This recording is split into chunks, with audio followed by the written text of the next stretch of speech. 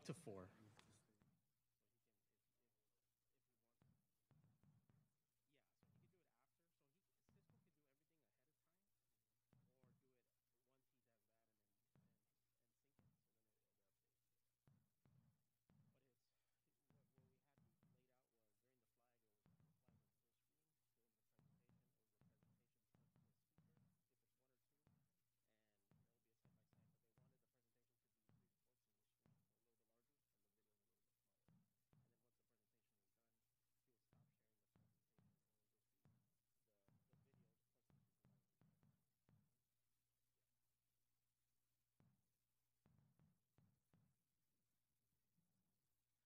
Hey, Kevin, let us know when to test the backup line, and I'm gonna take it. I'm gonna give it over to Cisco since he's here.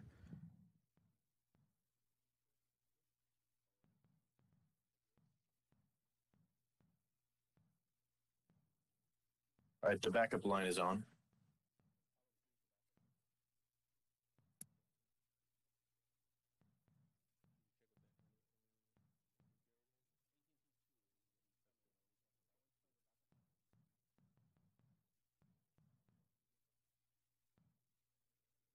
This is a sound check for the AT&T backup line.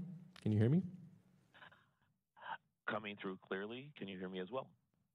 Yes, we can. Thank you. You're welcome.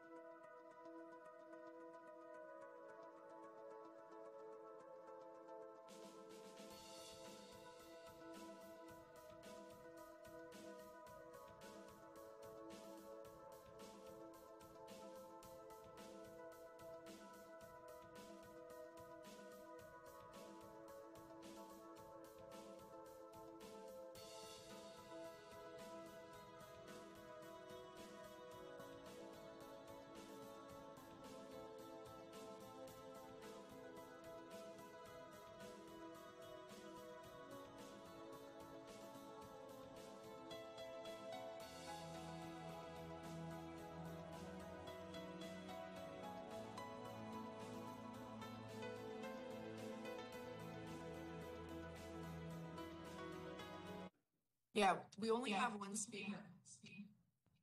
All the computer speakers are muted. It's a little better, but there's still a little echo.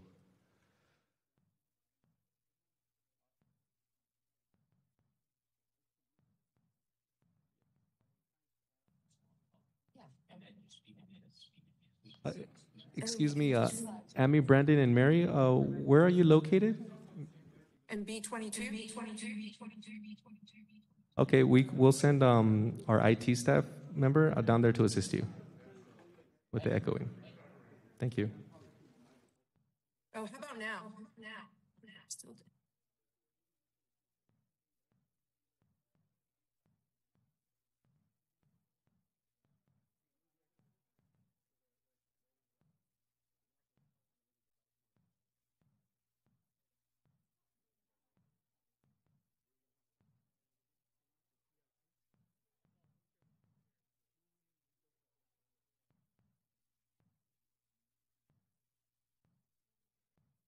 Good morning. This is a sound check for Saman Kashani. Can you hear me? Oh, one, sorry, one second. I've been asked to speak. Two seconds. Huh, I can hear you, but I can't unmute. Uh, correct. Yeah. Um, the host will be able to mute and unmute you when you are mute. Uh, you wouldn't. You won't be able to unmute yourself, but when you're unmuted, then you can mute yourself. Okay, I think I understood that. okay. But yes, I can hear you loud and clear. Thanks. But if and when you present, then you will have the ability to mute or unmute yourself. Thank you. I see.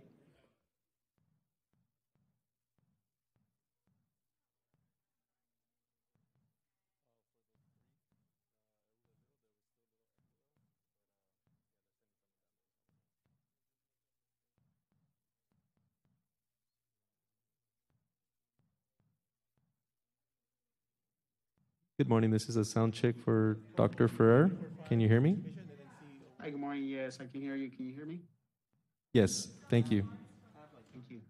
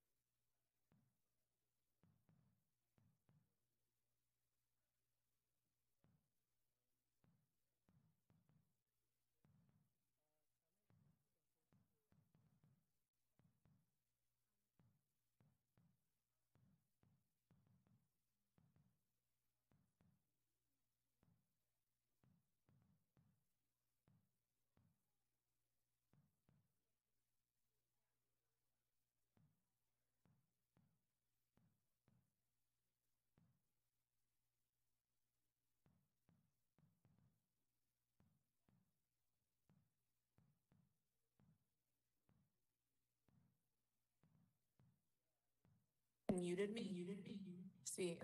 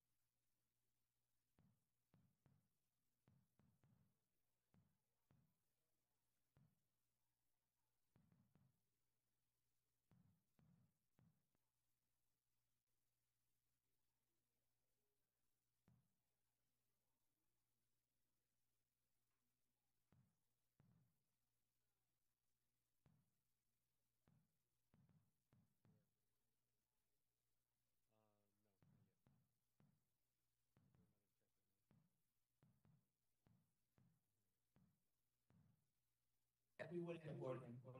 Let's do that, let's do that.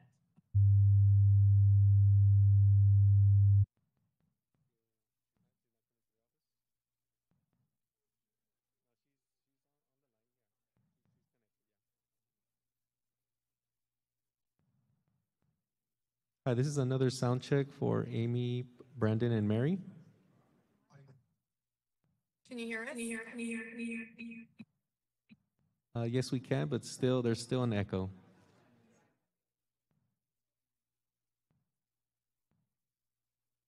So this speaker, so we're talking through my, so we're talking through my mic right now. This speaker, for some reason, Okay.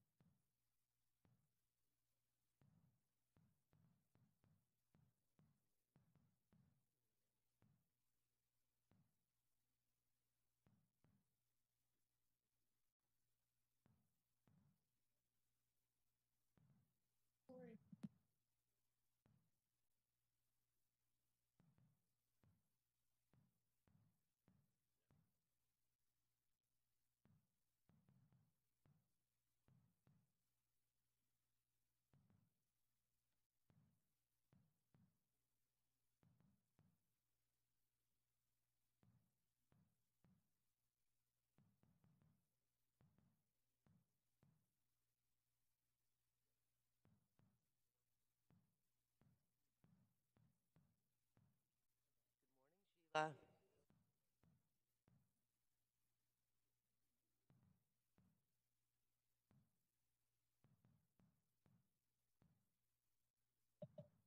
Good morning. Good Morning, everyone. Welcome to the regularly scheduled meeting of the LA County Board of Supervisors, which is being held remotely. Today is Tuesday, May 3rd, 2022. We'll take roll to confirm attendance. Everyone ready? Great. Supervisor Solis. Supervisor Kuehl. Here. Supervisor Hahn. Here. Supervisor Barger. Fesia Davenport, Chief Executive Officer. Present. Dawyn Harrison, Acting County Counsel. President. And Celia Zavala, Executive Officer of the Board. Here. Great, thank you. Supervisor Barger, would you do us the honor of leading us in the pledge? I would. Would you please stand and face the flag, put your hand over your heart, and repeat after me?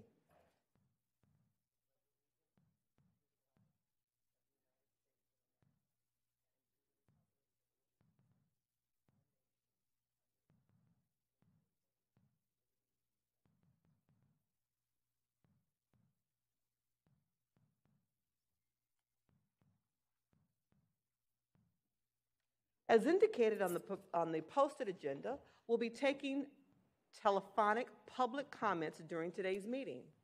The Executive Office of the Board received over 150 written public comments for today's meeting, and as those written comments were received, all of them were available to the supervisors for their consideration consistent with the Brown Act's requirements. We'll continue to receive written public comments throughout the meeting, which will become part of the official record. Executive Officer, please call the agenda.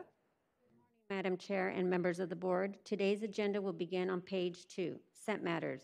Set Matter one is a report by the Chief Executive Officer and appropriate department heads as necessary on the status of the American Rescue Plan funding and consideration of necessary action.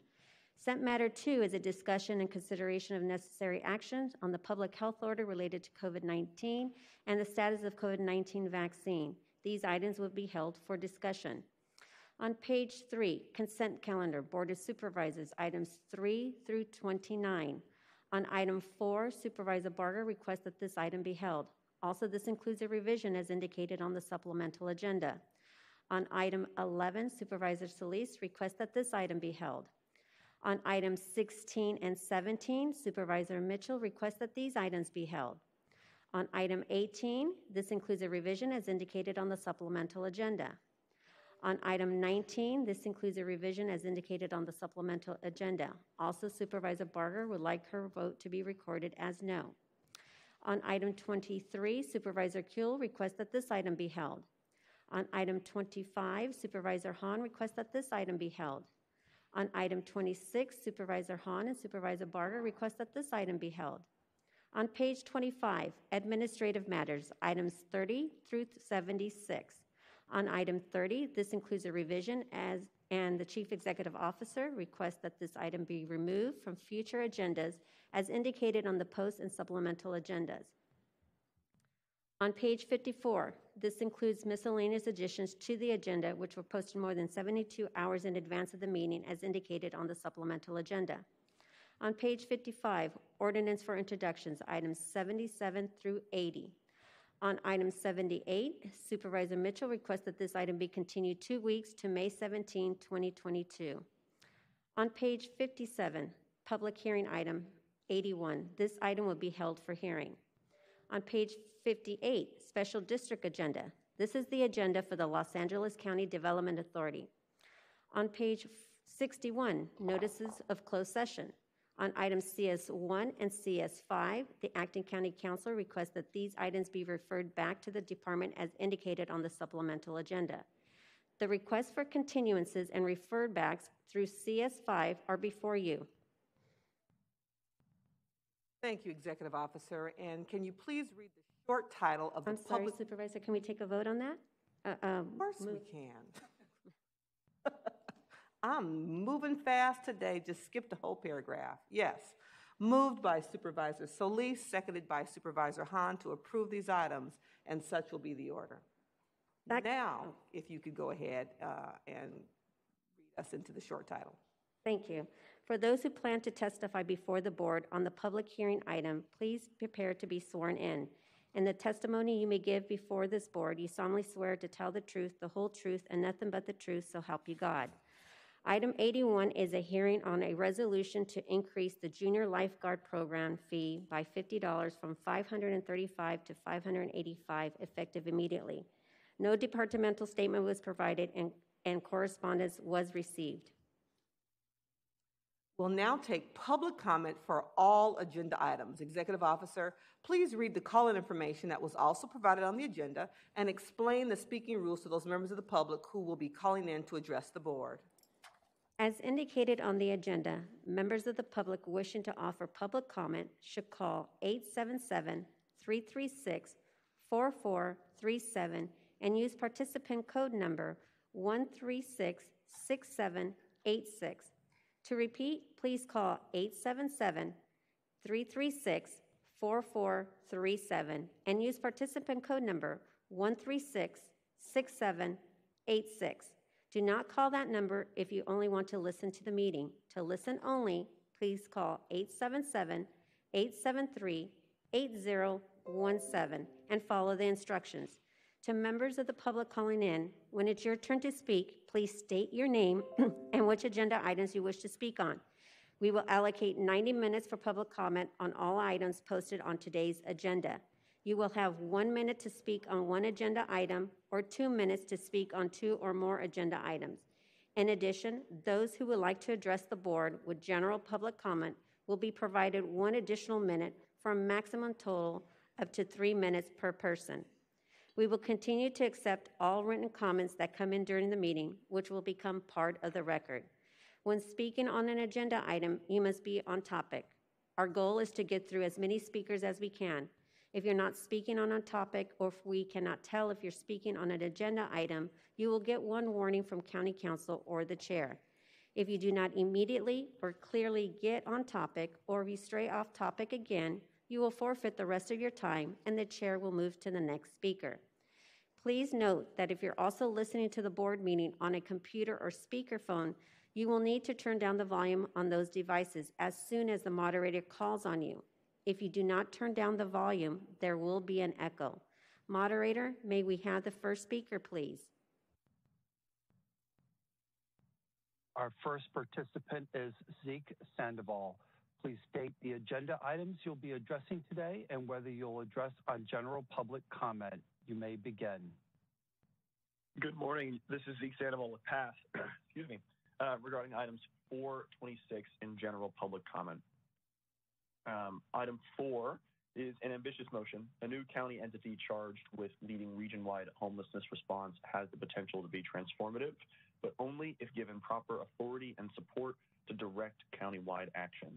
Critically, the entity must have some authority over creating new permanent supportive and affordable housing, homes and homelessness.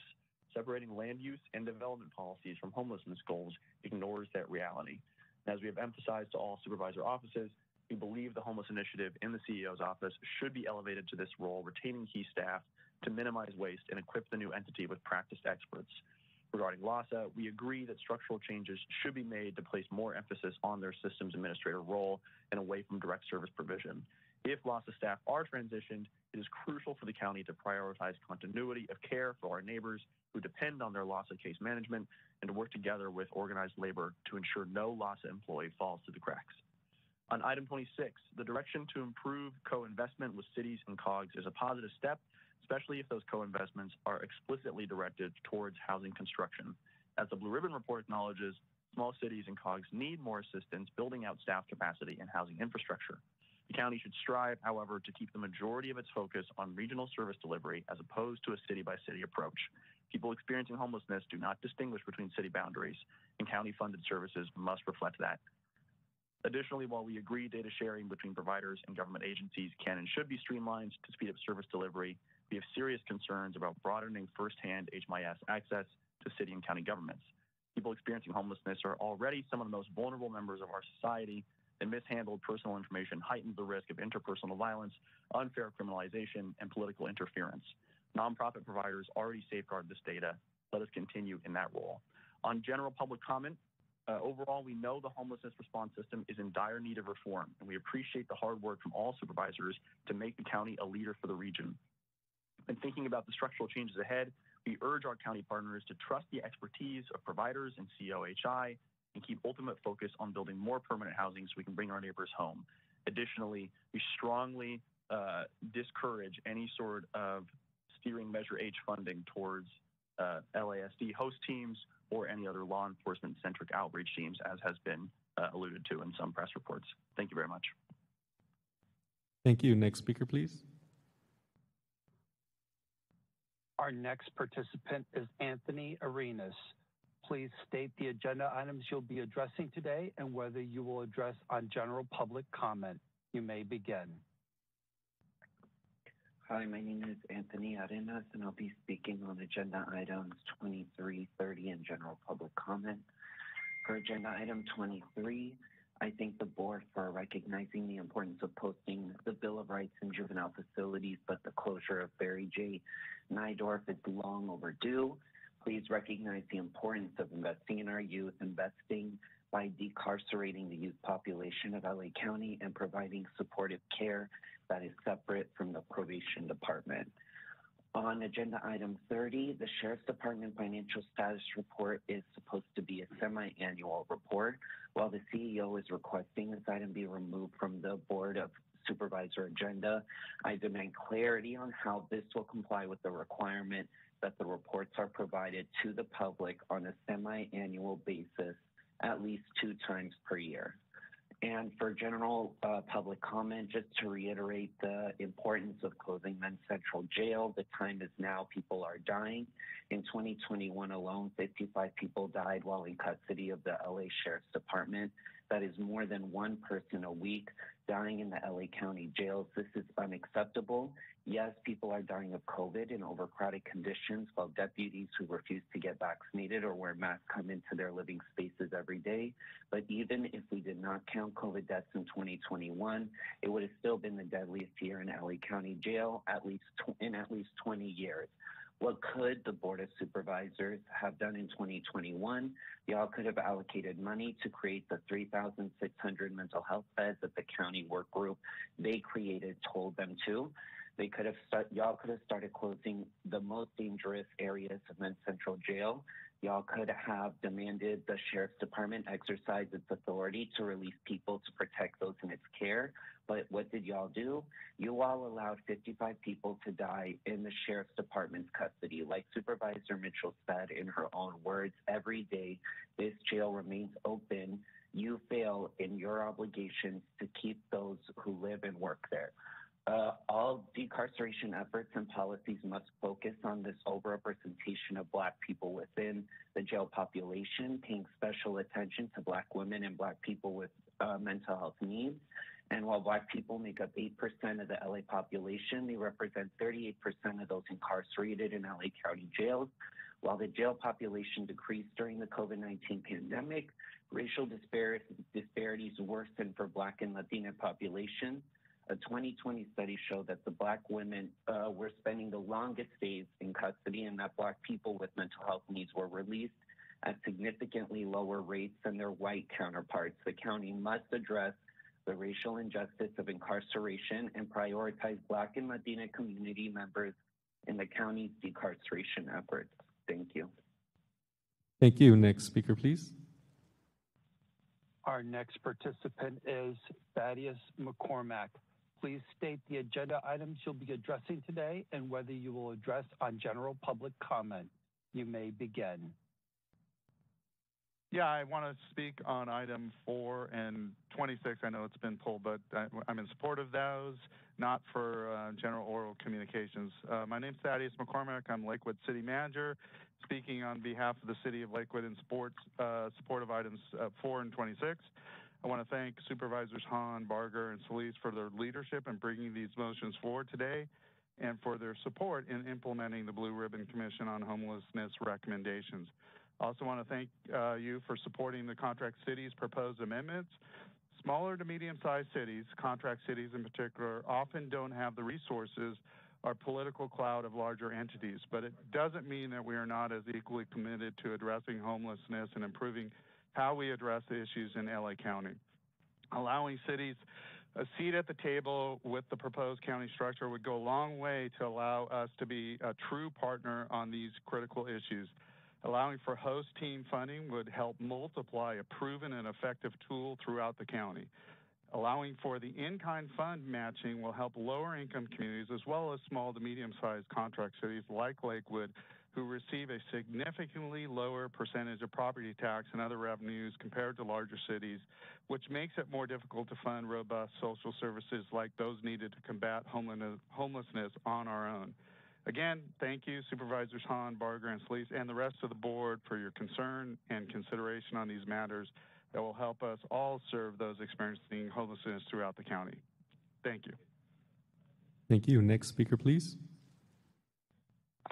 Our next participant is Kent Mendoza. Please state the agenda items you'll be addressing today and whether you will address on public comment. You may begin.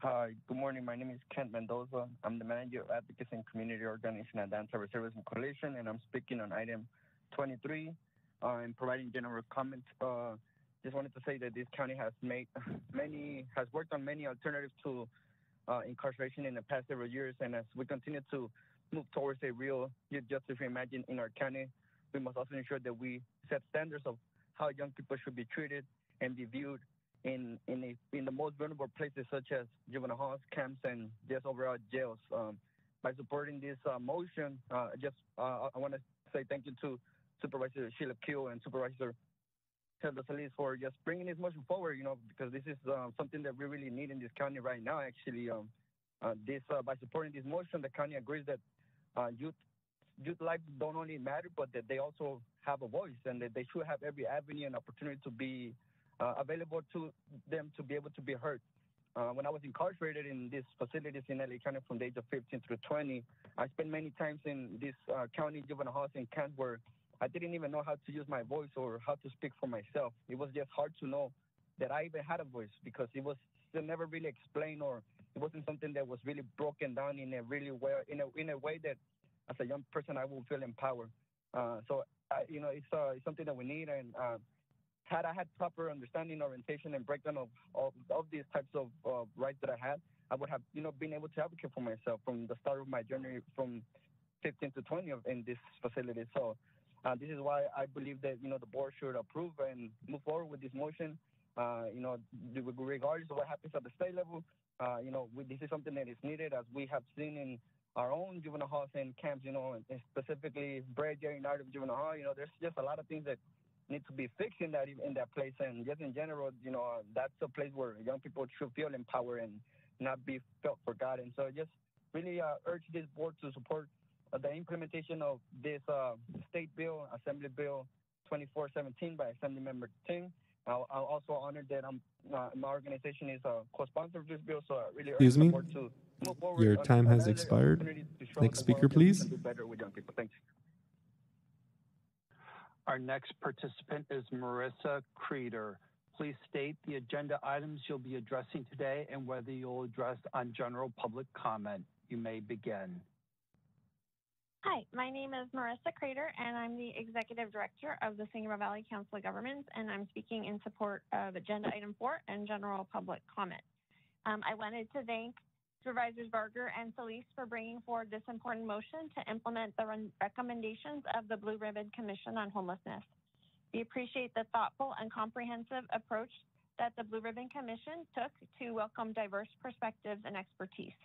The seven recommendations are a critical step forward to improving how we address homelessness across the county, particularly in smaller cities. The COG and the 31 member cities have worked tirelessly to develop and implement local solutions to best serve persons experiencing homelessness in their communities. The Local Solutions Fund will support local initiatives to address homelessness for uh, these residents. The county entity will give cities the opportunity to be a part of the strategy and vision for addressing homelessness countywide. The motion will help increase collaboration across the county. It's a critical step forward that will improve our response to homelessness for all residents. We commend BRCH and the Board of Supervisors on their acknowledgement of the existing challenges and development of recommendations that could better serve PEH across the county. Please vote yes on item four. Thank you very much. Thank you. Next speaker, our please. Next participant, our next participant is Zachary Warma. Please state the agenda items you will be addressing today and whether you will address on general public comment. You may begin. Good morning, Supervisors. Zachary Warma, Associate Director of Policy at LA Family Housing, calling on items 4, 26, and general public comment. On item 26, implementing a new framework to end homelessness in Los Angeles. Thanks to your leadership, Supervisor Hahn, and that of Supervisor Barger, we have a clear, streamlined, and comprehensive vision for how we can more effectively combat homelessness in LA County.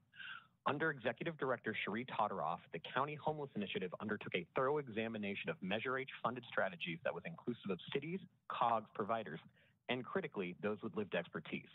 The final report powerfully centers the importance of permanent housing, reducing barriers that limit one's ability to exit houselessness, and addressing the ongoing racial inequities that contribute to the growth of our unhoused population. The new framework lays out clearly defined roles rooted in best practices for all stakeholders, which, if fully implemented, will lead to a robust countywide response system. We urge resounding approval of this motion and that HI be provided the necessary resources to begin immediate implementation. On item four, the recommendations of the Blue Ribbon Commission on Homelessness, we are concerned that the motion in its current form will hinder the success of the new framework and the Commission's stated purpose to improve accountability, transparency, and inclusivity. Should the board develop a new county entity and leader, we urge you to uplift HI and Executive Director Todoroff to this role.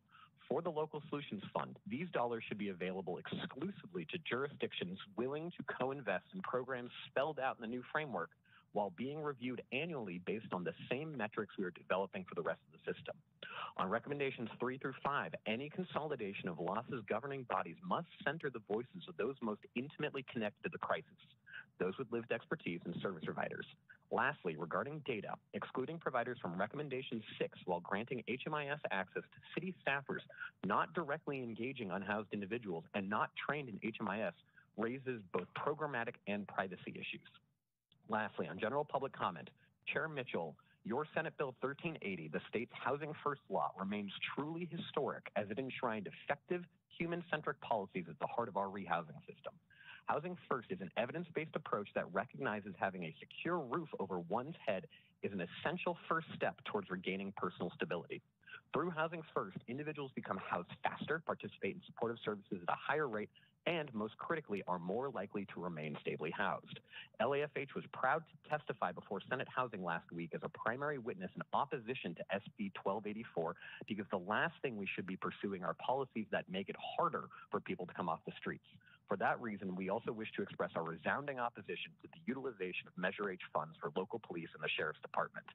Taking limited Measure H dollars from service providers and redirecting them to law enforcement will result in reduced levels of service provision while increasing the, posen- the potential for traumatization and criminalization for a population already disproportionately justice involved.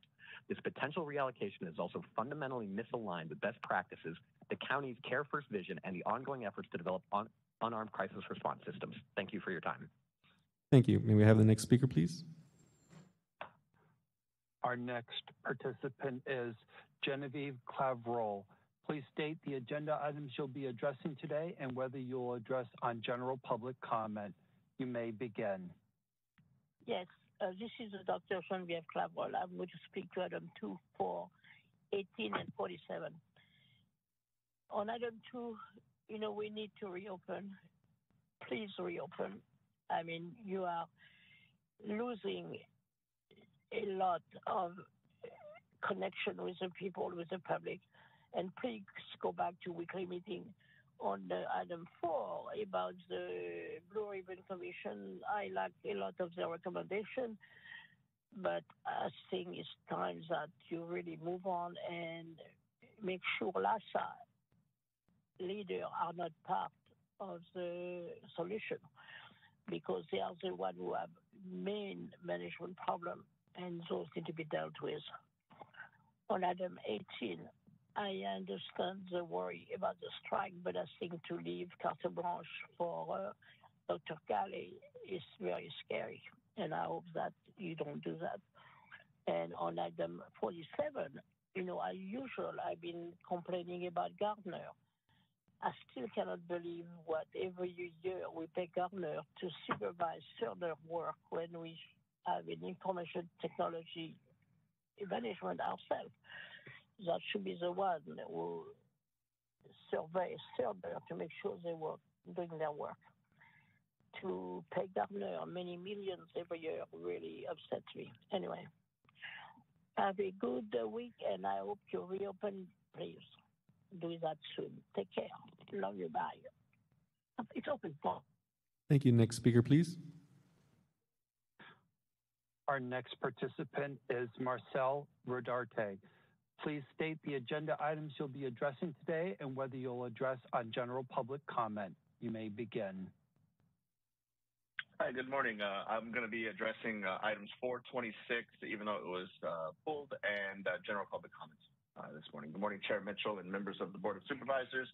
My name is Marcel Rodarte. I'm the Executive Director for the California Contract Cities Association.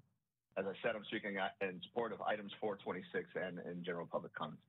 Uh, first, I applaud and encourage the adoption and implementation of the seven BRCH recommendations. I'd also like to encourage you all to support the three amendments being proposed by the California Contract Cities. Those amendments propose giving cities a seat at the table with the proposed new county structure. Uh, our local cities deserve to be heard on these critical issues. They also to allow for host team funding that would provide a critical need in how we interact and reach our homeless population, and providing a mechanism for the monetary or in-kind fund matching for underserved, uh, providing a mechanism for the waiver uh, of those in-kind or matching funds for underserved communities, uh, which you all can uh, define. And I want to add on a little bit. I've heard a couple comments about the host teams. Uh, host teams are a crucial component to ensure the safety of outreach workers. These specially trained deputies have been effective in positively impacting our homeless population when deployed correctly. Allowing cities to use Measure H funding for additional host teams will give those cities leverage to prevent these teams from being used for political or other purposes. I'd also like to thank the rest of the BRCH uh, uh, Commission and the BRCH staff especially for all the hard work they've done to get us to this point. We now know, thanks to the work of the BRCH, that our existing system is not effective as it should be, and the status quo needs to be changed. I urge your yes vote today on item four and encourage uh, future amendments uh, to item 26 when we see it come back. Thank you all. Have a great day. Thank you. Next speaker, please. Our next participant is Councilwoman Adele Andrade Stadler. Please state the agenda items you'll be addressing today and whether you'll address on general public comment. You may begin. Yes, my name is Adele Andrade Stadler, and I'm Vice Mayor of the City of Alhambra and a Director of the San Gabriel Valley Housing Trust. I'm speaking on item four and public comment. Thank you both to Supervisors Barger and Solis for bringing forward this important motion to implement the recommendations of the Blue Ribbon Commission on homelessness. Um, I particularly want to recognize and recommend the seven critical um, uh, recommendations. They're a critical step in improving how we address homelessness across the county, but particularly in our smaller cities. Despite our efforts, we need every opportunity. And th we thank you very much um, the opportunities to improve our responses, right? Thank you very much, and I urge your support on item number four. Thank you. Next speaker, please. Our next participant is Richie Sergianko. Please state the agenda items you'll be addressing today and whether you'll address on general public comment. You may begin. Hi, yes. this is Richie Sergianko from the People's City Council. I want to call in about item 26 and general public comment. Um, for item 26, I just want to say that you know, uh, you know, why are why is Measure H money going to the sheriff's department?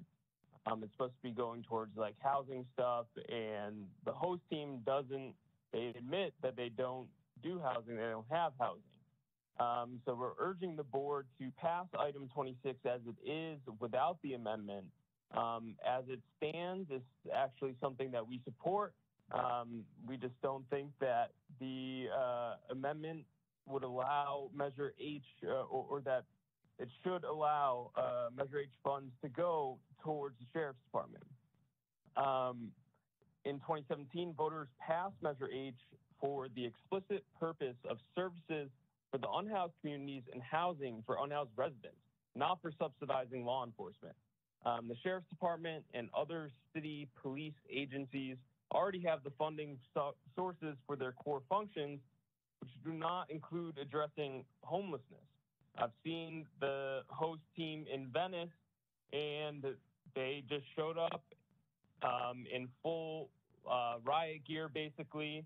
Um, not not riot gear, but they they they came all tooled up to the beach to to do quote unquote outreach uh, with unhoused folks. And what what exactly were they doing there? Because they didn't offer housing and they didn't have services. They didn't bring food, clothing. Um, you know, so they were just there to scare people and move them away from Venice. Um, allowing these dollars from Measure H to go towards law enforcement is a step in the wrong direction. Uh, best practices and evidence based research have demonstrated that the presence of law enforcement in homeless services is not trauma informed and actually Excuse me? undermines the ability of Your time has providers to build expired. strong relationships. May we have the next speaker, please? Thank you. Google speaking. Our next participant is Wendelyn Julien. Please state the agenda items you'll be addressing today and whether you will address on public comment. You may begin. Good morning, Wendelyn Julien, Executive Director of the Probation Oversight Commission, speaking in favor of item 23 and general public comment. Thank you Supervisors Kuehl and Solis for including this important motion on today's agenda to support Assembly Bill 2417 and establish and implement a powerful Bill of Rights for incarcerated youth in Los Angeles County. The closure of the state's Department of Juvenile Justice presents an incredible opportunity for the county to keep young people close to their families and for us as a county to fully implement our Care First Jail's last vision by providing trauma informed rehabilitative care to young people who were previously sent to state institutions. The phased closure of DJJ began 10 months ago, and our progress has been painfully slow at the expense of now over 30 young people who are sitting at Barry J. Nidorf who would previously have gone to DJJ. Progress in selecting two sites and discussions about programming have moved forward, but new obstacles seem to come up every week. The health and well-being, opportunities for growth and rehabilitation, and preparation for re- reentry for these youth hang in the balance, making the need to press forward urgent. This motion is a step forward by implementing a powerful Bill of Rights. If the motion passes today, the Probation Oversight Commission looks forward to ensuring that the department implements, embraces, and fully executes the Bill of Rights. We'll follow up through our inspections, site visits to the facilities, meetings with department staff and leadership, and regular conversations and surveys of youth about implementation, and then report that progress back to you and the public. Given that over 70% of the currently incarcerated youth are at Barry J. Nidorf Juvenile Hall, I agree it's right to start the implementation of the Bill of Rights there and then extend it to all facilities. I look forward to the benefits it will have on the humane and dignified treatment of youth in our facilities. Thank you for supporting item 23 in advance of that goal. Thank you. Next speaker, please. Our next participant is Veronica Lewis. Please state the agenda items you'll be addressing today and whether you will address on general public comment. You may begin. Good morning, Veronica Lewis, the Director of HOPICS. I will be addressing agenda items number four, number 26, and general public comment. Supervisors, thank you for your willingness to take bold action to make sure that we're serving um, our most vulnerable folks in an effective, strategic, and thoughtful manner because something does need to change and we need transformative change. I appreciate all of your efforts. With that said, um, on agenda item number four, I just want to offer up some considerations and concerns related to some of the seven recommendations. And so for the recommendation number one related to the new county entity, I hope that, and we need, in order for this to make sense and to actually change some of the dynamics and the pain points that we have as providers and as people experiencing homelessness, um, we need to make sure that the county department has meaningful authority and have the ability to really drive what our homeless service system looks like, including holding other county departments like the Department of Mental Health, Department of Health Services, and others that receive Measure H funds accountable um, to be in line with the framework. We also uh, need to make sure that it's the homeless initiative, I'm concerned about the murmurs I'm hearing related to what the structure may be like. It makes most sense for it to be the homeless initiative who has done a lot of the heavy lifting and just needs to be expanded in their role. Some of the other pieces, I know that the county currently has a um, like contracting equity work group because there's a recognition that it's very difficult to contract with the county. And so my only concern related to a new county entity is just all of the bureaucracy and unnecessary administrative burden that it creates. And so I'm hoping that some of the principles that are coming out of that work group will be applied as we, as we think about this new county entity. And I'm really concerned about the smaller agencies that have become a key part of the safety net accessing Measure H funds, either as direct contractors or subcontractors, will still have access. Because what we do know is the county is always looking to completely indemnify itself, and that creates lots of burden. So I'm really hopeful that you can be thoughtful about that process. The other thing that's concerning is the county, as much as you try, you're not the most collaborative grant grants administrator. And so I'm really hoping that separate from two minute public comments at listening sessions, that this new county entity continues the work that we've developed with LAHSA to have a meaningful collaborative process and really allow for some joint decision making. And the last thing I would say that needs to be considered as you're doing the analysis of creation of this pop, uh, new entity is that you also need to look at the competitive bid processes. And again, all of this is just looking at some of the main barriers people have to accessing county funds. In terms of recommendation number two, I wholeheartedly do believe that the city should have some money to address the unique nuances. However, it needs to be within the framework that's covered under agenda number twenty-six. And cities need to be able to use Measure H money in line with the framework and not to criminalize homelessness. And so I do not support host teams or sheriff's department funding at all. In terms of recommendation number four, I think it would be detrimental to collapse all those teams. Seven, five to seven years ago, I was on the first ad hoc committee um, looking at governance, which created the COC board. And while I do think that there can be some consolidation, to have only one body where you have maybe one or two people with lived experience, maybe one provider, is not going to allow for um, the decisions to be made with all of the different nuances that we now have with Excuse multiple me, people at the table. your time has expired. Next speaker, please. Thank you. Our next participant is Roy Humphreys. Please state the agenda items you'll be addressing today and whether you'll address on public comment. You may begin. Uh, Roy Humphreys, agenda items uh, 4, 25, 26, and 30. Uh, the Blue Ribbon Commission on Homelessness uh, is uh, 10 years in the making and reflecting governance in disarray and dismay. A congresswoman notes a million border crossers should be blamed on President Trump. So just blame President Trump for th- this. The commission will never realize be realized its goals due to a profound lack of funding and failure to provide uh, secure transient uh, campsites for the homeless. Your proposed uh, 25 and 26 uh, homeless. So when you have uh, not got the funding for existing strategies and safe uh, homeless uh, camps as per the sheriff, uh, as above, and in, insist on choking the courts with hookers instead of criminalizing sex, blame President Trump. The court system is in a profound state of decay. Where's the plan? Where's the money? Blame Trump.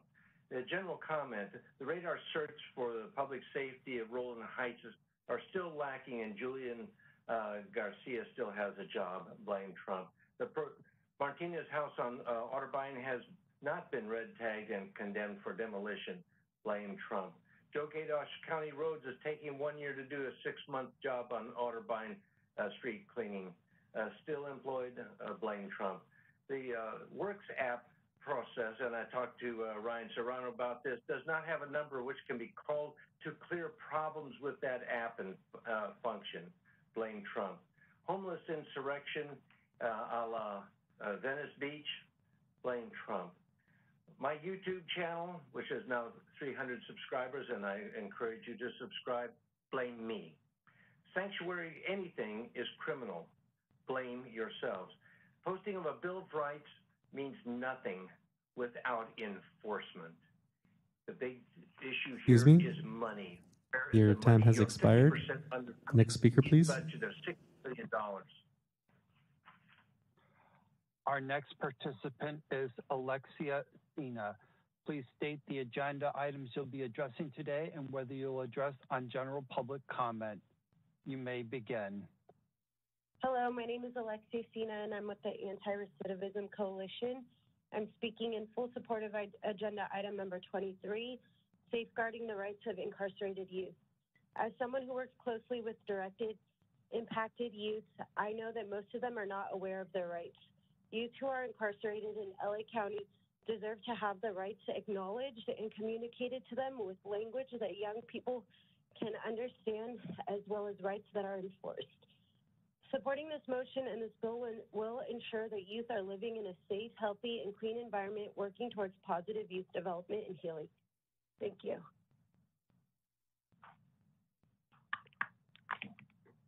Thank you. Next speaker, please.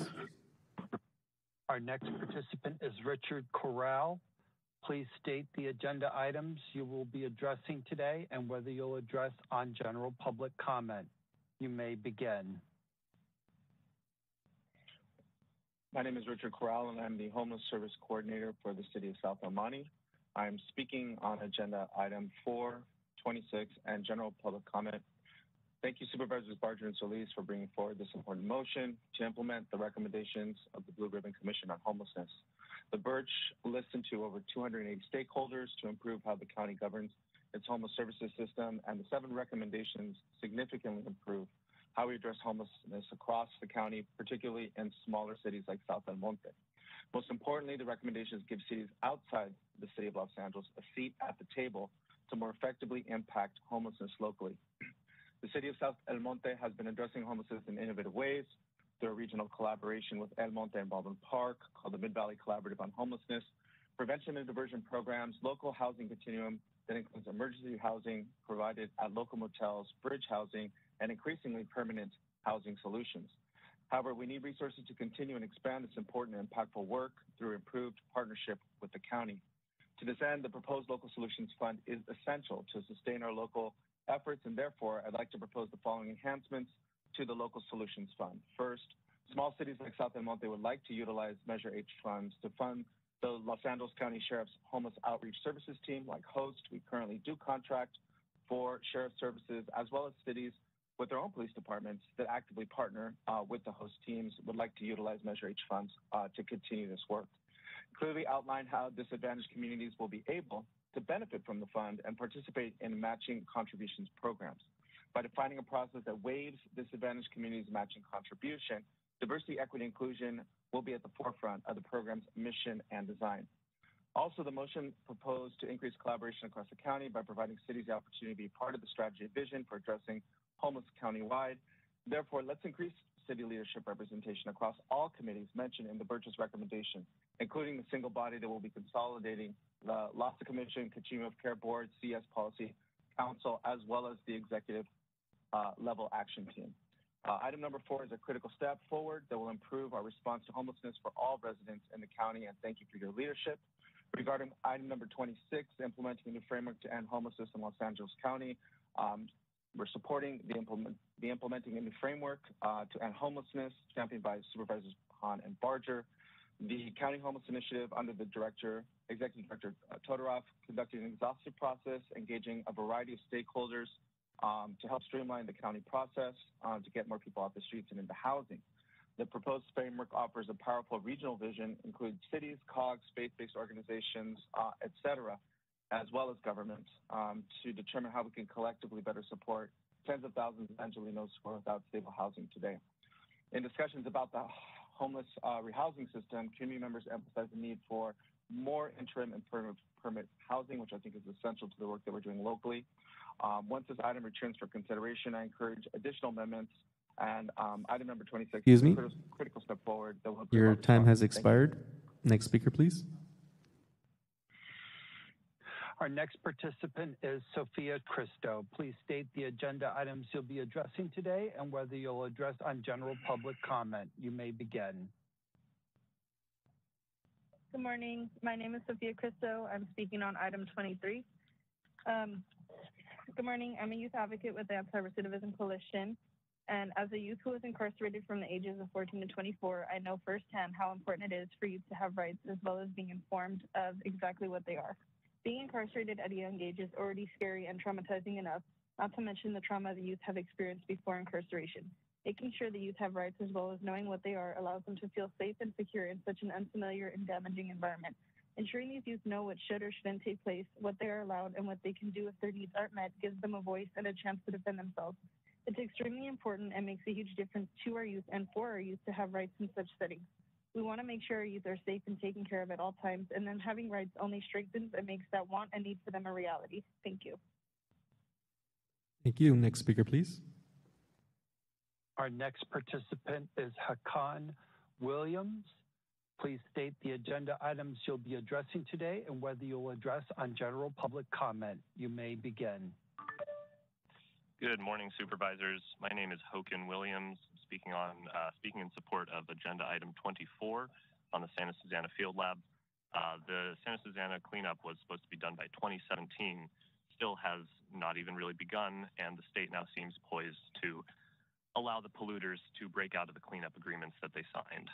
I very much appreciate the county's unwavering commitment to the Santa Susana cleanup. I ask that you vote to approve the resolution on the Santa Susana Field Lab. Thank you so much for your time. Thank you. Next speaker, please. Our next participant is Joseph Lyons. Please state the agenda items you'll be addressing today and whether you'll address on general public comment. You may begin. Uh, yes, uh, my name is Joseph Lyons. I am speaking to items 4, 26, and open public comment.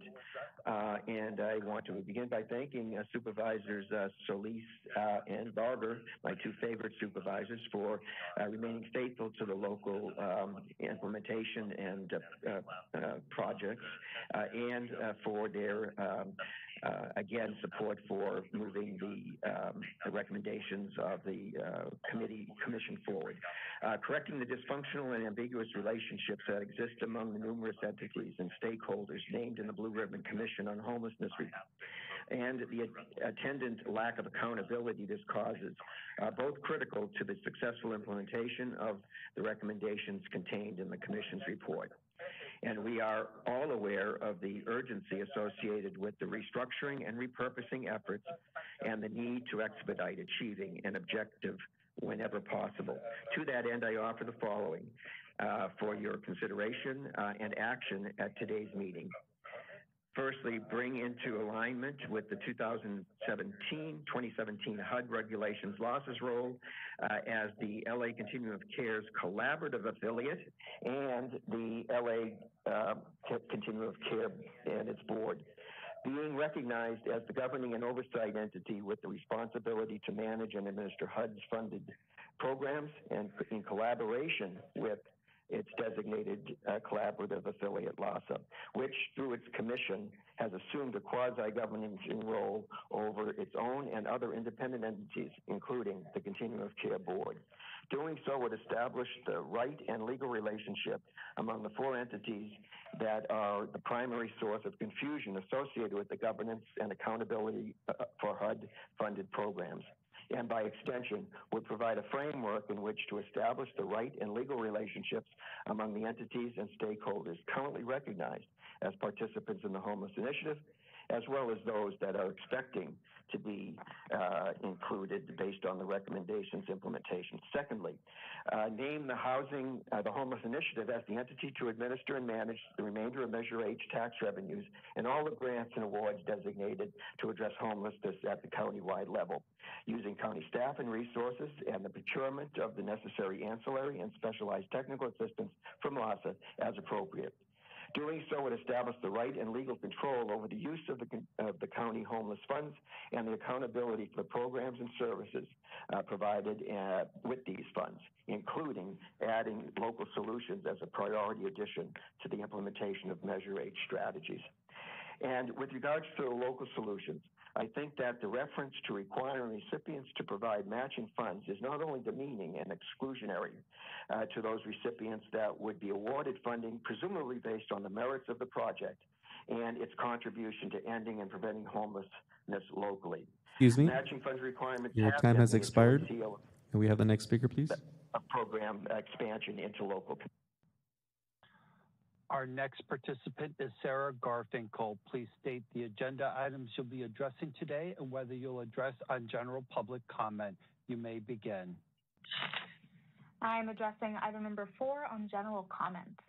Chair Mitchell and supervisors, good morning. Again, my name is Sarah Garfinkel, and I'm calling on behalf of VICA, the Valley Industry and Commerce Association. We are in support of implementing the Blue Ribbon Commission on Homelessness recommendations motions. Our county needs the Blue Ribbon Commission's recommendations, specifically that the county strengthen its involvement in cities and councils of government by establishing multi-year local solutions fund for jurisdictions that commit to providing in-kind or matching contributions for the development of service programs or housing.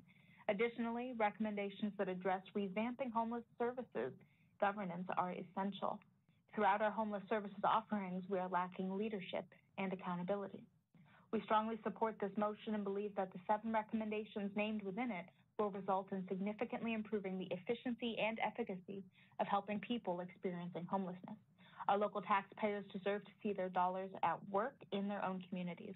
We urge you to support this motion, and thank you. Have a good day. Thank you. Next speaker, please.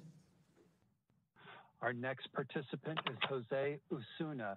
Please state the agenda items you'll be addressing today and whether you'll address on general public comment. You may begin. I'll be addressing item number 26 and general public comment. Um, first of all, I am the Housing Justice Manager for Brilliant Corners, one of the county's strongest housing partners. I'm also the 4th District appointee for the Public Safety Realignment Team. I want to remind the board that law enforcement does not equal housing services. Although we support item number 26, we do not support the amendments that would allow funding to go to any law enforcement agency. We cannot continue to criminalize our unhoused community members, and that is what law enforcement does when they engage our unhoused community members. That is their job to enforce laws, not to provide housing or social services. Let's remember that. I have not heard any service providers or any unhoused community members express any kind of interest in law enforcement being funded uh, by Measure H funding. I voted for Measure H with the idea that this would fund housing services, not continue to build up the war chest for law enforcement agencies to continue to fund their war on our unhoused community members. Um, I am in favor of local solutions just as long as they are not law enforcement based solutions to deal with the crisis around those that are unhoused. I urge the board to remove the amendments that would allow funding to go to any law enforcement agencies. I urge the supervisor from the district that I live in, Supervisor Hahn, I urge you to pull the amendments that would cause, that would allow law enforcement to be funded by Measure H funding. Thank you. Thank you. Next speaker, please. Our next participant is Jenny Mack. Please state the agenda items you will be addressing today and whether you'll address on general public comment. You may begin. Hi, I am addressing uh, agenda item number 24 and um, general comment. First, I'd like to thank Kuehl and Barger for proposing this motion to ensure the complete cleanup um, of the Santa Susana Field Lab, honoring the 2007 and 2010 agreement. Um, your legacy championing this cause is greatly appreciated um, by our community. With some of the cleanup's strongest advocates soon leaving office, we must act, act quickly and aggressively to bring the responsible parties into compliance, especially as we expect the EIR to be finalized this summer.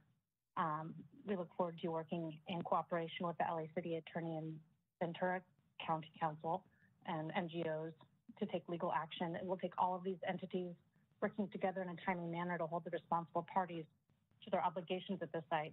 Um, the concerns, as you know, of the responsible parties are strictly financial. They intend to in, avoid investing in a comprehensive cleanup by any and all means necessary. Um, we hope that as a united front, uh, we can show them that you intend to protect the health of our communities with the same resolve. We hope that you approve the motion of agenda item 24.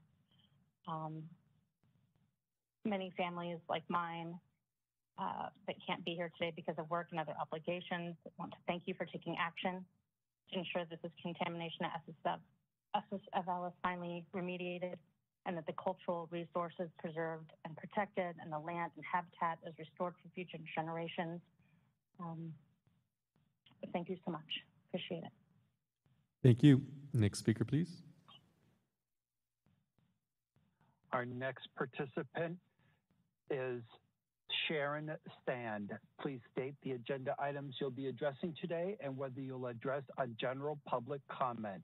You may begin. Hello, this is Sharon Sand from Trust for Public Land, speaking on item 74A and general comment. We want to thank Supervisor Solis and her leadership for introducing the motion to support Governor Newsom's 30 by 30 initiative. This proposal will help close the nature gap that exists in California, especially in LA County. We also want to applaud the work initiated by LA County Parks for the regional and rural park needs assessment to give LA a leg up in competing for funds. And we want to thank LA County Parks for their vision and diligence in preparing for this. We ask for a unanimous vote in support of this motion. Thank you. Thank you. Next speaker, please. Our next participant is Roxanne Hoge. Please state the agenda items you'll be addressing today and whether you'll address on general public comment. You may begin. Hi, my name is Roxanne Hogue, um, and I'll be addressing set items two um, and nine, a little bit of 19, and general public comment. Um, I just want to make it very clear that what's been happening to our children and on public transportation under the dictatorship, really, of Barbara Ferrer is absolutely unconscionable. She needs to be questioned directly about why she is not aligning with the state. Um, she recently said in a presentation she made to USC's public School of Public Health that uh, it's very complicated telling people the truth, and I think we need to have her address that. Um, in addition, it's a bit spurious to proclaim May Mental Health Month when almost all of the steps she recommended and the board agreed to harmed our children's mental health and that of young people in Los Angeles County egregiously. Forced masking, forced to vaccination, and shutting them out of school for over a year in public and private school at the behest of public sector unions was actually a criminal activity. In addition, just a quick note, um, we should not support housing first model as it's been shown to be an absolute disaster everywhere it's been tried. A note about the budget is that we definitely do not need four new departments unless we're going to eliminate some of the duplication of departments we already have. And so when we're looking at our proposed budget for the future, I want to point out that we have more than enough money to have clean streets and safe streets, and we should make an effort to at least pretend we're spending money on public services. Lastly, it's wonderful that there are new and open offices uh, for the Board of Supervisors, and I can't wait to join you as I'm running in the third district. But open meetings and the consent of the governed and the will of the people mean that you should be accessible to all. COVID is endemic, not pandemic, and those restrictions no longer count. Please allow the people of Los Angeles to address their concerns to you. Hope you all have a wonderful day and look forward to meeting you all very soon. You can find me at superroxanne.com. Thank you. Next speaker, please. Our next participant is Doug Forbes. Please state the agenda items you're addressing today and whether you'll address on general public comment. You may begin. My name is Doug Forbes. I'm addressing item 10 in general comment. I'm, in, I'm the founder and president of Meow Meow Foundation based here in Los Angeles County. Our mission is to make camps and aquatics safe for children nationwide. I'm pleased that the County of Los Angeles would introduce this proclamation in honor of my daughter Roxy, who was killed by preventable drowning at an Altadena summer camp, and in support of millions of children who deserve long overdue protections that will help eliminate the number one injury related cause of death for children 1 to 4 and number 2 for children 5 to 14. I wish to thank Supervisors Solis and Barger for introducing this proclamation and our forthcoming drowning prevention and camp safety motions. I want to make sure, however, that all of us understand how proclamations and ordinances are only as worthy as their real life application to protect hardworking families throughout this mighty county of ours. Last year, we successfully persuaded the state to adopt uh, Roxy's Wish Drowning Prevention Week for Children as a perennial resolution, and we are already we already see its impact. We've introduced the same in other states. We are here to do the work that will protect millions of young lives right here in our county. I want to thank you and wish you an early happy Mother's Day. Thank you. Next speaker, please.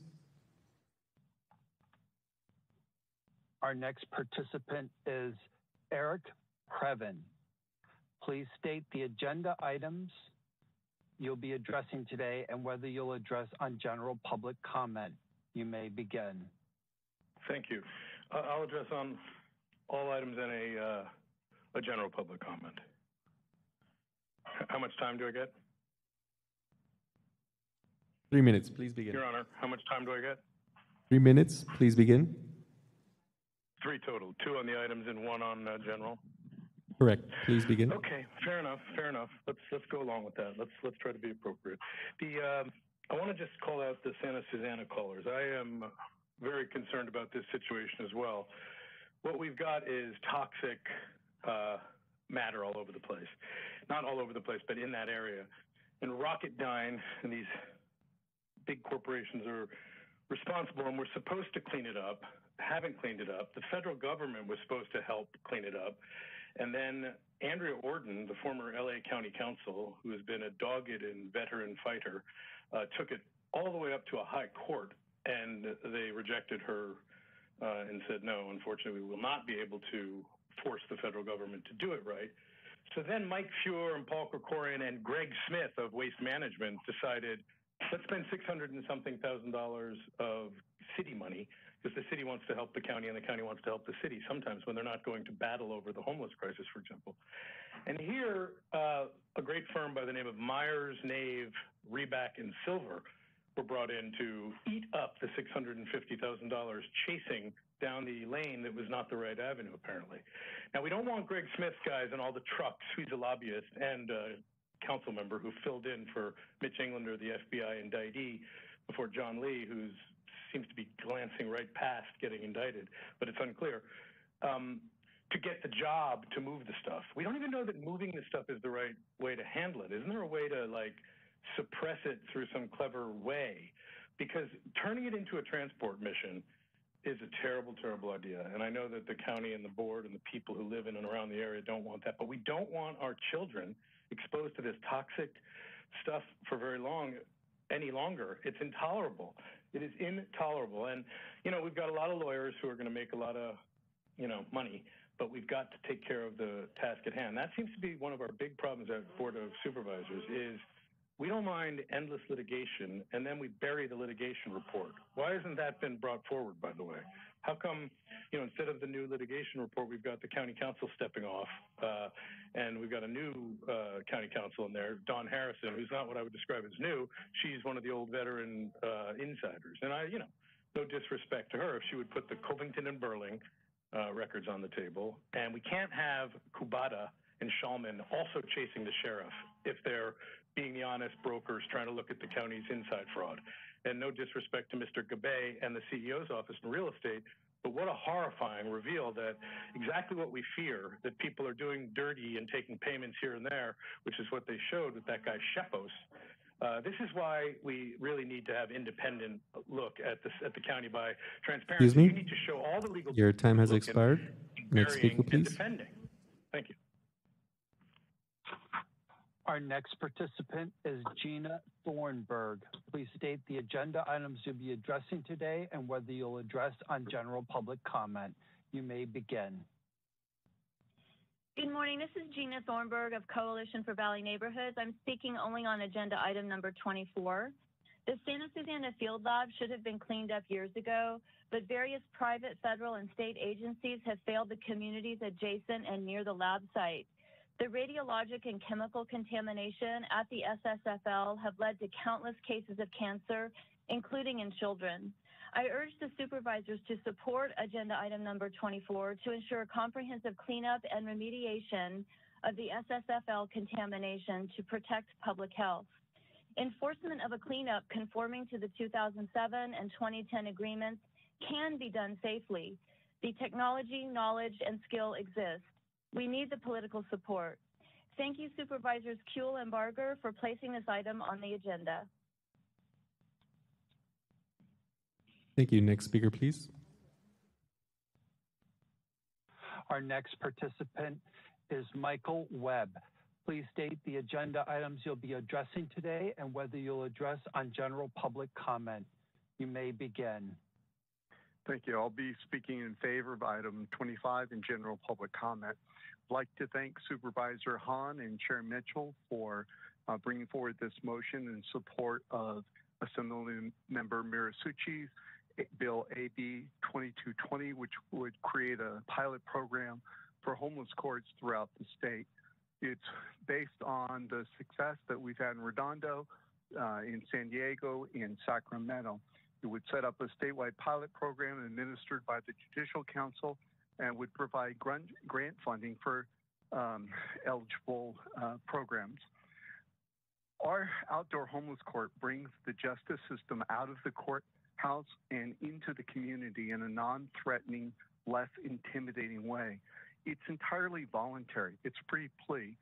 Uh, typically, as prosecutors, we would want a plea first um, so that there'd be some sort of punishment hanging over their head. We deliberately set this up um, as to not have that because we wanted to provide resources to help people who are motivated in in obtaining permanent housing. And so we bring all the resources that could be needed, additional mental health and addiction counseling services, um, all the services to become doc, document ready, job placement services, and of course, we provide transitional housing and permanent supportive housing.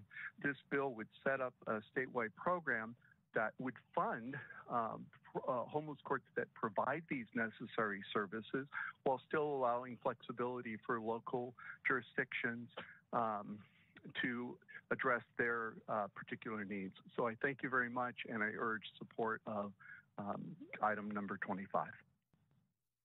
Thank you. Next speaker, please. Our next participant is Sean Gage. Please state the agenda items you'll be addressing today and whether you'll address on general public comment. You may begin. Hello, I'll be addressing item 23 for general public comment. My name is Sean Gage. I'm with the Anti-Recidivism Coalition Hope and Redemption Team. I'm in support of item 23, the Youth Rights Bill. Honestly, when I was in juvenile hall, I had no idea that I had any rights. Therefore, I had no way of advocating for myself or that there was someone even really that I could address my issue with. With this youth right, with this youth rights bill, our youth would have access to their rights in one place and in understandable language. I believe that when they know their rights, they know their voice matters, and they have an advocate for their voice, it gives them accountability, paving the way for successful rehabilitation and successful reentry to our society. I thank you. Thank you. Next speaker, please. Our next participant is Sylvia Burleson Brown. Please state the agenda items you'll be addressing today and whether you'll address on general public comment. You may begin. Hello, this is Sylvia, and I'm addressing on general public comment. I've been going to Kathryn Barger office because I'm in her district, but this reflects all Los Angeles County. I'm really am asking for Los Angeles County and you as our leaders in your position to stop all what's going on in county employment, all the uh, authoritative oppression, social, economic, political, legal, cultural, and institutional oppression, and also that they allow for social oppression that goes on in this office. I tried to resign out of duress yesterday and return my equipment, and it was horrible how I was treated over in that Lancaster um, DPSS office where I used to work there when I came to return my equipment. Then I went into a panic attack. They didn't try to do no wellness or anything. Uh, then I tried to uh, uh, call them on the way home, uh, putting myself and my grandchildren, because they went to me to help return that office to the district office. Yes, I transferred to Northridge, but they said we will get accommodated. Excuse me? And we're not, the, the, employees are not Your getting time has expired. accommodated. Next speaker, please. out on the behalf of the employees that they're not getting accommodated. It's a two-way contract, but they only Excuse me. fire people. Next speaker, please. Our next participant is William Harrison. Please state the agenda items you'll be addressing today and whether you'll address on general public comment. You may begin. I'll be addressing general public comment. My name is William Harrison. I live in District 1. I spoke to uh, the council on 419 regarding the issue with my school districts. And after I finish my study, I want to go over this with you. In the Walnut Valley Unified School District, 10 of the 15 schools have no blacks on staff at all. That's from the principal to the maintenance. Uh, three of their 15 schools have two blacks on staff. The district office has no one black on staff. Rowland Unified School District has nine of their 19 schools have no blacks on staff. Again, from the principal to the maintenance. Seven of the 19 have two on staff. District office, nobody black on staff. Now, who are these black kids role models when they go to school? I've been fighting this battle for a few years, so I'm coming to the county supervisors. I know that you cannot make the school districts do anything about this, but I would hope that you'll look into it to see if I'm right or not. I do hope that I'm wrong, but after doing my study, I'm I'm positive I'm right in a very sad situation where in Southern California, County of Los Angeles, that we have numbers like this, schools with absolutely nobody black on staff. Excuse me? No black teacher, no black Your time has expired. No black principal. We have the next speaker, please. Yeah, that was quick.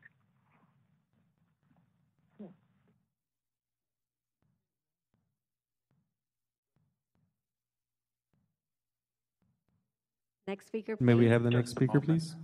Yes, the next speaker will be Michael Vilega.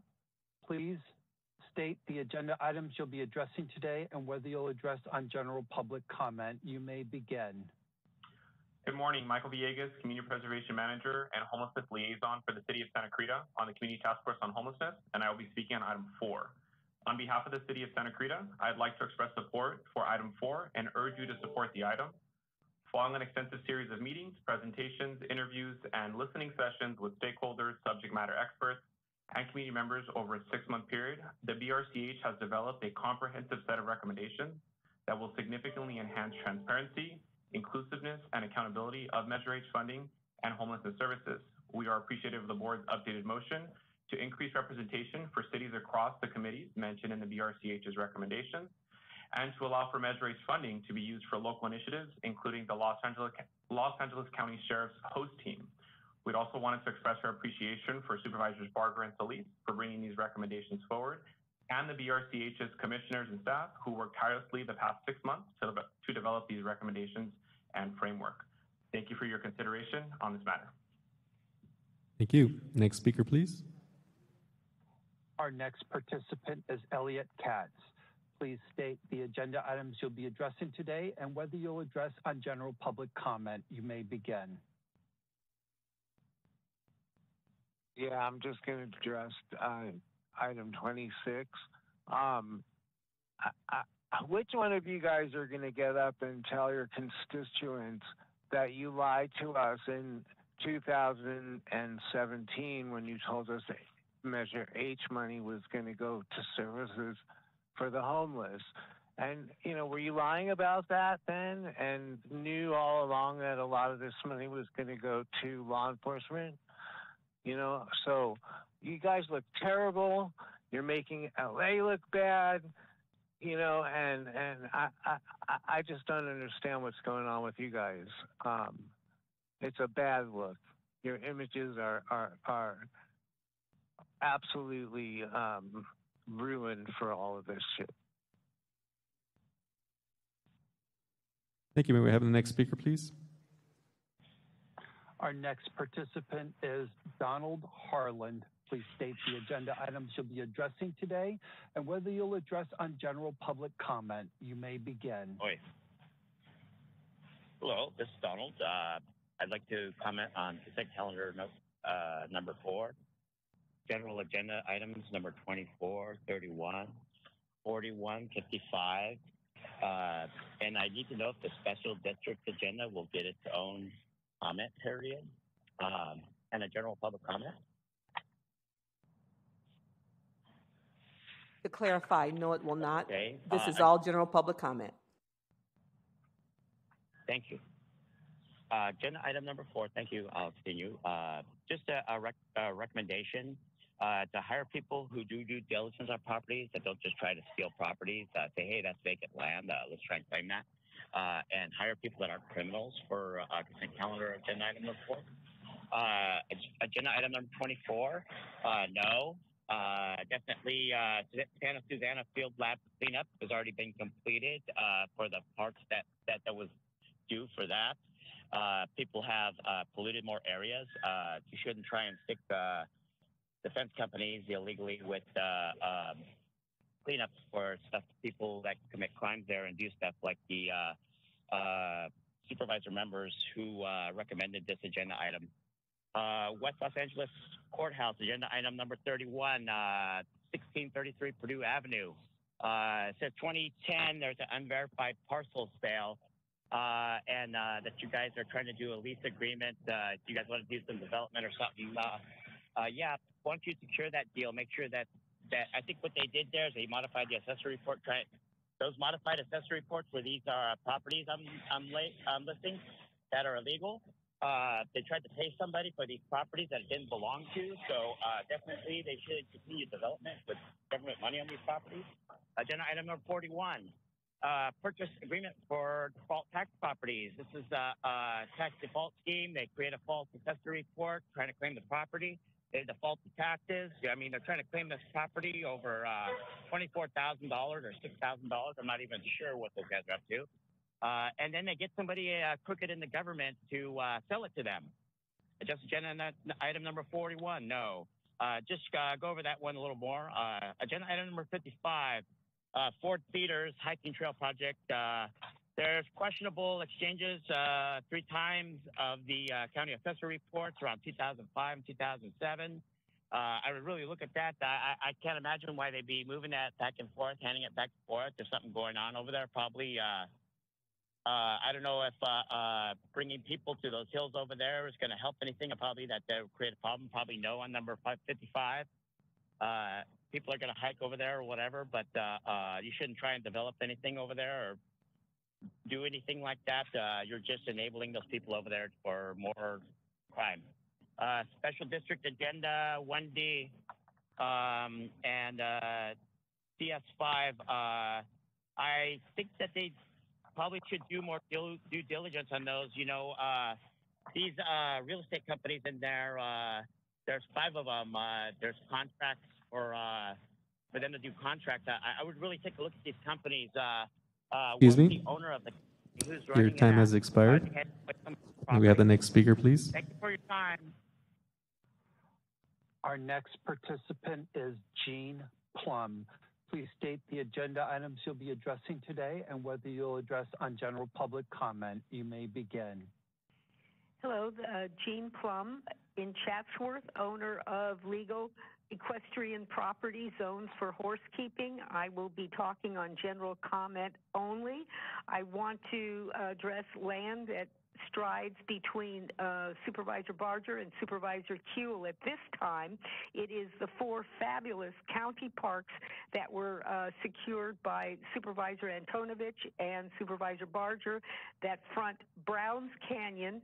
Uh, they their only access is from Browns Canyon Road. That is the Antonovich Park, Hidden Creeks Park, the Quarry Project, and the Browns Canyon Park, offering our area in the Northwest Valley thousands of acres of riding, hiking, and bicycling land untouched and unmarred by uh, civilization.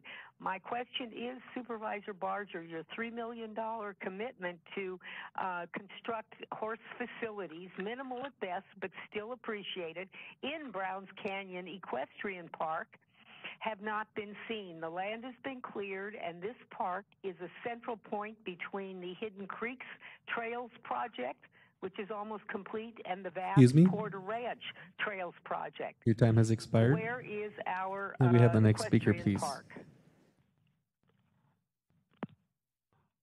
Our next participant is Daniel Hirsch. Please state the agenda items you'll be addressing today and whether you'll address on general public comment. You may begin. My name is Dan Hirsch from the Committee to Bridge the Gap. I'm speaking in strong support of item 24, the Santa Susana Field Lab cleanup, plus a general public comment.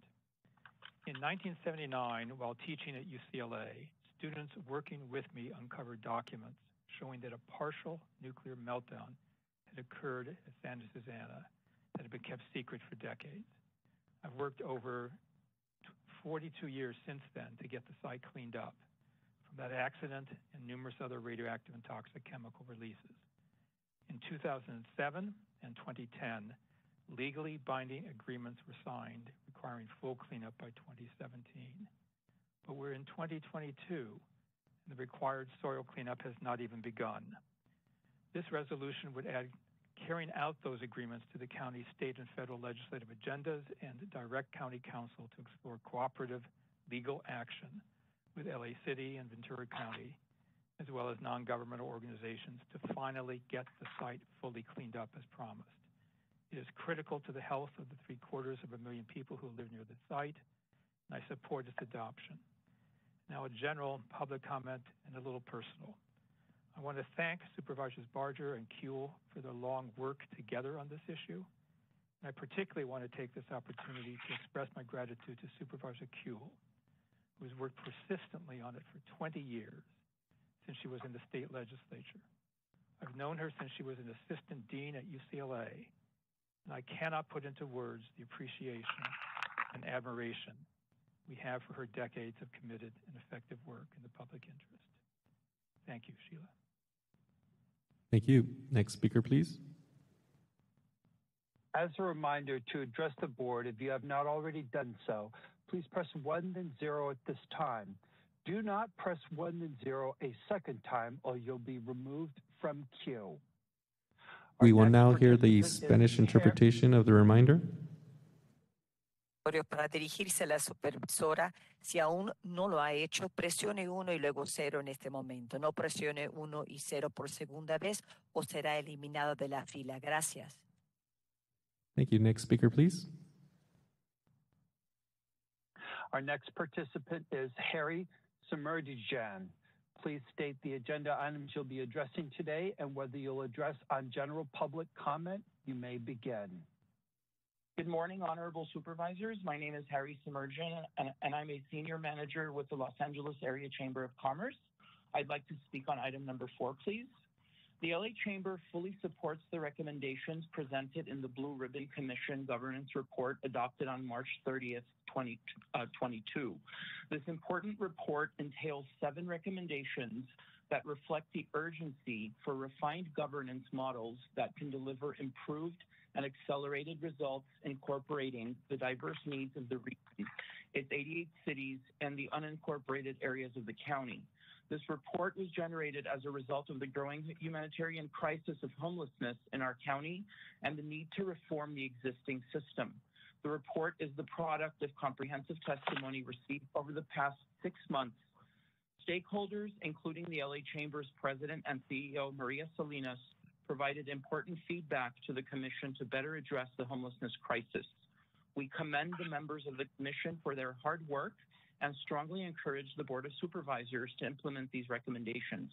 Thank you for your time and consideration. Thank you. Next speaker, please. Our next participant is Anne Miskey. Please state the agenda items you'll be addressing today and whether you'll address on general public comment. You may begin.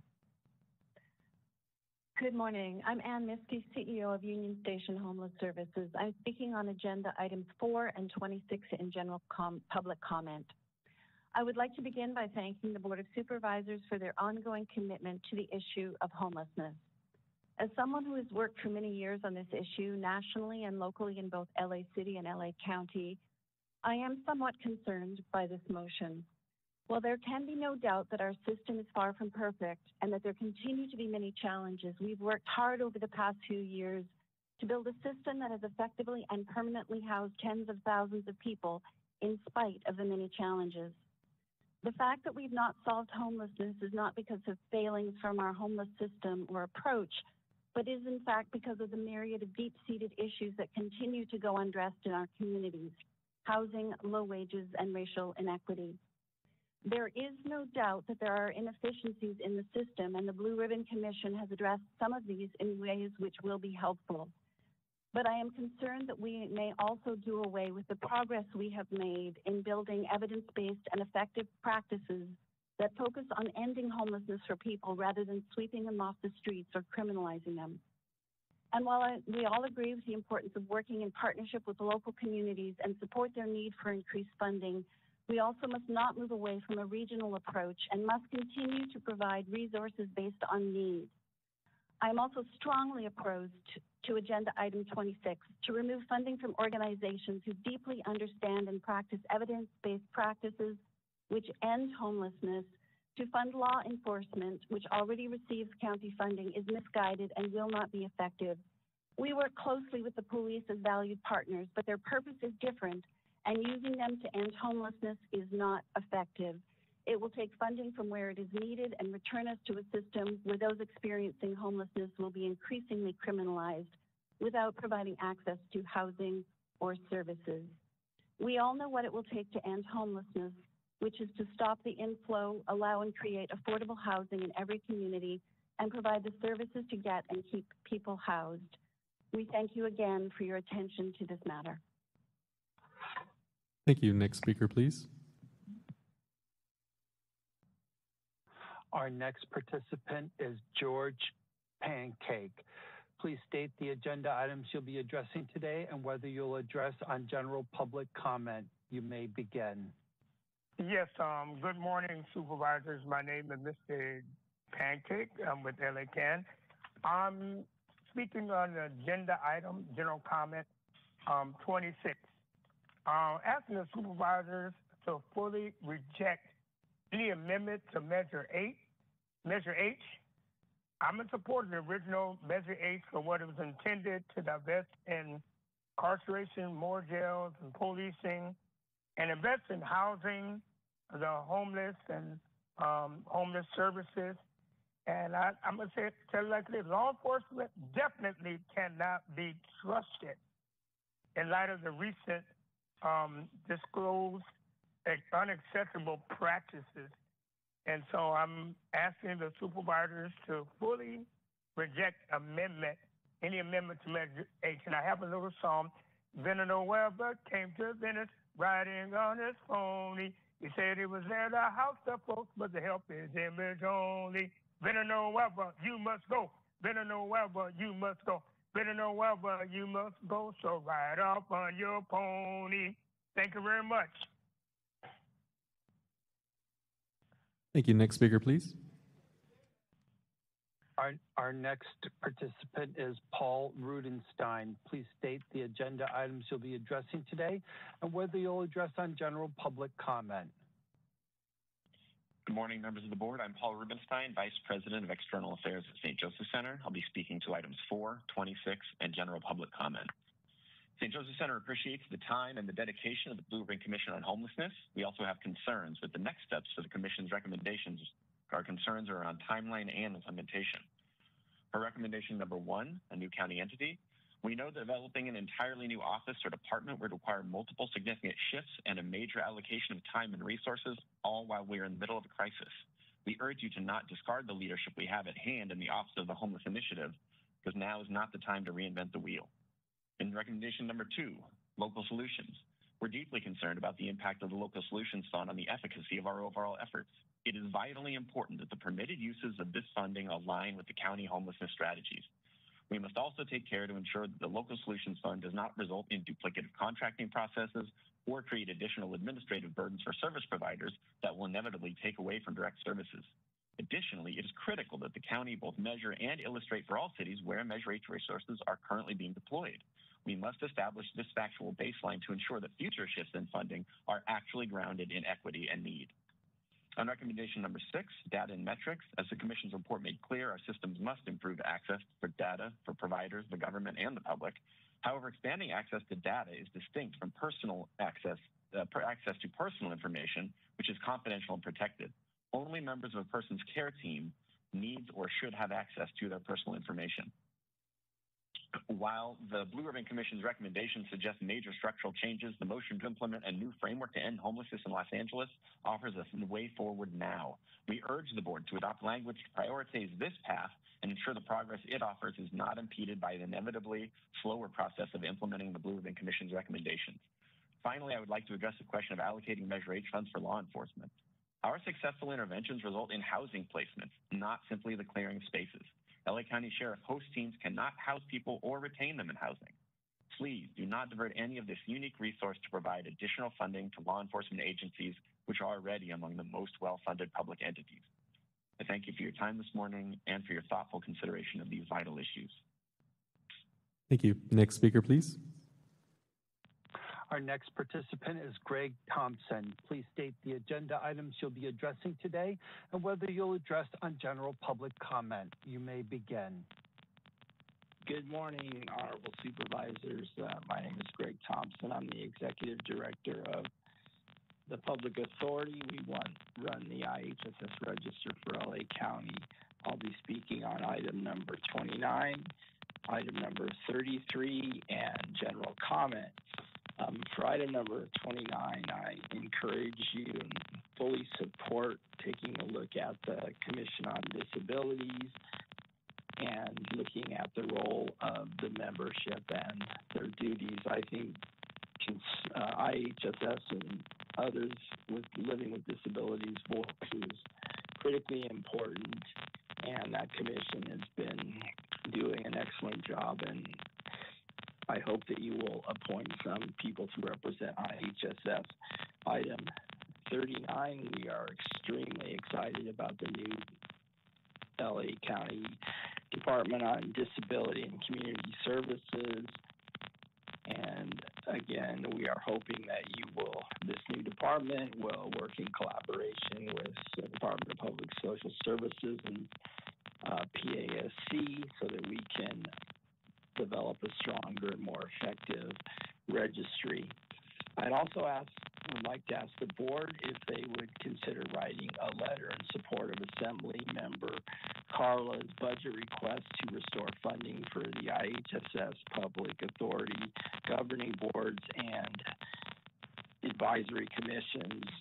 It's a $26 million state investment, which would be matched by the Fed, federal government and should be no cost to LA County. This is a critical advisory group that provides information to the central departments on how IHSS is being run in LA County. And I would also consider uh, the board supporting an increase to the state allocation for public authorities. Again, this is a state and federal funded program and should be no additional cost to the county. Thank you very much for the great work you're doing. Thank you. Next speaker, please. Our next participant is Camilo Loxi. Please state the agenda items you'll be addressing today and whether you'll address on general public comment. You may begin. Hello, my name is Camilo. I'll be addressing item 26. I uh, voted for Measure H uh, with zero uh, forewarning or intent that elected officials or city managers would use that, uh, would try to use that money for the sheriffs. Uh, the host program has not been proven to be effective. It's been proven to be a political tool used by the sheriff for PR. And I do not see why something that voters voted for uh, should be manipulated to go towards the sheriff. We support the measure as is and do not think that the blue ribbon recommendation for extra funding to go to the host team is necessary or fiscally responsible.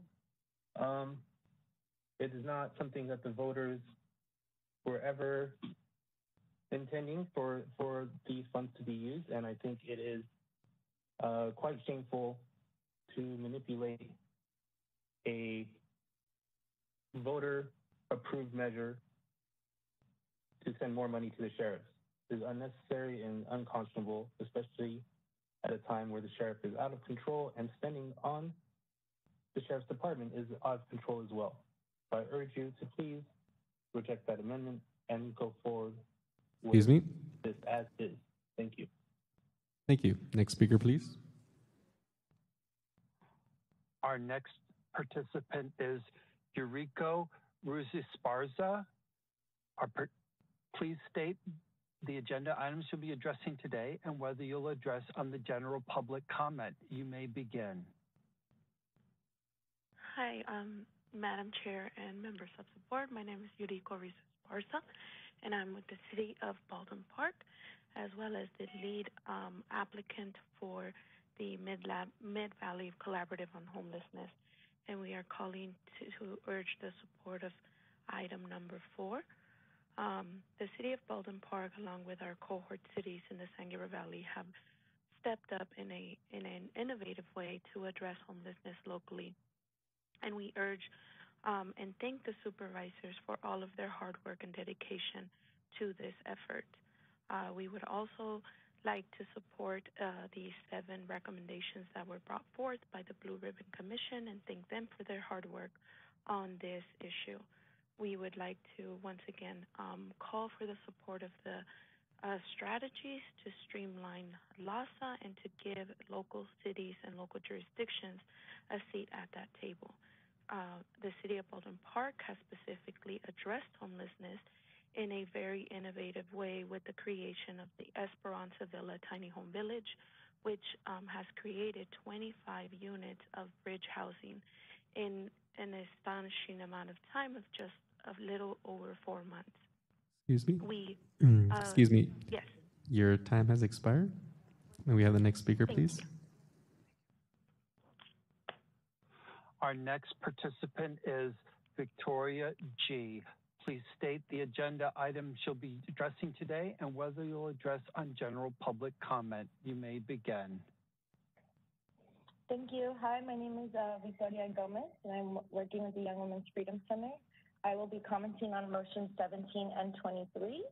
Um, I first want to say thank you to Supervisors Kuehl and Mitchell for um, promoting motion 17. We are in support and believe that women need and deserve access to resources that are safe and trustworthy regarding their personal health. Um, we believe that women should make their own decisions and have self-determination and agency um, for what happens to their bodies. So we are in support of motion 17. We also are in support of motion 23 and thank uh, Supervisor Quallen Solis as well. Uh, I am a constituent of Supervisor Solis and I am a young Latina woman um, and believe that youth deserve to know their rights and have them protected. They also deserve to know how to call on their ombudsman to receive support. An important piece of um, this bill would also create a mechanism for, for surveying youth on their, ex- on their experience and evaluation of the Bill of Rights, um, which is important to continue to make sure that rights and laws are appropriate and relevant to those that they are intended for and impact. Um, thank you very much. Thank you. May we have the next speaker, please?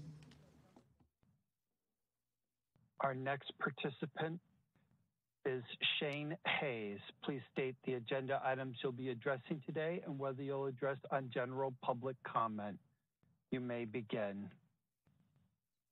Hi, my name is Shane Hayes, and I am speaking in support of agenda item number 24 and on general public comment.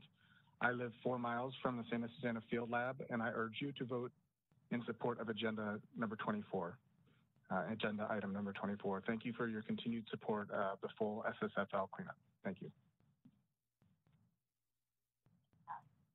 Thank you very much. Our Our time next- for, our time for you. public Next speakers speaker. has ended. With the hour of 11:08 having arrived, our 90 minutes um, has lapsed. We want to thank all who called in to speak. If you were unable to provide your comments, you may still submit written comments as indicated on the agenda, and we'll continue to accept all written comments that come in during the meeting, which will become part of our official record. Executive Officer, please indicate the agenda item numbers on which we will be voting today. The following items are before you. Item 3, 5 through 10, 12 through 15, 18, 19 with Supervisor Barger voting no, 20 through 22, 24, 27 through 29, 30 with this item being removed from future agendas, 31 through 73, 74A and 74B, 77, 79 and 80, and 1D through 3D.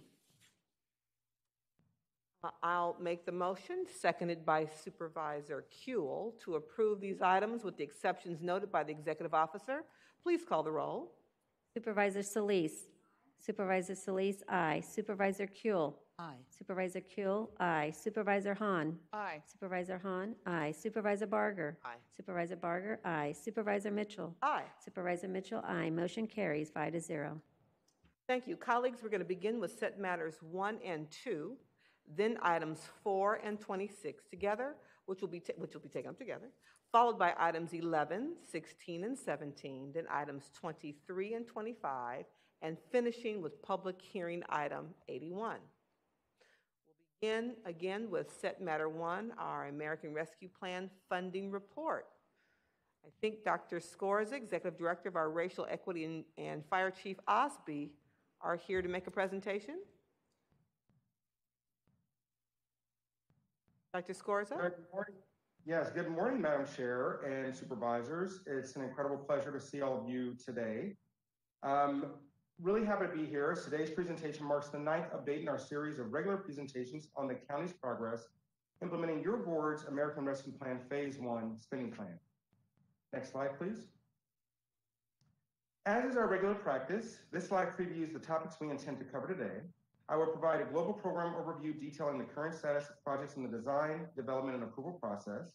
Chief Daryl Osby will present on the Fire Department's Advanced Provider Response Unit program. Next slide, please. Uh, as of May 2nd, uh, um, I'm sorry, as of April 30th, 2022, there were 45 projects in the design and development phase. This entails a process to clarify the goals and outcomes of the project, its potential impact on reducing disparities caused or exacerbated by the pandemic, and how to measure that impact. A total of 30 projects have been approved for launch and implementation. Okay. Uh, a total allocation of $495 million, $495, 100, $495 million, $120,000, more than half of the project funds. Dr. Scorza, could I get you to pause a minute? It sounds like we have someone else with an open mic. If everyone would mute their mics other than Dr. Scorza, that'd be great. Thank you. Thank you, Madam Chair. While there are currently no projects under RDO or County Counsel approval review, RDO is working directly with departments on a pipeline of project designs. So I'm proud to note that of the 45 projects in the design development phase, RDTA providers are actively partnering and meeting with departments on 29 projects to support the design and equitable implementation of those projects. 18 project design submissions are undergoing revisions by the departments following an initial review which means that there are quite a few projects in the pipeline and are close to approval. Next slide. Next, Chief Osby will highlight the department's Advanced Provider Response Unit program. Our funds will be used to support the existing initiative launched via board motion in late 2020. The program seeks to unify efforts to provide youth and, and small businesses in impacted communities with the direct access needed um, for modern technologies and support uh, of their health.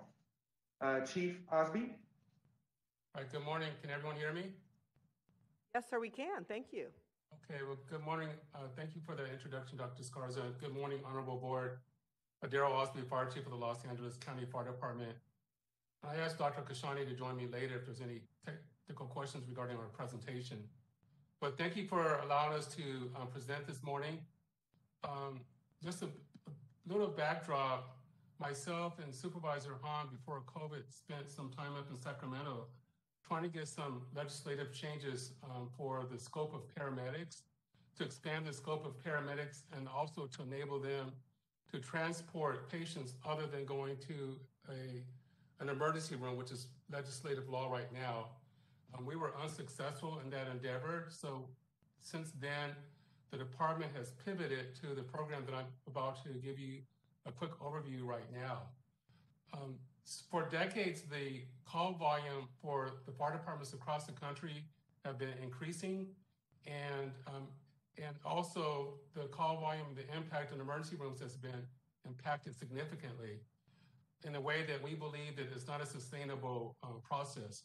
Just as a quick backdrop, when I got appointed as fire chief in 2011, the Los Angeles County Fire Department was the seventh busiest department in the nation. We're now the fourth busiest department in the nation behind um, New York, Chicago, and Los Angeles. And our projections are that in a decade, we'll be second only to New York as it relates to call volume. Currently, the Los Angeles County Fire Department responds to over 400,000 calls a year. 85% of those calls, those 911 calls, are emergency medical services calls, which we call EMS. In order to address the impact of that, in 2019, the Los Angeles County Fire Department implemented with the support of Supervisor Barger in the Antelope Valley an Advanced Provider Response Unit, which we call an APRU. And in order to do that, since we were unsuccessful in advancing the scope and modifying the scope of a paramedic, we staffed that unit with a nurse practitioner or a physician's, physician's assistant with a paramedic with the objective of reducing the impact of our paramedics in Antelope Valley um, to treat low acuity patients and that reduce the impact of 911 calls. And the reason we chose Antelope Valley is because that's one of the busiest uh, aspects of our organization. And we have some of the busiest fire stations in Antelope Valley as it pertains to the number of calls they receive in the nation. So that's why we chose Antelope Valley first. Um, next slide, please. So the patients that we look at um, as relates to the APRU are patients that have um, minor injuries or just need a physical exam or need prescription refills or they need they need wounds that need to be managed, just to name a few. But these are not the type of calls that we need to send our precious paramedics to as it relates to these types of patients. With the APRU, we've been able to treat about a thousand patients per year since it's been implemented in Antelope Valley, which frees our paramedics up for more serious calls like heart attacks, strokes, etc. And also because of this and the expanded scope of the nurse educate nurse practitioner or the physician on the unit, um, the unit is able to direct patients to the appropriate facility and keep them away from the emergency room. An example of the success of this unit is, and I got this information from our, our the unit, is that they were able to triage a patient that we responded to over 200 times in a year. They were able to triage the patient, spend several hours with the patient to, uh, to address their needs, to ensure they had the right medications, and also to educate that patient on the proper use of the 911 system. From that, that patient went from 200 times a year calling us, which most likely that the patient needed to go to the hospital, our paramedics by law have to take the patient to the emergency room, to from 200 calls a year, which is now down to one or two times a month, which you can see the impact of the APU, APRU on that one particular patient. Next slide, please. Additionally, our APRU is able to triage patients that have psychiatric needs, psychiatric needs, or patients that need to go to urgent care. As an example, we were able to divert 500 patients to psychiatric urgent care units, including the Exodus Recovery or Star View Behavior Centers, um, which both locations are in our jurisdiction. But as a ask, although separate item, we need more of these centers to lessen the impact on our hospitals. The APRU is also um, really important as it relates to helping our patients and residents with these challenging needs. With, through the ARP funds, the department plans to staff the APR unit in Lancaster but then also expand it into El Monte and, Inglewood. And with that needed and additional funds to the department, our goal is to expand it by the fourth quarter of 2022 with the understanding that we have the proper vehicle and equipment to staff the vehicle. That's our plan for the expansion. We've been challenged as it relates to funding the current APRU that we implemented in Lancaster Therefore, the $1.8.1 million that we received from ARP is really critical in funding the needs to continue the mission of the APRU, which I indicated earlier, is to reduce the impact on our paramedics, um, provide better care to our patients, um, address the repeat 911 callers, and lessen the impact on emergency rooms. We look forward as a department and continuing our APRU um, APRU program. And our goals are to maintain the fact that we can reduce the call volume on our hospitals, lessen the impact on the paramedics, We really want to thank the board for their continued support of funding this program and the continued support of the Los Angeles County Fire Department. And thank you for your time and attention in this important issue. That's the end of my presentation. Thank you so much, Chief. Board, that concludes our presentation. Thanks uh, to you both. We've got questions from um, Supervisor Solis, who will be followed by Supervisor Hahn. Thank you, Madam Chair. Thank you, Madam Chair, and, and thank you uh, to uh, uh, Osby. I, I really want to commend you for all the work that you've done over the last few decades, and especially um, this is one program that's very outstanding. But I remember, I recall a few years ago, you also provided paramedic service and training in one of our most heavily industrialized areas. And that was kind of on the cutting edge because in particular business zoned communities in unincorporated areas, that one station had, I forget how many calls that came in because of hazards that uh, surrounded uh, the different businesses, particularly the city of industry. And I want to thank you for that because that was groundbreaking then. And this is another product of that. And I really want to commend all the staff, the men and women. Uh, you all have been our heroes and sheroes, especially during the pandemic. I want to underscore that because you were out there helping us put up our COVID testing as well as our VAX sites, and you did so much more. And I don't really know that the public has really heard that from the board. And I'm sure all of us feel the same way. But I particularly want to want to thank you for that. This advanced provider response unit uh, that you launched back in 2019 was also recognized by our county quality and productivity award. So we know that uh, the success is very evident, and it's based on the data that you're sharing with us today. Um, this is a great example of effectively expanding the county safety net resources to our residents in need of services and right sizing that response. Uh, the program, as you know, especially critical given, given uh, across our healthcare system, including county hospitals and our emergency departments, and you've already outlined some of that.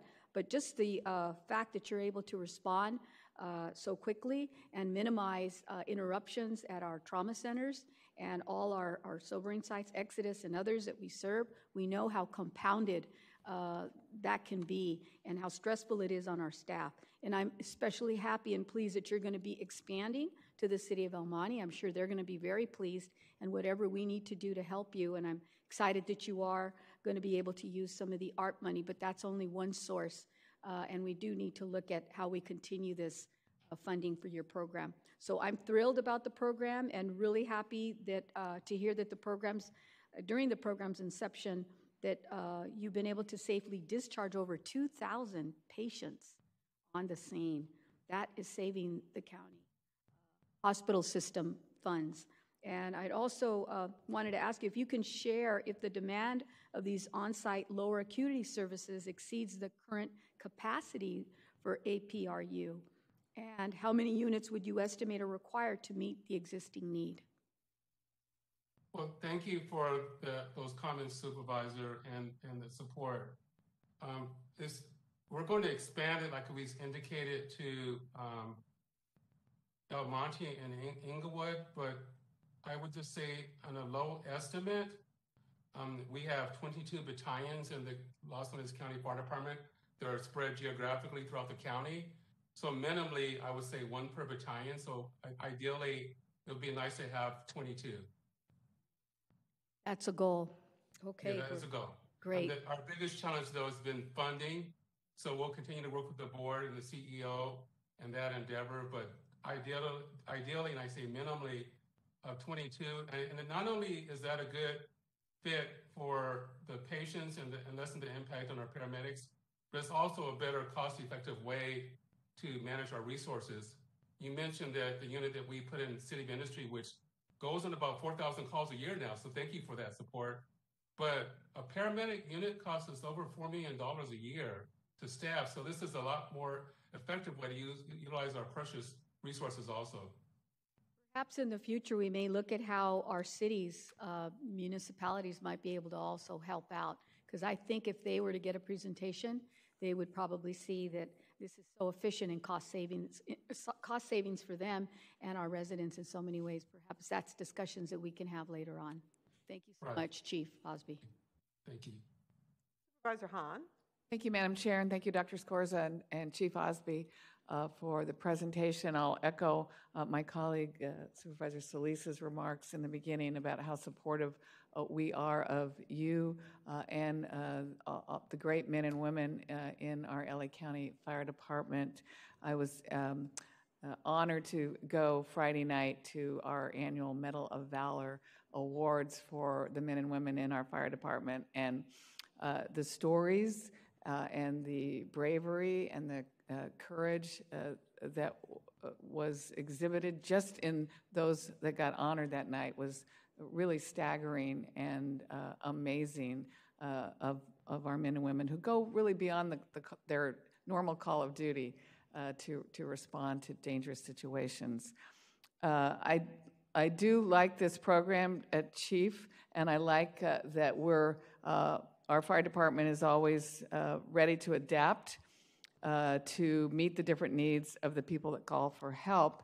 And uh, you know uh, as well as I do that our paramedics um, had to take, have to take people uh, to the emergency room no matter what, uh, even if they were having a mental health crisis and could be better served by going to a psychiatric urgent care. And you recall that, of course, was part of the law that my dad actually helped to write uh, back in 1970, because that was the only way uh, the paramedic uh, program got established was to guarantee to all the those who were who were skeptics that uh, indeed the paramedics would eventually transport the patients to a, a hospital. But um, we've learned a lot since then, and we realize that's not necessarily the most efficient way uh, to get people the help they need is just to immediately take them to the ER. Uh, so uh, I was one of those, uh, along with you, that lobbied the state to try to get this changed. Um, and we didn't totally get the law changed, but we do have this EMS alternate destination pilot program uh, to take qualifying people in crisis uh, to psychiatric urgent care centers, sobering centers, and as you said, respond to some of the medical needs out there that really don't need uh, the intensity of a, a paramedic response. Uh, so this is another way that uh, we, we can use our resources more effectively um, and more importantly, get people the help they need where they need it and, and not necessarily taking them to an ER. So it's a great program. I'm glad to see we're using the American Rescue Plans uh, plan funds to expand it. But I guess my, my question, and I, one of my questions was to talk a little bit about what you really are encountering out there in terms of medical needs. But you, you Chief, you kind of uh, told us uh, what they're encountering out there. Um, so if this is a pilot program and uh, we're using our uh, one-time uh, ARP funds for this, wh- what are you envisioning um, going forward? When do you think we're going to end this pilot program? Um, are there any plans to make it permanent? What, what should we be looking at as, as the Board of Supervisors to, to make this permanent and find um, an ongoing revenue stream? Thank you Thank you for your comments, um, Supervisor Hahn, and also thank you for attending our, our, our Medal of Valor event. And one of the things is, is, is kind of hard to measure too for the members of the Los Angeles County Fire Department is just the impact that the increased call volume is having. Um, you know, unsu- we unsuccessfully did not pass the ballot measure that we attempted. And so we're, you know, continue to, to have this increased call volume with the same number of staff that we have.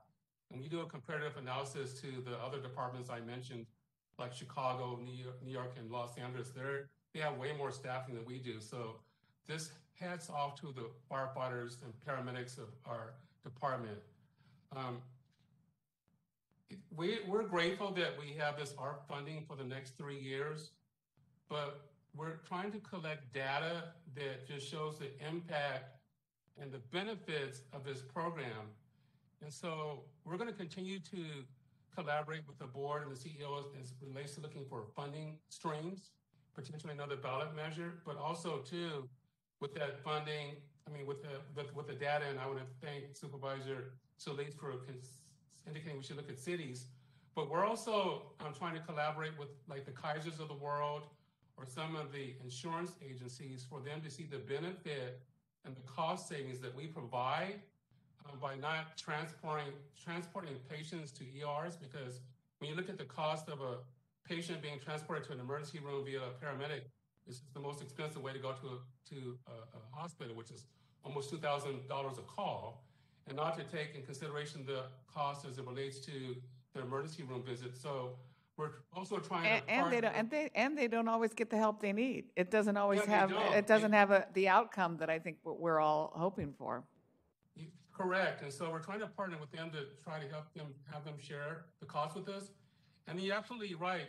Um, as it relates to like our mental patients, uh, we go in about 2,000 calls a month. And um, in many instances, and I would say to the high 90 percentile plus, those patients are not transported to the appropriate facility because of the lack of facilities or the inability for our paramedics to transport outside of an emergency room. So the expansion of this program would also help us to alleviate that challenge. So there's a lot more work, as you can tell, that's necessary for the department to coordinate and collaborate to find additional funding in the future. Thank you, Chief. Thank you, Madam Chair. Thank you. Supervisor Barger? I, I, I echo what my colleagues are saying, Chief Osby. Um, this truly is a program that when I first heard about it, I was very excited, especially when you look at the Antelope Valley, um, the geography, and a lot of the areas are isolated. And if I'm correct, I think Station 33 is one of your busiest in the county, um, in, in Lancaster. Is that correct?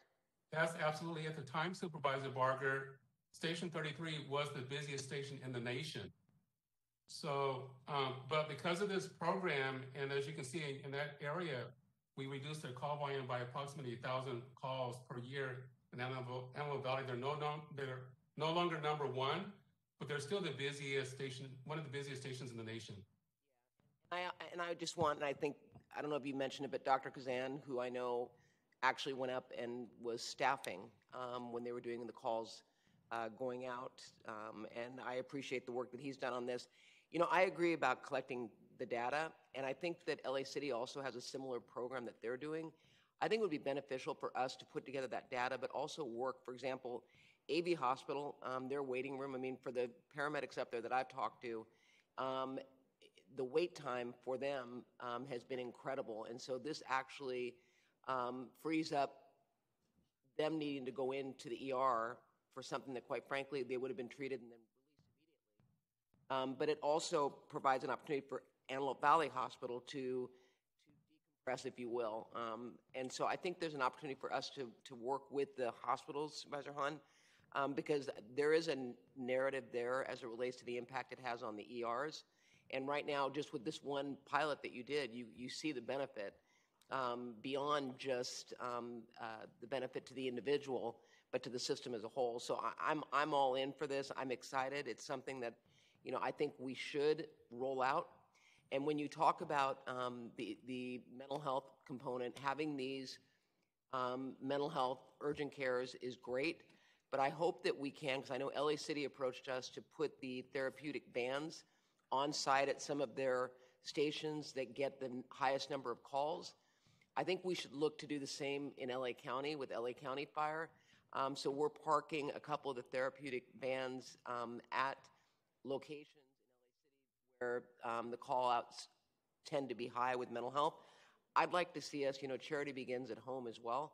I think we need to partner with you um, and with the stations that you feel have a high use um, on the mental health calls to also do that um, because I think we have five vans that are, I think, at least I know I have one up in the Antelope Valley that I would be more than happy to to um, work on as a pilot for that as well because I think we have incredible opportunities to divert from ER into really more appropriate um, treatment. But I just I applaud you and your entire team. I can't think of a better use of funding, um, and I think it's an exciting time.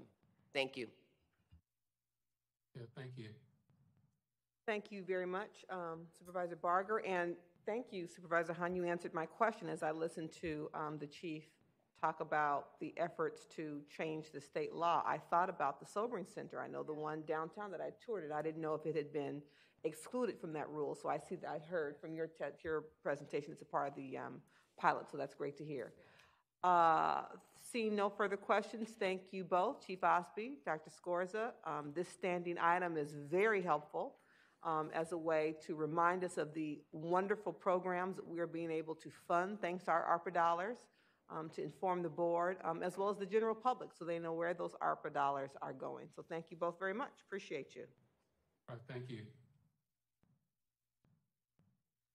Colleagues, we'll move on to set I matter number two. So we'll hear from Doctors Ferrer, Director of Public Health, and Christina Ghaly, Director of Healthcare Services. We'll start with Dr. Ferrer. Good morning.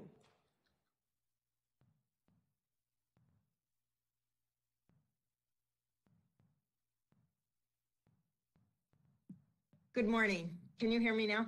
Yes, I can. Thank you. And hopefully you can see me as well. And we can see you too. Thank you. Okay, great. Good morning, uh, and thank you, uh, Supervisor Mitchell, and to the entire Board of Supervisors for your strong leadership as we navigate the ongoing pandemic. I do appreciate time at today's board meeting to provide you and the public with an update on our response. Uh, today, I'm going to share current COVID 19 metrics and mitigation strategies. Uh, but mostly, I want to focus on the disproportionate impact of COVID over the course of the pandemic. So we'll look at some trends by race and ethnicity, geography, and poverty levels. And then I'll close uh, with post surge goals and recommendations for actions uh, that we can uh, take to really address the long-standing health inequities. Uh, I'll go to the next slide. Uh, as we look at the COVID 19 metrics over the past week, uh, we can see that the number of COVID cases has continued to increase. The average number of daily new cases reported over the last seven days has increased now to over 2,000 new cases a day. Uh, last week, we were at about 1,500 new cases a day. I think that's an increase of close to 30%. Uh, and while the cases have been steadily increasing uh, for the last month, uh, we do remain relieved that COVID related hospitalizations, deaths, and test positivity remain relatively stable. Next slide. On this slide, we'll just look at the trends over the past four weeks. Um, this is the seven day average daily cases by report date. That's that green line. The seven day uh, average daily hospitalizations by admission date. That's the orange line. And the blue line is the seven day average daily deaths.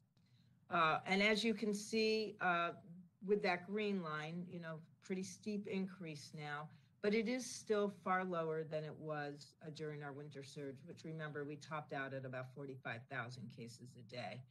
Um, since the end of March, however, as you can see, there's been over a 200% increase in the seven day average of cases. Um, hospitalization rates, uh, orange line, death rates, the blue line, they're stable. We had a small increase last week in hospitalizations. It goes up and down, but it's basically stable. Um, and um, and uh, we think that that uh, reflects a, a, couple of things. Uh, first is there always is a, a, small lag between cases and hospitalizations and deaths. Uh, but more importantly, we think this reflects the protective effects of vaccinations, boosters, and now therapeutics. I do want to note that many other communities across the country are beginning to see increases now in hospitalizations, even here in California, uh, associated with the highly infectious BA.2 and BA.2.12.1 variants that are circulating widely across many regions in the United States. And here uh, in California, the State Department of Public Health has indicated that they believe that BA dot two, dot twelve, dot one. That's sort of a, a subtype of BA.2. Uh, is thought to be uh, circulating at about 50% of, of what is causing infections here. And, and you know, unfortunately, BA.2.12.1 looks to be more infectious than even BA.2, which would explain uh, why we're all seeing uh, significant increases in our cases as well. Next slide. I do want to note that, you know, throughout the course of the pandemic, uh, we've had a lot of different mitigation strategies and tools that we could use. And depending on uh, what was going on and what tools we had at the time, uh, really depended on what strategies were most helpful. but we've always relied on what we call non-pharmaceutical invention, interventions. This includes masking and infection control uh, to layer in safety. This was especially important, as we all know, during the first year of the pandemic, when these were often the only protection measures that were available. Uh, but I want to note the strategies continue uh, to offer protection, especially during these times where we're seeing some increased transmission. Testing, vaccinations, and now therapeutics are the most powerful tools that are available to protect against both spread and severe illness. And our recent strategies are focused uh, really very significantly on creating easy and widespread access to each of these interventions. And as we all know, throughout the past two years, we've relied heavily on our healthcare and social service providers to provide care and support for residents and workers that have been dealing with the devastating impacts of this pandemic. Our clinics, our quarantine and isolation sites, the nearly 700 community health workers and promotoras, and the dozens of faith-based and community-based organizations have and continue to serve as trusted emissaries of life-saving information and services.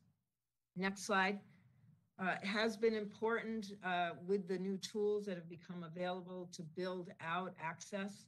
Uh, and I want to note that the first um, tool that we had that required a, a vast network was testing. Uh, now we actually have both a vast network and much easier access to over the counter tests that people can use in their homes.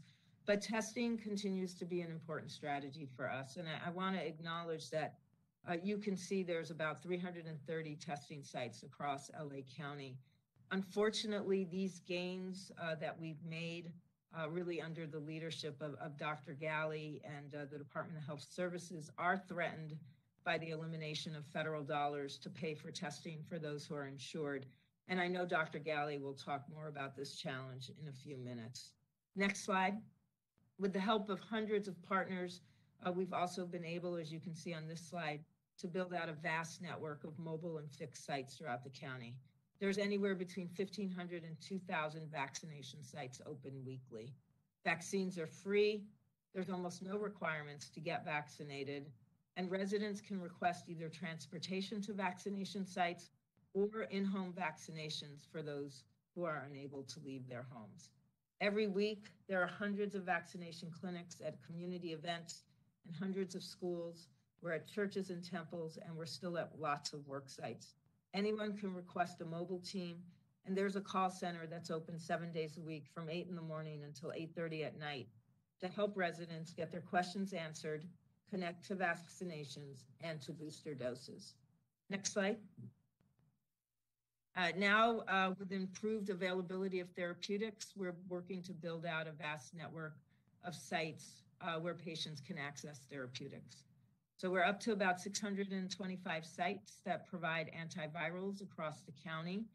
Of these, more than half, or about 332, were located in uh, our under-resourced communities, and those are denoted with those pink dots.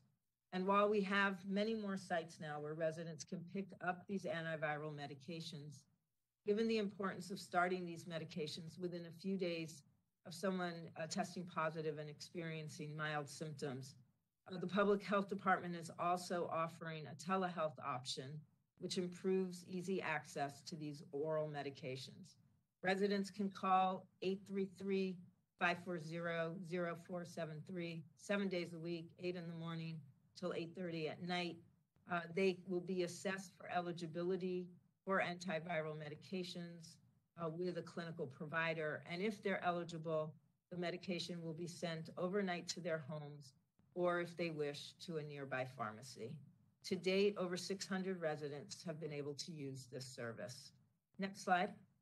In spite of our efforts to ensure easy and widespread access to testing, vaccines, and therapeutics, the tragedy of this pandemic is not just the huge number of lives lost, about 32,000, but also the huge disproportionality, most pronounced during the surges, which suggests that factors contributing to the gaps are related to much more than individual choices. Next slide. When we look at case rates by uh, race and ethnicity from the very beginning of this pandemic, we can see that throughout the pandemic, Black and Brown residents, those are the green lines and the blue lines, have consistently experienced higher case rates. Unfortunately, during each of the surges, and we've had four, the disproportionality in case rates, as you can see on this slide, is exacerbated, with case rates generally rising between two and four times among Black and Brown residents when compared to white and Asian residents. At the peak of our summer 2020 surge, case rates among Latinx residents were nearly four times higher than they were for white residents. Next slide. On the next slide, you see a similar pattern when we look at hospitalizations, with Black residents and Latinx residents seeing hospitalization rates that are three to four times higher than rates for white and Asian residents. And this is particularly uh, important to note during the Omicron surge. Next slide. And tragically, the trends uh, followed when we looked at death rates, with Black and Latinx residents seeing death rates that are two to three times higher than the death rates for white and Asian residents. And this was in our most recent winter surge. Next slide. We look at the cumulative case hospitalization and death rates, which you can see on this slide. The differences are stark, with Latinx residents, that's highlighted in green, and Black residents, highlighted in blue, experiencing much higher rates when compared to white and Asian residents. These huge differences in case hospitalization and death rates reflect in part exposures, community conditions, and health status. Where people live and work really matters. Uh, and as we all have learned, essential workers never got to stay home, and many were returning to very densely populated communities and overcrowded housing. All of these conditions contributed to this disproportionality. Next slide. Not only have COVID health outcomes varied by race and ethnicity, they've also varied depending on where people live. On this map, you see the case rates. These are cumulative case rates uh, from the beginning of the pandemic through now, uh, per 100,000 residents per city and community. The light green areas have the lowest case rates, and these are generally the better resourced communities. The dark green areas, which include areas of Central and South LA, areas of the San Fernando Valley, the San Gabriel Valley, and Antelope Valley, saw higher cumulative case rates. Next slide. And unfortunately, we see a similar pattern when we look at the death rates by city and community. With the darker air, with the areas in darker blue seeing the highest COVID-19 death rates. These are almost the exact same communities that experience the highest case rates. Next slide. On this slide, we quantified the differences uh, between communities with low and high burdens of poverty for cases and deaths. As you can see, the case rate among individuals living in the highest poverty communities is about one and a half times higher than the case rate among individuals living in the wealthiest communities. And the death rate among individuals living in the highest communities, highest poverty communities, is uh, devastatingly three times higher than the death rate among individuals living in the wealthiest communities. Next slide.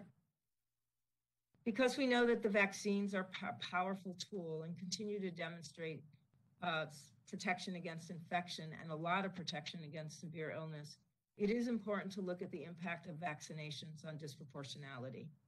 On this slide, we can look at hospitalization and death rates by vaccination status and race and ethnicity for the most recent three month period through April 15th. For all racial and ethnic groups, the vaccine provided a great deal of protection from hospitalization and death when compared to unvaccinated residents. For example, fully vaccinated uh, Latinos and Latinas were more than four times less likely to be hospitalized and nearly eight times less likely to die than unvaccinated Latinos and Latinas. Fully vaccinated Black residents were nearly three times less likely to be hospitalized and nearly four times less likely to die than uh, unvaccinated Black residents. However, it's clear from looking at this table that vaccines are not equalizers. Vaccinated Black and Latinx residents are two times more likely to be hospitalized than vaccinated white residents, and more than three times more likely to be hospitalized than vaccinated Asian residents and vaccinated Black and Latinx residents are one and a half times more likely to die from COVID than vaccinated white residents, and three times more likely to die from COVID than vaccinated Asian residents. Next slide. And we see these differences when we look at case, death, and hospitalization rates by vaccination status and poverty level. Fully vaccinated residents in the wealthiest communities were more than two times less likely to be hospitalized than those vaccinated and living in communities with high rates of poverty. In fact, those vaccinated living in communities with significant poverty were almost as likely to be hospitalized as those unvaccinated living in the wealthiest communities. It's also important to note that those unvaccinated living in communities with high rates of poverty are 11 times more likely to get infected than those unvaccinated living in the wealthiest communities. And sadly, we see a similar gradient around deaths. Those unvaccinated living in high poverty communities are almost 12 times more likely to die than unvaccinated people living in wealthier communities. And among those vaccinated, those living in communities of high poverty are still two times more likely to die than those in the wealthiest communities. Next slide. Not surprisingly, these enormous gaps in COVID outcomes have had an impact on overall death rates. When we look at trend lines for overall mortality rates, we can see that all groups experienced a significant increase in death rates during the pandemic. And this does reflect the very high death toll from COVID, as well as smaller increases that were seen in deaths from other causes, likely associated with delays in seeking or obtaining care. And while there is a focus on the big increases in death rates associated with COVID, it's also important to note that disproportionality in health outcomes is not new. Mortality rates have always been higher for Black residents. And during the pandemic, there was a dramatic increase in mortality rates among Latinx residents, which we can see on the next slide. This is the percent increases uh, in this all cause mortality rates over the last two year period of the pandemic. And you can see that Latinos and Latinas saw an increase of 48% uh, in their death rate, all cause death rate over the last two years. Next slide. These gaps in health outcomes by race and ethnicity have been documented for decades. This table captures some of the detail for the 2020 mortality rates. On nearly every indicator we're tracking, including heart disease, lung cancer, diabetes, and infant mortality, Black residents have the highest death rates. The only exception is for COVID, where Latinx residents have the highest death rate. And for many of these mortality metrics, Latinx residents, as reflected on the previous slide, uh, experience the second highest death rate. Those are those numbers that are highlighted uh, in black. Next slide. A lot of times when we look at this data on health outcomes, many will assume that these higher rates are associated with poor individual choices or bad behavior. This is a dangerous and false narrative, since there has been evidence for decades that our health is most influenced by what we call the social determinants. This acknowledges the need for us to have these health affirming, the health affirming resources that promote optimal well-being. On this slide, for nearly every indicator, Black and Latinos and Latinas face significantly more challenges, with Black and Latinx residents experiencing the highest percentage of food insecurity, housing insecurity, and discrimination at work and when seeking healthcare services. Next slide.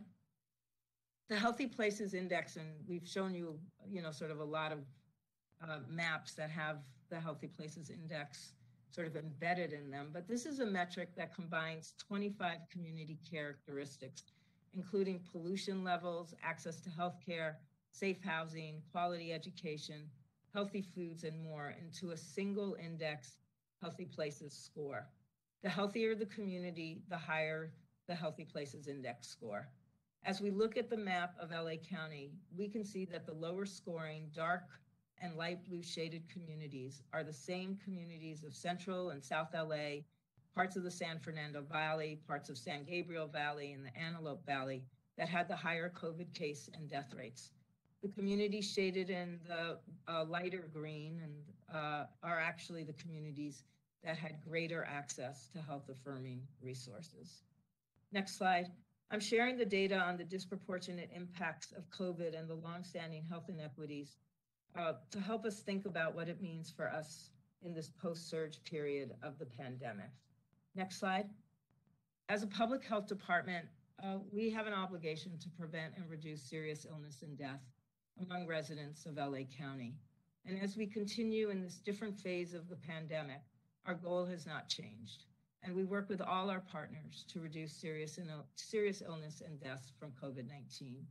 It's really not appropriate to tolerate disproportionality that results in higher rates of illness, death, and long term disability among some residents and workers when there are collective prevention strategies that can mitigate spread and serious illness. I know many people are tired of the pandemic, they're tired of wearing masks, and they want life to go back to normal. And they believe that the responsibility now lies with, the, with each individual to take actions to minimize their personal risk. But we do have a collective obligation to take public health measures to protect our most vulnerable. And this in LA County is a significant number of people that ought not be left behind. It includes those who are of older age, those who have underlying health conditions, those who live in communities with high poverty rates, those who are Black and Brown, those that are unvaccinated or not yet fully vaccinated, and the many that face multiple exposures every day at work and in their community. Next slide. And a return to normal doesn't really work for all of those who have for decades experienced the disadvantages and allocations of health affirming resources the disinvestments, the racism and discrimination, and the marginalization. Our post surge plan and our expansive mitigation strategies can best address the disproportionality exacerbated by COVID 19 when we also address the root causes of inequities in health. And I want to thank the entire Board of Supervisors for their leadership in this work. Our efforts require targeted investments, and I want to highlight a few areas that remain critically important. We do need to continue to ensure barrier free access to testing, vaccinations, therapeutics, and PPE. And we've got to work with our partners to better need, meet the needs of some of our residents and workers by connecting these COVID specific efforts with services that address food, income, and housing insecurity. And I want to again thank the Board of Supervisors, many of you who layered in these other services at our vaccination sites. Part of this work means helping our healthcare providers in hard hit communities provide testing, vaccination, and therapeutics to their own patients. It costs money to stand up testing, vaccination, and distribution of therapeutics, particularly to deal with your entire membership, your all of your patients within a very short period of time. And our smaller providers need resources to be able to do this work and this work is not over. We need to lift up the work of the network of trusted community based and faith based organizations in our hard hit communities because they're the backbone of a public health response. Oftentimes, we neglect to acknowledge that the public health system is not equivalent to the public health department. Our infrastructure, especially for essential pandemic mitigation, really depends on building and resourcing uh, a whole network of public health providers. Sorry. Um, and it relies uh, extensively on those trusted ambassadors who are in our communities, our promotoras and our community health workers. The board has directed us from the beginning to ensure that workers, particularly our low wage workers and those that are not unionized, to, that they're as safe as possible at work. And this work also isn't done, and we'll need to ensure that there's compliance with ventilation and infection control standards and with public health safety measures. And also appreciate all the support for paid sick leave for workers. It is almost impossible to mitigate during a pandemic without paid sick leave. And I want to also thank and commend the board for recognizing the importance of vaccination requirements for those in service of our most vulnerable. This too remains important in the months ahead. Next slide. In closing, I wanted to elevate uh, that closing the gaps is going to require uh, more of a focus uh, than what we've just uh, been doing to mitigate the immediate effects of the pandemic, which, while critically important, are not going to be sufficient. We've noted uh, over and over, and, and I want to thank our providers for also lifting this up, that although it's so hard to imagine that in 2022, we have communities in our county that don't have the needed network of healthcare services. And this would be the opportunity to actually make sure that we fix that. That wherever people live, they have access to high quality, culturally appropriate health and medical care in what have traditionally been under resourced and underserved communities. We've also learned a lot about the importance of creating networks, and uh, we should um, figure out a way to uh, extend the work of these uh, teams that we've developed in response to the pandemic uh, to help us address all of the other threats that exist to optim- optimal well being. These are having our public health um, uh, employees really embedded in community teams, in these partner teams with our CBOs, our faith based organizations, and our residents. Uh, this is particularly important in addressing issues related to environmental health injustices, issues related to proliferation of uh, unhealthy um, um, uh, businesses uh, disproportionately in some of our communities uh, that impact quality of life. And it remains important for all of us in securing uh, sort of safety in our communities. Um, we've learned a lot from how to work, work with each other during the pandemic. It will be important to carry those lessons over into the other important work that, as we know, affect the root causes, the root uh, in, that have a root impact on people's health and well-being.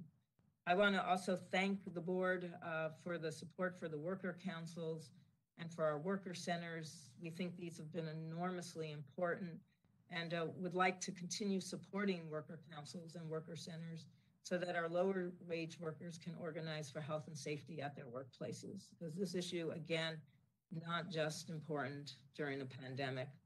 Um, and there are a couple of other areas where we're working with our partners to make sure that we acknowledge that we need to create pipelines uh, for health career programs so that Black and Brown students, youth see themselves and gain the skills that they need to enter into these sort of life saving and critically important health careers. Uh, and finally, I want to again thank the board for their leadership in insisting that we all work to change systems, policies, and practices that perpetuate racism, discrimination, and marginalization. So, thank you to the board. I want to thank the county departments that are also doing just a really critically important and um, high quality work um, to get us to a, a better place uh, for all of our LA County residents. This concludes my presentation, and I'll be available for questions after Dr. Ghaly's presentation. Thank you very much. Dr. Galley. Thank you, and good morning. Uh, I'll provide brief updates and then more than happy to take any questions that you might have. If you could go to slide three, our COVID hospitalizations in the DHS hospitals, the four of them, have remained steady and relatively low in the 30s over the past several weeks. Still, the overwhelming majority of COVID positive patients in DHS hospitals uh, are still there and hospitalized for reasons that are unrelated to their concurrent COVID infection. If you go to the next slide, Slide four, our booster shot compliance for our healthcare workers within DHS facilities is sitting right now at still around 91%. We continue to work with our staff toward full compliance and compliance with the state and county health officer orders that mandate booster shots for healthcare workers. Slide five, DHS manages still two quarantine and isolation sites that are specifically focused on individuals who are medically fragile utilization remains low at these sites, as you can see in the slide. I'll now shift to an update on community testing. If you could go to the next slide, please. Thanks. Slide seven shows the overall testing capacity and utilization over the course of the pandemic at the fixed and mobile community testing sites. You can see that utilization has remained steady and low over the past two months. Our goal is to keep the capacity at the county's community testing sites at at least double the current utilization to allow for some cushion and ensure access. Slide eight shows a similar type of data on capacity and utilization, but this one is for the test pickup, uh, test kit pickup and distribution drop-off sites. Uh, the utilization of this service is also low. Most recent weeks, we are distributing under 500 tests per week over the last couple of months. Slide nine shows the current footprint of those pickup and drop off distribution sites. We remain steady at 28 sites. Uh, we are now staffed with disaster service workers at these sites as needed that are committed through at least the end of May. Slide 10 looks at the overall footprint of community fixed and mobile uh, sites. The sites listed here include all community testing sites that have agreed to serve all individuals, including those who are uninsured. And on that note, on slide 11, since the last update that I provided to the board, there has been no change on the availability, or rather the lack of availability, of funds to cover COVID testing for the uninsured. The federal government has not yet proposed or taken any action to replenish the pool of funds that has been historically administered through HRSA that reimburses governments and providers or other entities for testing that's provided to individuals who lack insurance. And just to put the, the magnitude of this problem into context, in 2021, over half of all of the tests that were completed at the county managed community testing sites were provided to individuals who stated that they lacked insurance and then were billed to this HRSA pool. This creates a fiscal challenge for the county Uh, and will require additional revenue sources to be able to cover the cost of community testing, COVID testing for the uninsured if HRSA and federal government does not take action to replenish that pool. And finally, on the next slide, slide 12, I'll close with just recent operational updates on the community testing program. So as I just mentioned, we have extended the disaster service worker terms of service through the end of May to cover the pickup and drop off locations at the libraries I'm very thankful to the Office of Emergency Management and DHR, as well as all of the county departments that have staff deployed to these departments, to these sites for their assistance. We have also altered the script and the registration process uh, when people register for testing through the community testing platform in a way that encourages and supports individuals who do have health insurance to be able to enter that information successfully up front. This is really important for allowing the county to bill health plans and our vendor to bill health plans wherever possible, while also maintaining funding and access that is needed for individuals who do lack insurance. We have also updated and will keep updating the COVID website so that individuals without insurance can see which sites in the county uh, are able to serve them. And just as a reminder, all of the directly managed county sites and state sites serve individuals without insurance, as well as a number of other community-based sites. For all individuals who receive their test results through our Health, our Healthvana platform, that includes all of the pickup drop-off sites, including the libraries. If they test positive, they receive information on how to access treatment options, including access to DPH's Test to Treat program and their telehealth option. To reduce the need for ongoing DSWs on site, we're going to keep working on the rollout of our online and phone request process that will allow individuals to seamlessly obtain the tests at the pickup drop off locations without the same need for the number of staff at those sites. And we will continue to work with DPH and are really grateful for their partnership in expanding those test to treat sites. And right now, the work is ongoing uh, to have that opportunity available at the two existing Optum sites. I will close there, but please let me know what questions you have. Thank you.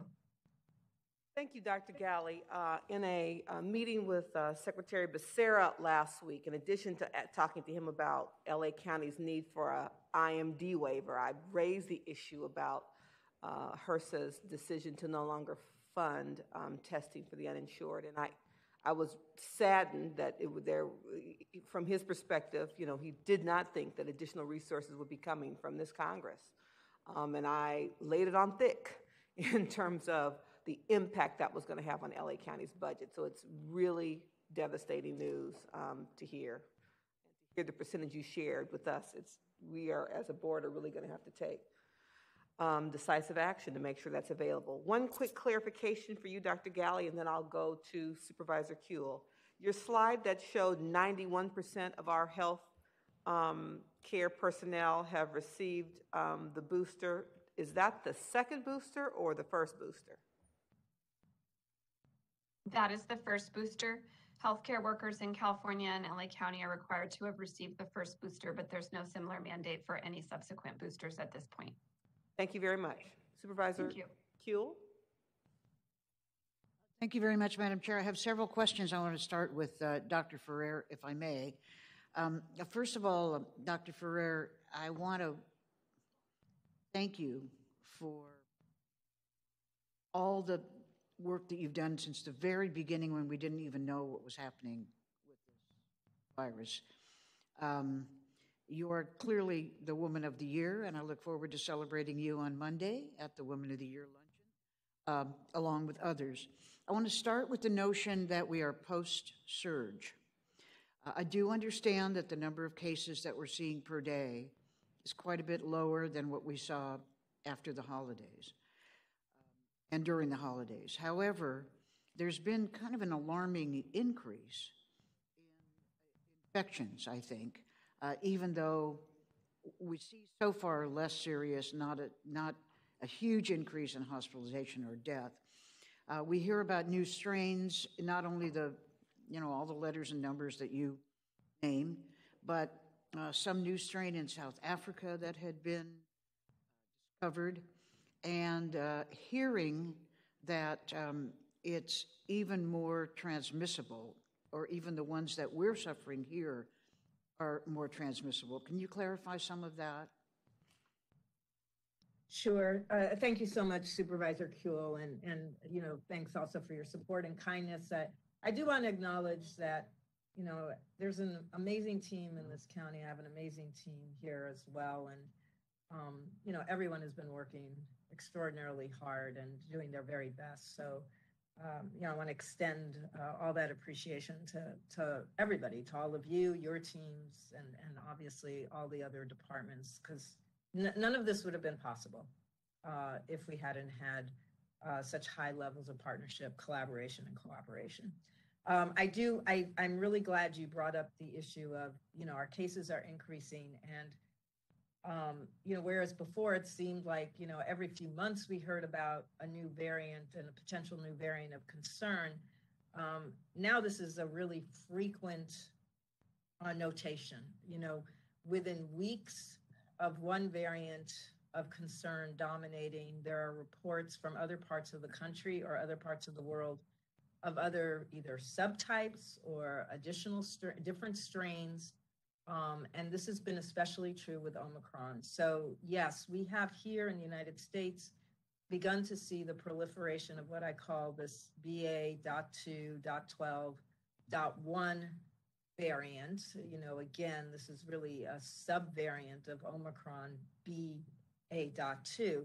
But in South Africa, they're seeing a huge increase in cases that also now is resulting in an increase in hospitalizations with a very different uh, mutated virus that they're that's been labeled uh, BA.4, BA.5.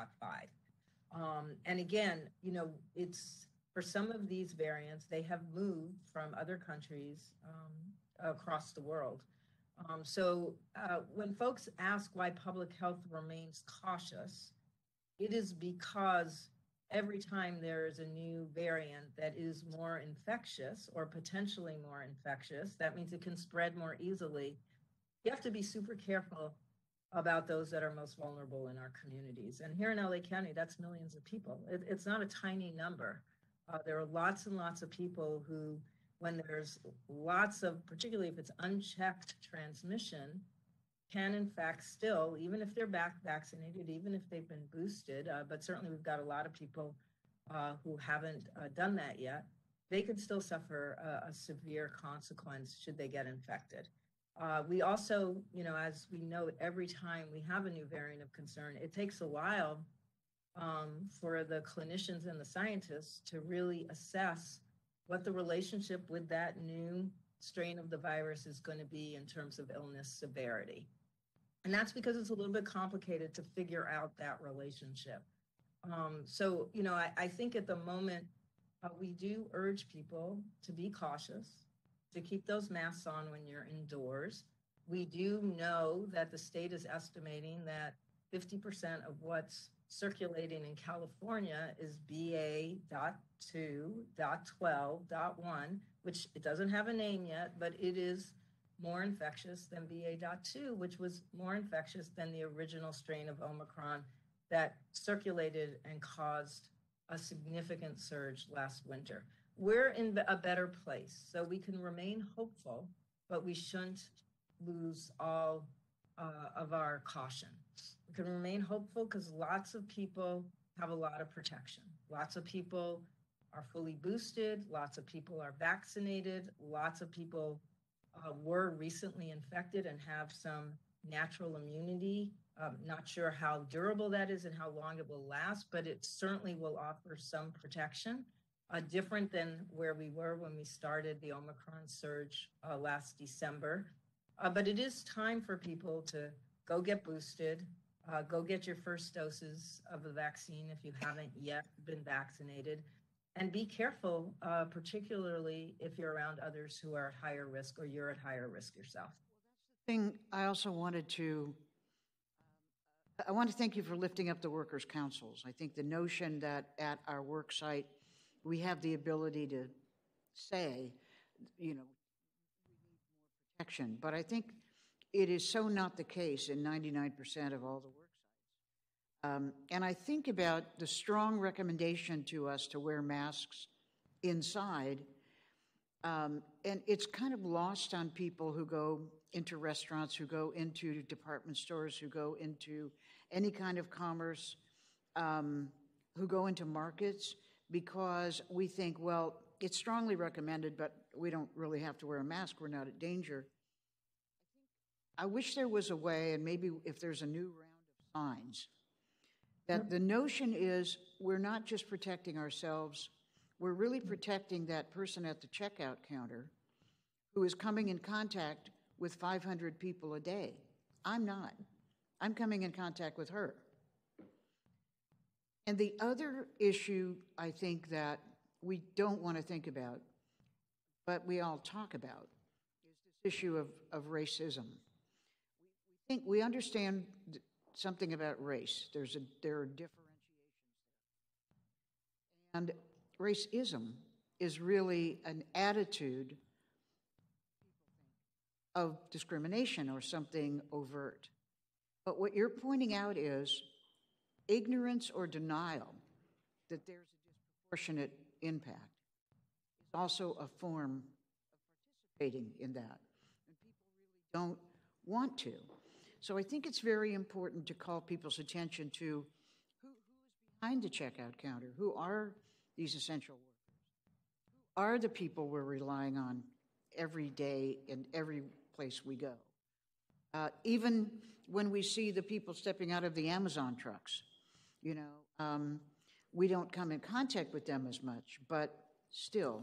And how this impacts communities, that's one thing.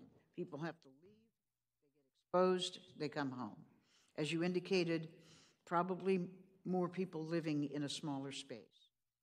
Um, but really, uh, the, the third thing that you mentioned is also important, and that's the interplay between issues like air pollution or other ways in which lungs are affected, because this also weakens your condition and makes you more susceptible to having a worse response.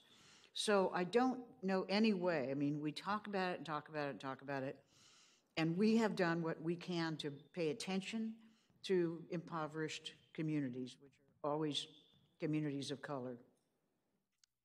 Um, but the last question I wanted to ask was about the meds, um, just to understand about what the, sort of telemedicine issue is here. So, uh, for instance, I'm, I'm a regular person, but I managed to get a couple of home tests. So I take a home test and it's positive.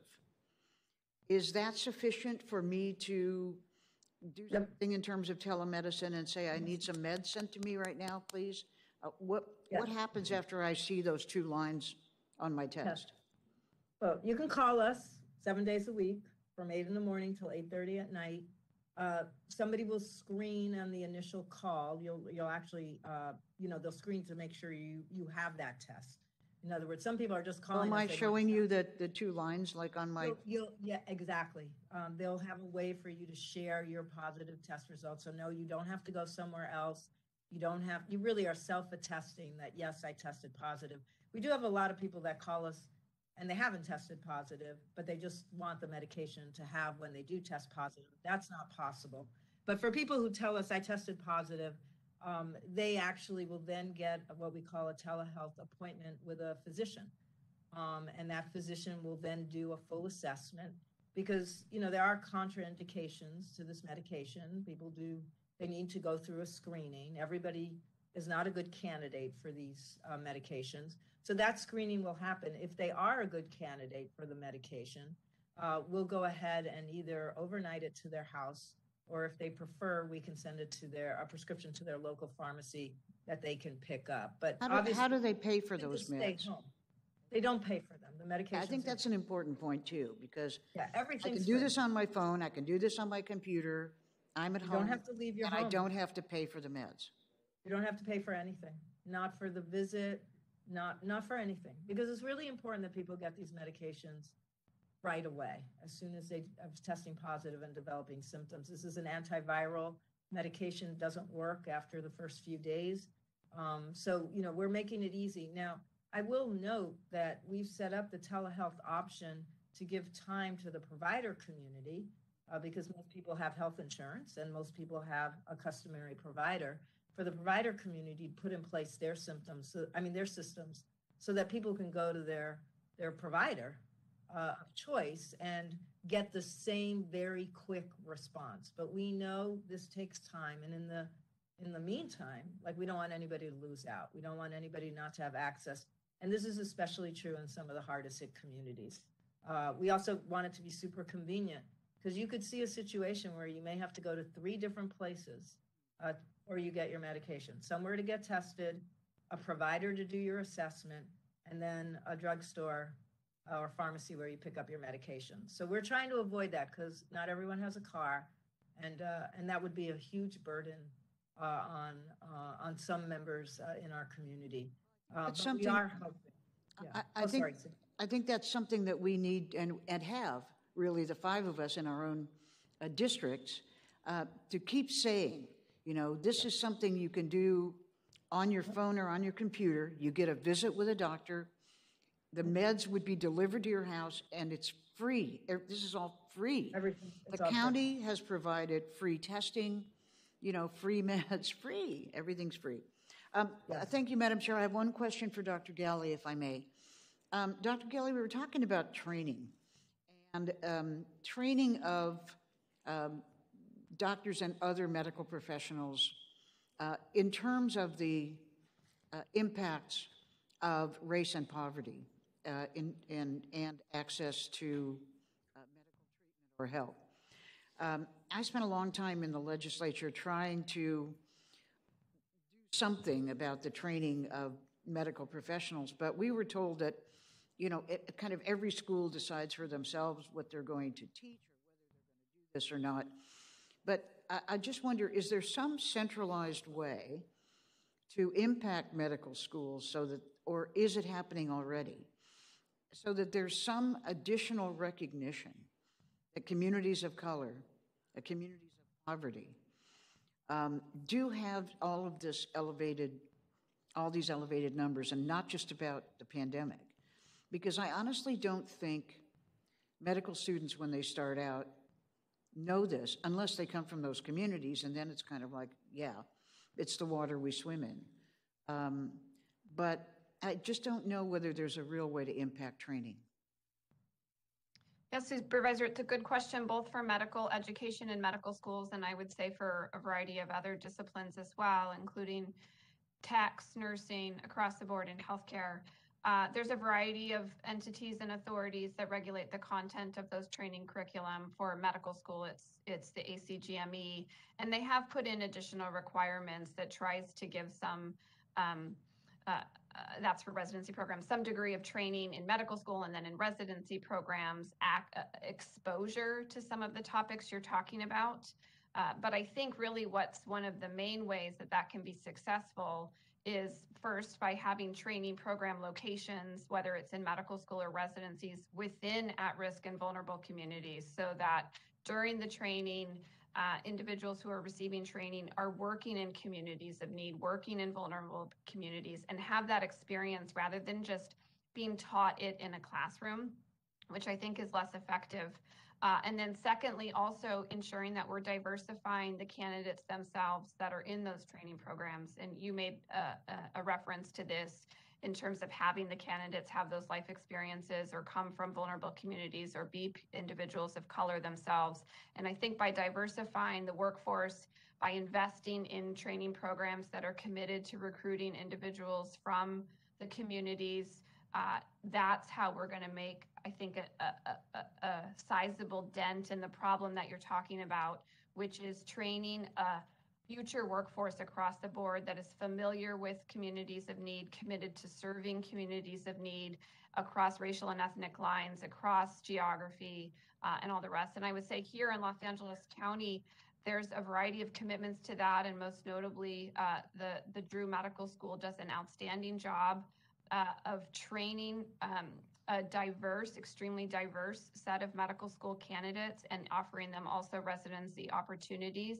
Uh, a lot of those individuals are from communities of color, born and raised in various parts of Los Angeles County. They have those life experiences. And we've seen again and again that after the completion of their residency training, they return in higher numbers uh, to the communities that they came from and work in those communities. And that's an incredibly important uh, contribution uh, that Drew makes to the entire Los Angeles County.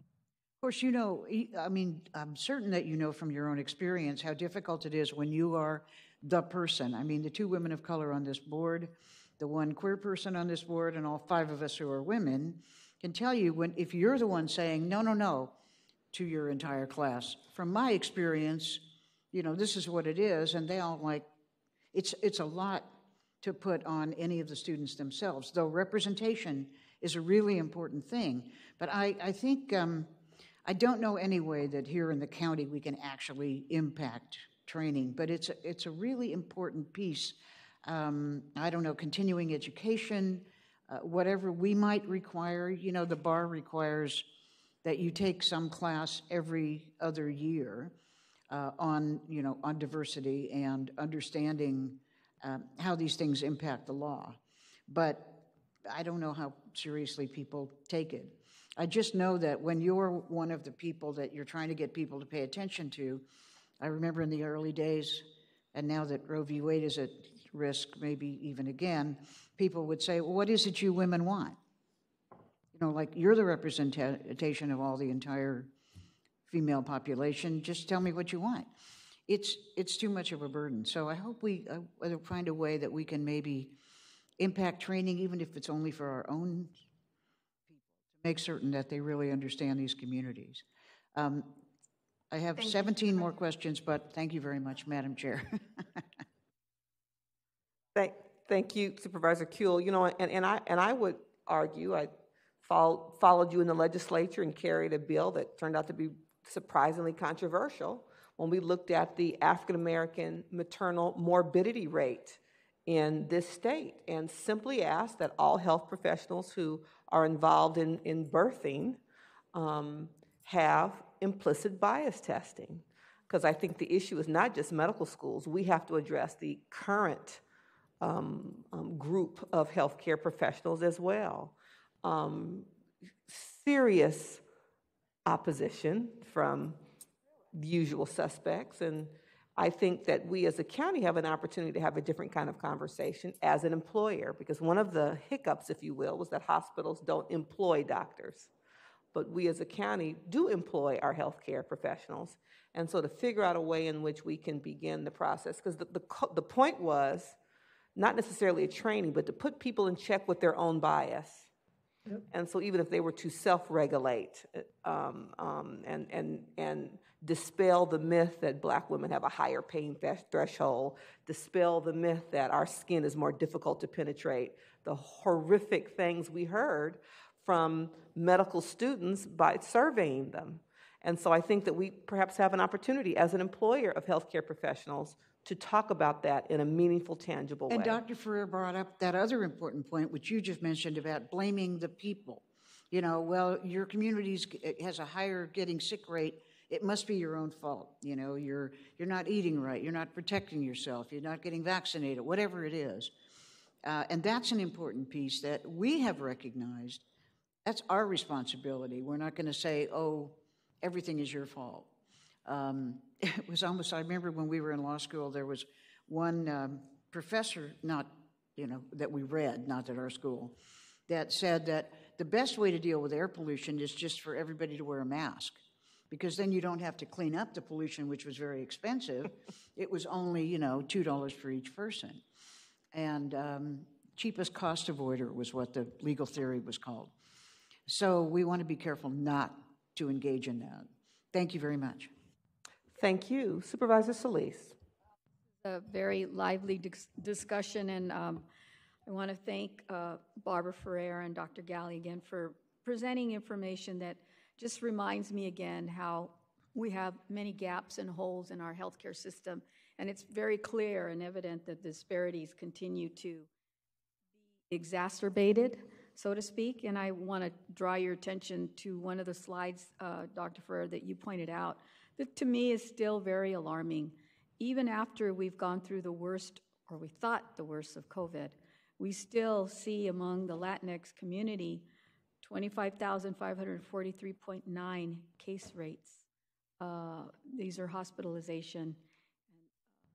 And then case rates and then hospitalization rates very high again, 1,983.8, and death rates highest amongst all the different groups that you've you've showed us here, uh, 452.6 uh, deaths, and this is, I guess, up to uh, March the 1st through May 1st.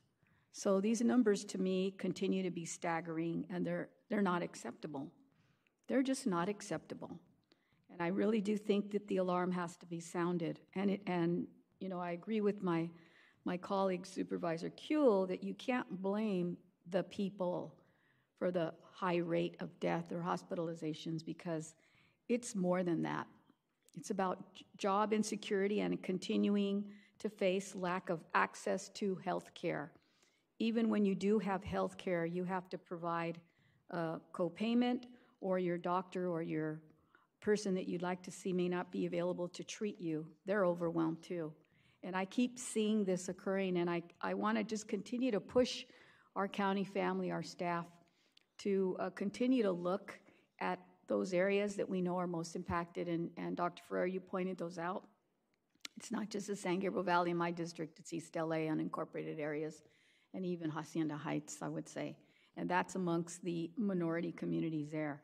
But we really need to do more to make investments because our, our private sector uh, health systems don't always reach our communities. So I think we, I really want to just continue to, to press ahead on that.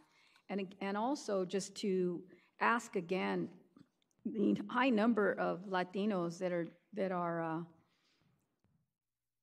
going to the hospital fully vaccinated, okay, I can see that that's great.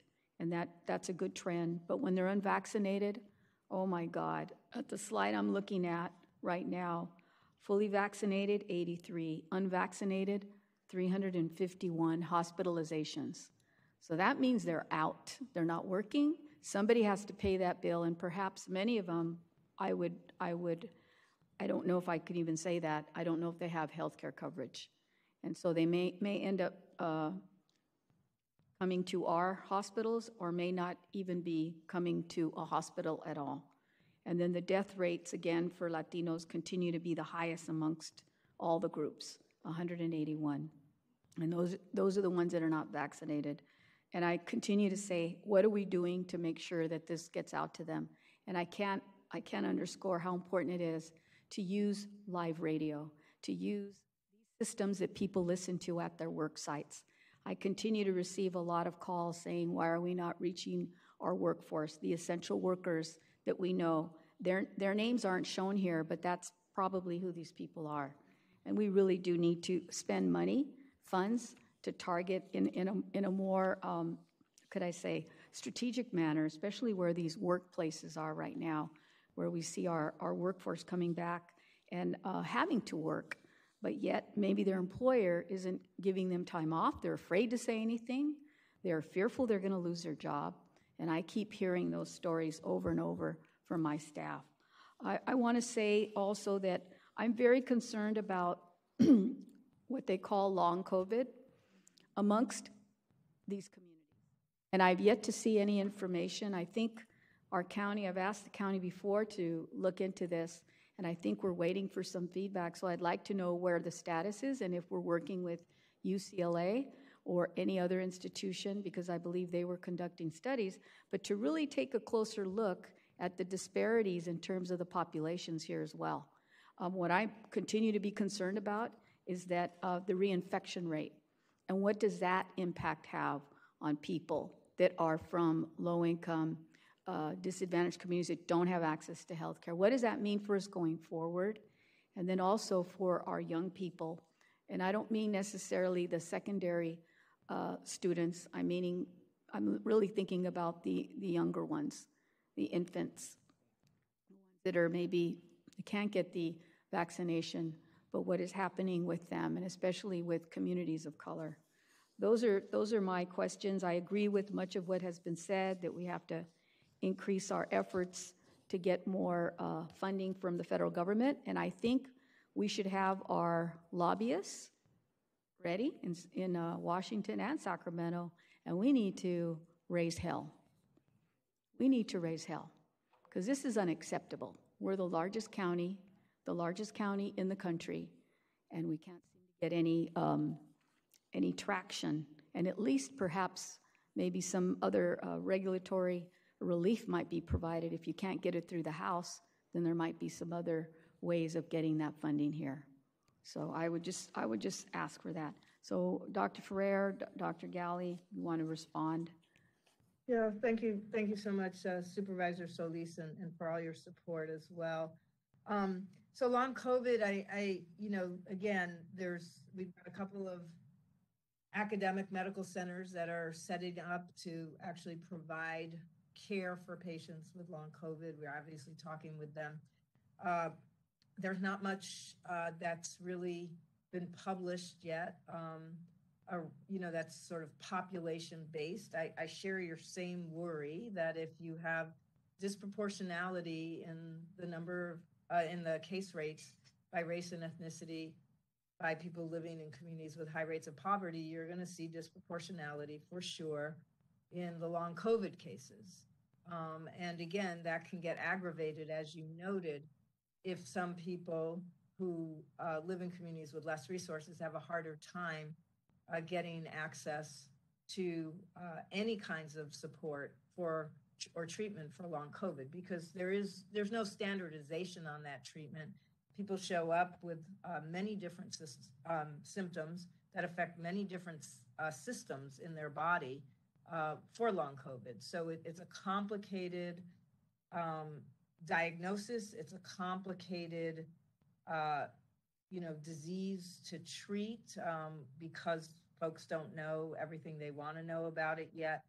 Uh, but I do want to note that we have submitted an application to be a site uh, with CDC that will actually track uh, patients over, I think it's a three year period so that we would be in on one of the larger studies that really is looking at trying to develop a much better understanding of all the questions you ask. Who gets it? Why do some people get it and other people don't? When people get it, what are the best treatments uh, for them? Uh, how do we make sure that folks are able to access services and support for long COVID? Because you'll hear lots of nightmare stories. You know, I went to the doctor, they told me they there was nothing they could do about it they told me to come back in three months, but I'm not able to work. You know, this is untenable.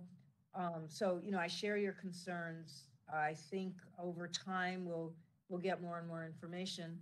I, I also want to, you know, sort of use it as an opportunity to just say why people should be cautious when we don't know everything we need to do about long COVID uh, and who gets affected and how, you know, what is the the course of um, of someone's experience with long COVID and how much of that results in some more long-term disability, you really don't want to take, you don't want to like just go out and get infected. I, I talk to a lot of people who say, no big deal, I'm just going to get infected. And I'm incredulous because there's so much unknown here, um, especially around long COVID. Uh, and, and that includes long COVID in children. So, um, so I appreciate your concern on that. In terms of the reinfection rate, uh, the many, many people who have been already infected uh, have in fact been reinfected. So you're right to note that, um, contrary to what many people had hoped, being infected once does not prevent you from getting uh, reinfected at a later date. Um, this was particularly true for people who had been infected with Delta and then found out that uh, they weren't vaccinated and found out that they got reinfected with Omicron. But it also happens even among people who have been vaccinated. There are people vaccinated and boosted who have now were infected initially, now have been infected again. Um, so again, um, there is the possibility for everyone to get uh, infected a second time. A little bit of disturbing early news out of South Africa is that uh, folks who were infected with, you know, the Omicron variant BA.4, BA.5, some of them had been previously infected with the earlier strains of Omicron. And uh, that would actually be hugely problematic.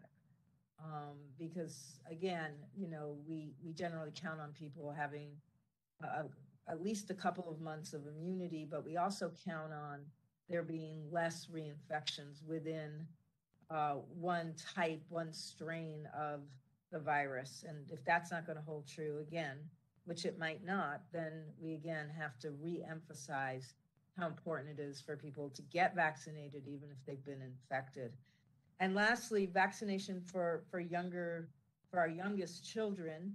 Uh, the timeline has been set by the FDA to review the Moderna application. If the Pfizer application is complete by June, I'm assuming that will get reviewed as, as well. They've set three dates in June to go over the data that was submitted. We're preparing, obviously, to be able to roll out opportunities uh, for parents to get children uh, under the age of five vaccinated as soon as those approvals uh, come through. It will be an emergency use authorization uh, for that age group. I, I want to note we continue, as you know, Supervisor, to work hard to answer parents' questions about vaccine safety for the pediatric dose that's used for 5 to 11 year olds. That's where we've seen the least number of children vaccinated, least number of any group, age group vaccinated, uh, and are doing a big campaign right now, uh, urging parents to make sure their children are well protected as they're going into their summer activities. Uh, but we do, as, as you noted, we do have a lot of promotoras out there. We do a lot of interviews. We do a lot of town halls. We do a lot of sessions. We have our community ambassador program, which now has thousands of ambassadors in it so that we could do peer-to-peer education. Uh, so we are trying, uh, as you noted, that important strategy of making sure we're available to answer people's questions, give them good information, and connect them uh, to appropriate uh, resources. I think I got to all three of those. Think, I Thank you. think so. Thank you. Thank you. Supervisor Hahn? Thank you, Madam Chair, and thank you, um, Dr. Ghaly and Dr. Ferrer, for your continued work uh, to uh, inform and protect our residents, particularly as it relates to vaccines, to testing, to treatment. The great takeaway today was uh, Supervisor Kuehl, you just really reiterating. Let me let me uh, say this one more time. It's free, right? You can you can do it from home. You can do it from your phone, your computer. Drugs will be delivered to your door, and it will be free. I think that's going to be a big relief to a lot of people who are still uh, concerned about uh, going out. Um, you know, uh, I do think I'm glad we're still talking about vaccinations, and and and um, I think that's still really a key uh, provision to making sure whatever comes our way this summer, or the winter, that you know, the more people we can get vaccinated, uh, the more we're going to be able to withstand um, any kind of uh, surge or uh, a variant that maybe we haven't even given a letter to yet. Uh, I have a vaccine van, and I'm having it stop at, at cities, at events, at art festivals. It's um, going all across my district. It's in Commerce, Southgate, Lynwood, Bell, Maywood, Walnut Park, Pico Rivera. Um, this Saturday, this Thursday, again, we're going to be in downtown San Pedro at the First Thursday Art Festival. We're trying to meet people where they're at, making it convenient and easy, um, even for someone who may not have thought about it, but they see uh, our vaccination van and they see how easy it is, and maybe they'll consider protecting themselves. I was going to ask about how ready we are for children under five. Should that vaccination uh, be authorized in June? But I think you answered uh, that. Um, I got to tell you, I give big kudos to our public health nurses um, all across the board. But uh, when I visited a vaccine site in Commerce, uh, the public health nurses had uh, gone beyond, uh, beyond and above and did this whole room that was just for kids, right? It had balloons, it had children's books, it had stuffed animals, it was colorful, it had lights. And immediately, um, if a parent came in with a child, it was a completely different atmosphere than just kind of a scary, here's where, the, here's where you're going to get your shot. And I'm hoping uh, that we can replicate that um, at all of our vaccine sites. And um, but again, I, I, I, was just so impressed. I'm always impressed with our public health nurses, but uh, I really appreciate the way they tried to put at ease the parents and the kids uh, when it came to um, vaccines. Do you think? Um, that's feasible, uh, particularly before June, when we think that the under uh, five will be authorized. Yeah, thank you. Thank you so much, uh, Supervisor Hahn, and especially thanks for continuing to make it so easy uh, for folks to get vaccinated. I, I totally agree with you. That's, you know, we, we can't we can't lose sight of how important that is, and and getting people vaccinated remains the most important task in front of us. I do think all of our sites have a, a special area for children. I know for sure uh, Ted Watkins does, and um, I know for sure Obregon Park does. Um, I have to check. I'm the, the sites I'm not sure are the smaller sites that we have up in Antelope Valley, but I can get back to everybody on that. It might it's not always a room because as some of you know who go to our sites, we don't always have multiple rooms that right. we're able to use at a site, but we always have a special area for children. Uh, we always have books, we always have toys, we always have, you know, sort of our, our pediatric uh, team um, that's, you know, spends sometimes half an hour uh, with a family making sure that child is comfortable and, and can get vaccinated. So I, I too applaud them all. They've been amazing. I've, you know, obviously every time we've opened up for a new age group, uh, they've been swamped. And uh, their patience and kindness and just sort of ability to to really reassure both parents and children, uh, I find uh, extraordinary. So I, I, thank you for that shout out for them. I, I agree. They're, Our public health nurses are are the best.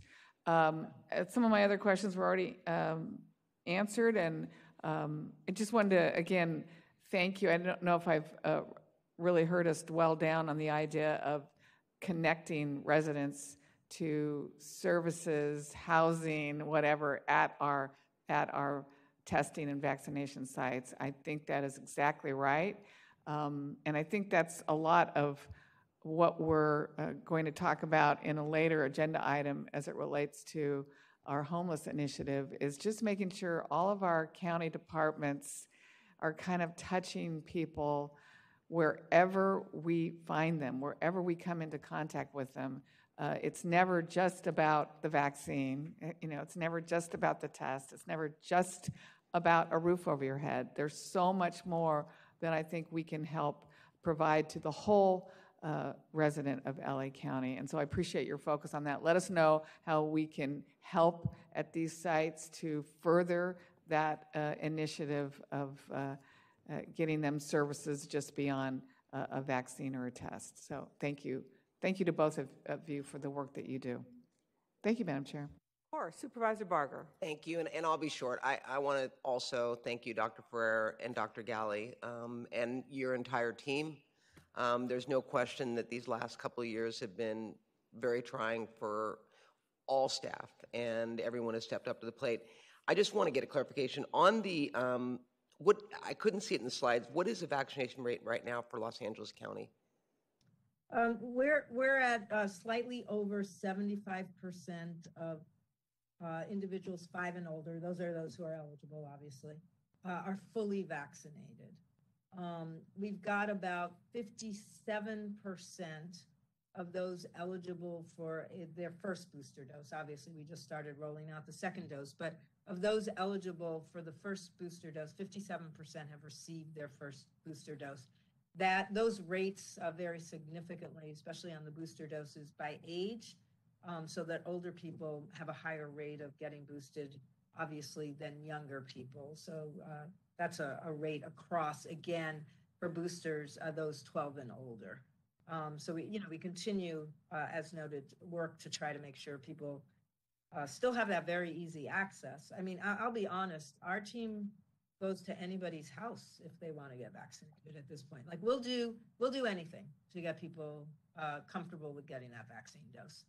Um, and uh, you know, because we we think it's so important, and at this point, every additional person that gets vaccinated helps all of us, and and we know that you know provides protection to themselves, their family, and everybody around them. So we're going to continue to work hard on that, but it's very slow going at the moment. Very so, slow going. And I and I appreciate that, and I think you know, to Supervisor Hahn's um, point about taking the bans out to any activity, um, yep. it's an opportunity, and for every one that we get to do it, that's one less that is vulnerable to, to hospitalization. Um, regarding the test, and thank you for talking to the secretary about getting the reimbursement um, and knowing that they don't plan on doing it. I guess my question is um, more about the cost per month that we're paying, and maybe that's to Fesia, um, because are we budgeting it? I mean, uh, my concern is is that we are very focused on access to testing, um, and I think that it's important for continuity that this board be aware of what the costs are going to be, so that we can prepare, recognizing that if you know during the holidays we saw the numbers go up and people getting more access or uh, looking for testing and getting more testing. I just hope we're prepared and financially um, are ahead of the curve as it relates to budgeting for that. I don't know if it's Fesia, Dr. Ghaly, whomever wants to answer, because it comes out of your budget. I can speak to the to the average numbers. So what we have budgeted and and we've submitted to the CEO, and I know they're working through this along with a number of other requests and and demands on those resources uh, is approximately $7 million per month to maintain the community testing program, which would include covering the cost of the uninsured. Now, the expenditure is lower in quieter months and higher in surge months, but what we project at this point to be the average expenditure over the next year, barring any major changes in the pandemic, would be about $7 million per month. Thank you, Supervisor. This is uh, Davenport, Chief Executive Officer. So we are going to be released working with your offices and the health departments on ARP Tranche 2. Uh, we have identified a figure that we uh, have placed in our preliminary planning as a plug, but we need to refine that number. And as Dr. Ghaly said, uh, we will be working with her staff closely, and we also have a written request from Dr. Ferrer. Uh, so our teams will be meeting to refine our number. But at the end of the day, the answer is yes, we are planning uh, to recommend to your board an allocation that uh, we hope that will cover uh, the health response uh, to COVID.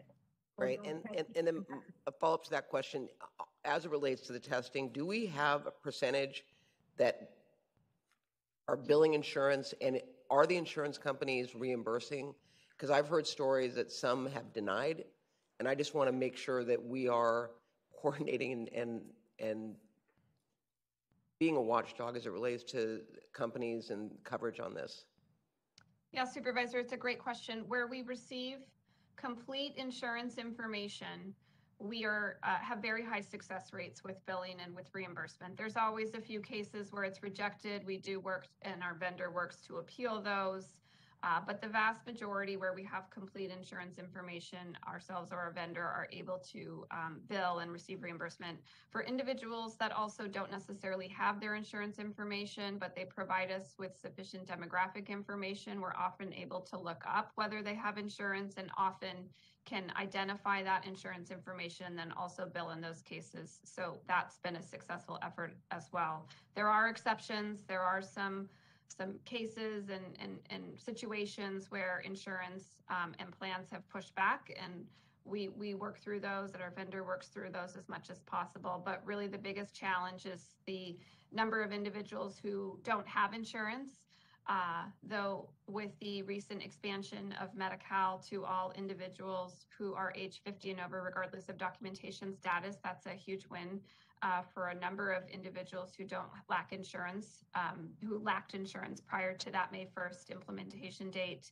Uh, and then also the number of people who do have insurance, but for various reasons aren't able or willing to provide us that information we then also don't have a recourse or ability to bill the plans if we don't have insurance plan information or sufficient uh, demographic information to look them up. But where we have the data, we do pretty well at billing. Great, and then and I'll just close with this. I mean, in Dr. Ferrer, I remember early on in in the pandemic when, well, not early on, like six months into it, um, you started to track um, uh, lack of access to testing, to healthcare. and this pretty much mirrors what you've seen, um, only it's grown exponentially as it relates to um, the number of people impacted. So I guess what I would say is there are lessons learned, and I'm looking forward to you all putting something together for this board that addresses um, lack of access to health care in certain communities. I know um, that uh, when I first started, we used to do um, mobile healthcare clinics out in the Antelope Valley to areas that didn't have access to healthcare. We now have the uh, ambulatory care center there, um, but clearly there are um, deserts as it relates to healthcare. So I think it's important for us to begin to lay that groundwork. Um, we did it with the 1115 waiver when we started to expand outpatient care, um, recognizing that if we did that, they were less likely to come into our emergency room. Um, but as you know, the numbers have grown and the emergency room is back to being over, overflowing. So I think we have an opportunity there. Um, and I think it's important for us also to recognize that we put testing in areas where there were not access to the pharmacies that we partner with, Walgreens, CVS, and all. I think it's important for us to put that also as one of our um, uh, to do list, if you will, um, in those areas where individuals didn't have access to um, testing uh, where we didn't have something set up. And to, to your credit, Supervisor Solis, I know early on you focused on that, um, where we didn't have the pharmacies and all. Um, but I think it's important for us as a board uh, to look at the private sector as well in terms of how we need to encourage them um, to be, I don't want to say better partners, but for lack of better thought, um, a word, better partners um, in getting access to services in areas that are disadvantaged. And I think it's an important message, but this is consistent, Dr. Ferrer, with what you've said from six months into the pandemic when you were following um, areas that there was serious impact, um, and it was in the areas that are, are on this graph. Um, and I think it speaks volumes the fact that we have a lot of work to do um, and our lessons learned, and I look forward to doing it. So thank you.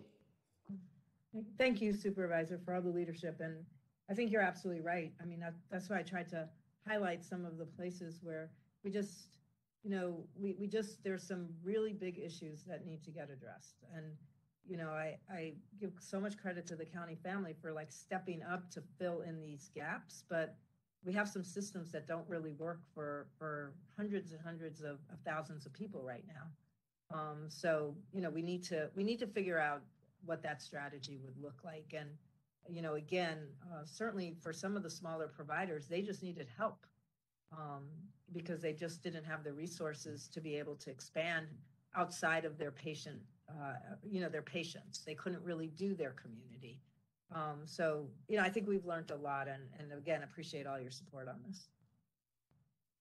Thank you, Supervisor Barger. And, and I would agree, we have learned a lot. When I think about, you know, how far this board and the previous board, you know, how far the county has come since, you know, March 2020, um, when we all recognized the importance of standing up those first five mega sites and then quickly pivoting to the community sites, hearing Supervisor Hahn and the work she's continuing to do. That's all important. Those are lessons learned. Getting back to Supervisor Kuehl's point and Dr. Ferrer's data, there are populations. I, I, believe that access in this issue is no longer a challenge. I think the county has come so far. If you want a vaccination or booster, you can get it wherever you live in LA County. The issue is that is the harder issue is the issue around race and why that there are communities of people who don't trust the healthcare delivery system and why. Because they have been um, insulted, have received par, subpar care, and don't trust us.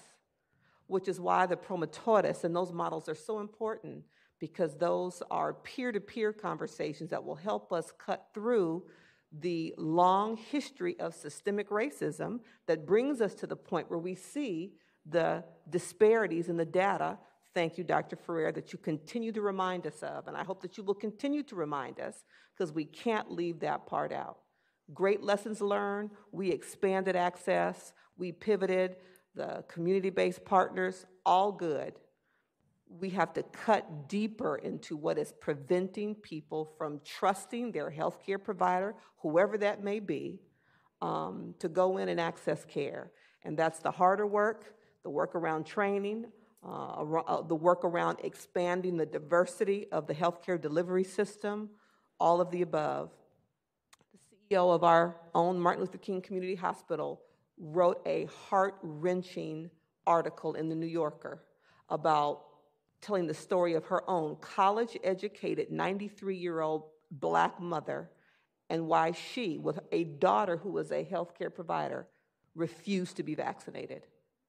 And the, the CEO of a hospital talked about her mother's own experience in, later in life um, um, with the healthcare providers and how different it was, quite frankly, when she bought, brought her to MLK Community Hospital. And there were providers who not only were culturally competent and sensitive, but looked like her, quite frankly. Um, so we have to continue to figure out how we do that difficult work. Um, again, Dr. Ferrer, your data is a reminder to us, to me at least, that our equity based investments, the lens we're using in shaping our ARP spending plans, are both timely and appropriate. And so I'm very glad about that. The one question I would have, and I think you and Dr. Ghaly both mentioned promotores, and we know how valuable they are. As Supervisor Hahn said, it, it's not just communicating where to get a vaccine or a booster, but how to access any service you might need. Um, I know that former Secretary Yolanda Richardson, in one of her trips here, where she walked with community outreach workers that the state funded, talked about her aha moment where she realized we shouldn't just be funding them for this, this contract, for this, this rather narrow work, but we should continue their funding because we're going to need them for other things. Uh, it's my understanding that there's some of the contracts for the promotores will be ending June 30th. They have historically been funded by the state level. Do either of you know if that state funding is going to come? Because what will not be helpful to us or the communities they serve or the organizations that provide that service is this start and stop. When government funding comes, then it ends. Then it comes back after you've already had to lay off all of those wonderfully trained and experienced people. So, are either of you aware of whether the state is going to step up and continue the funding for the various promotores contracts and organizations that are providing that work?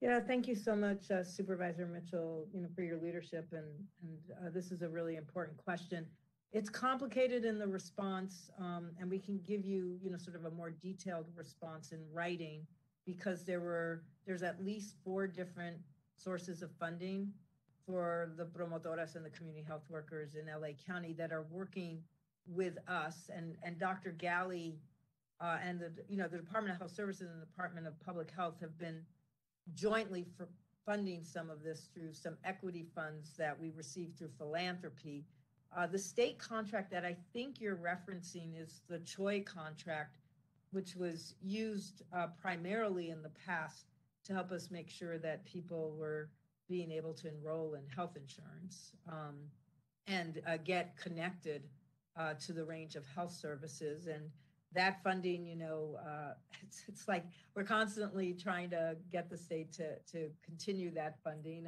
I don't think that uh, they have to date, uh, you know, really definitively informed us that they will continue that funding.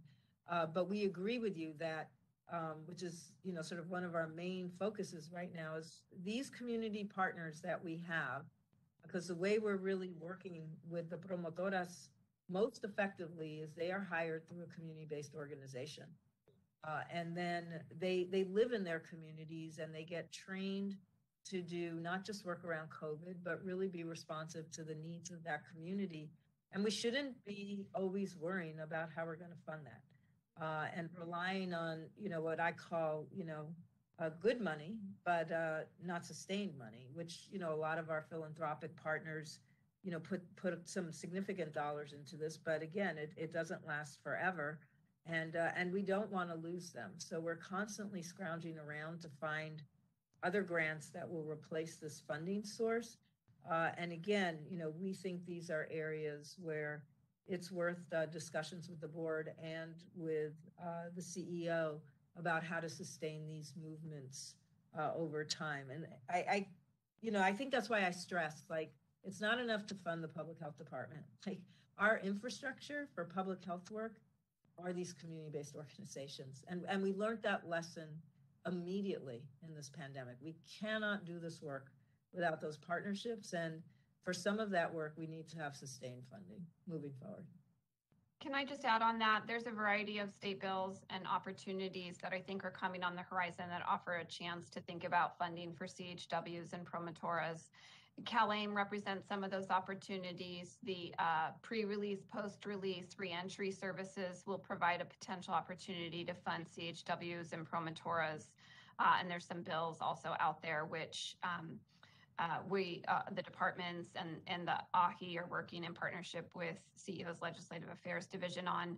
Uh, unless we think HRSA isn't funding anything, they also have, HRSA has put out a grant opportunity to fund about a quarter of a billion dollars in funds to put toward training for community health workers and uh, DPH and DHS, along with AHI, are looking at that potential grant opportunity, which would provide uh, additional resources to train our own county CHWs on as well. So it's a it's a very active front. There's a lot going on, but I know we both uh, firmly believe in the model and know the potential that it has for certain vulnerable uh, groups of people and being able to do more effective outreach. I appreciate that. Um, sometimes, you know, good money late is, you know, equivalent to no money at all. So I, those are wonderful opportunities. I'm glad to know that they're in the works. I just hope that we don't, uh, that, that they get to us on time so these contracts don't end. And these community-based organizations are expected to kind of start up all over again. Uh, I want to lend my thanks to both of you, echo the comments made by uh, my colleagues about the stellar leadership um, you have exhibited uh, on behalf of all of us who call LA County home. We appreciate you very much. He, Chair? yes. I'm sorry. It's okay. No, but I do want to say that this board did vote for $30 million for the Promotoras program.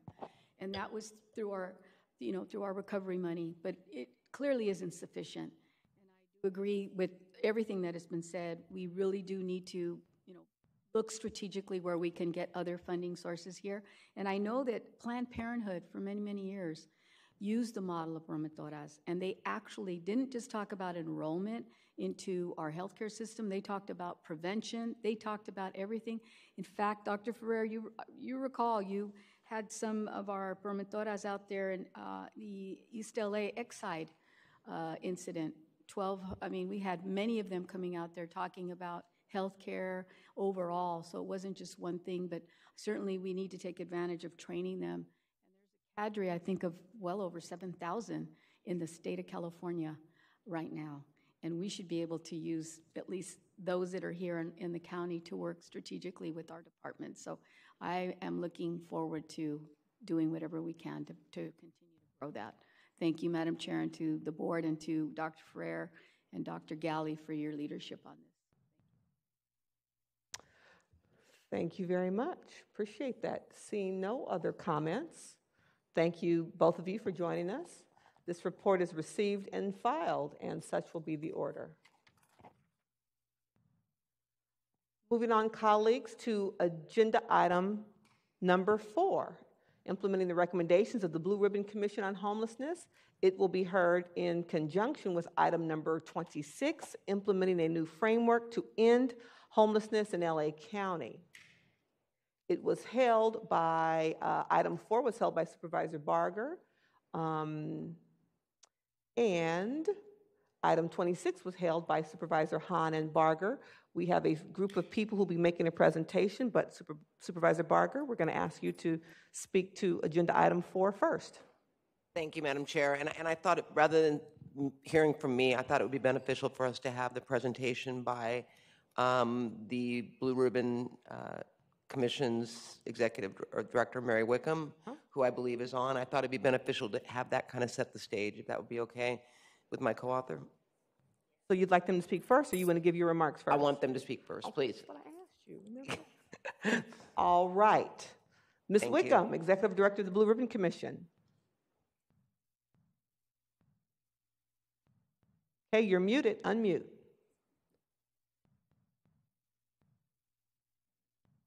Can you hear me? We can hear you now. Okay, great. Well, thank you, Madam Chair and Supervisor Barger and the entire board. It's good to see you all again. Um, and thank you for inviting us here today. My name is Mary Wickham. I'm the Executive Director of the Blue Ribbon Commission on Homelessness. And thank you for inviting me and my team to present to the board today on the recommendations made by the Blue Ribbon Commission.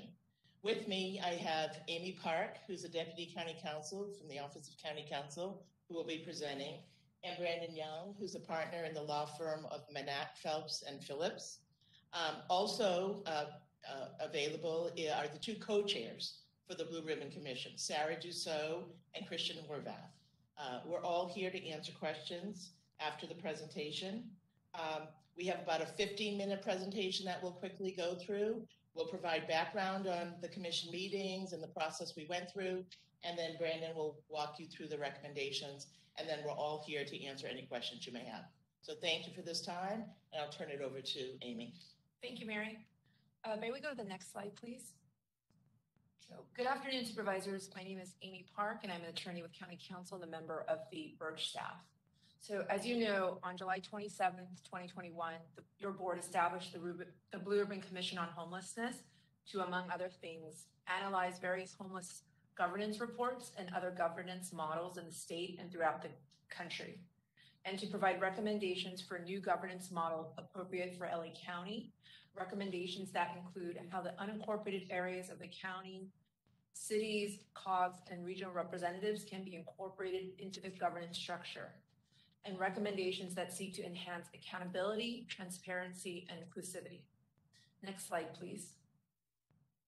So in order to develop these recommendations, the commission and the BRCH staff underwent a tremendous research and fact-finding process.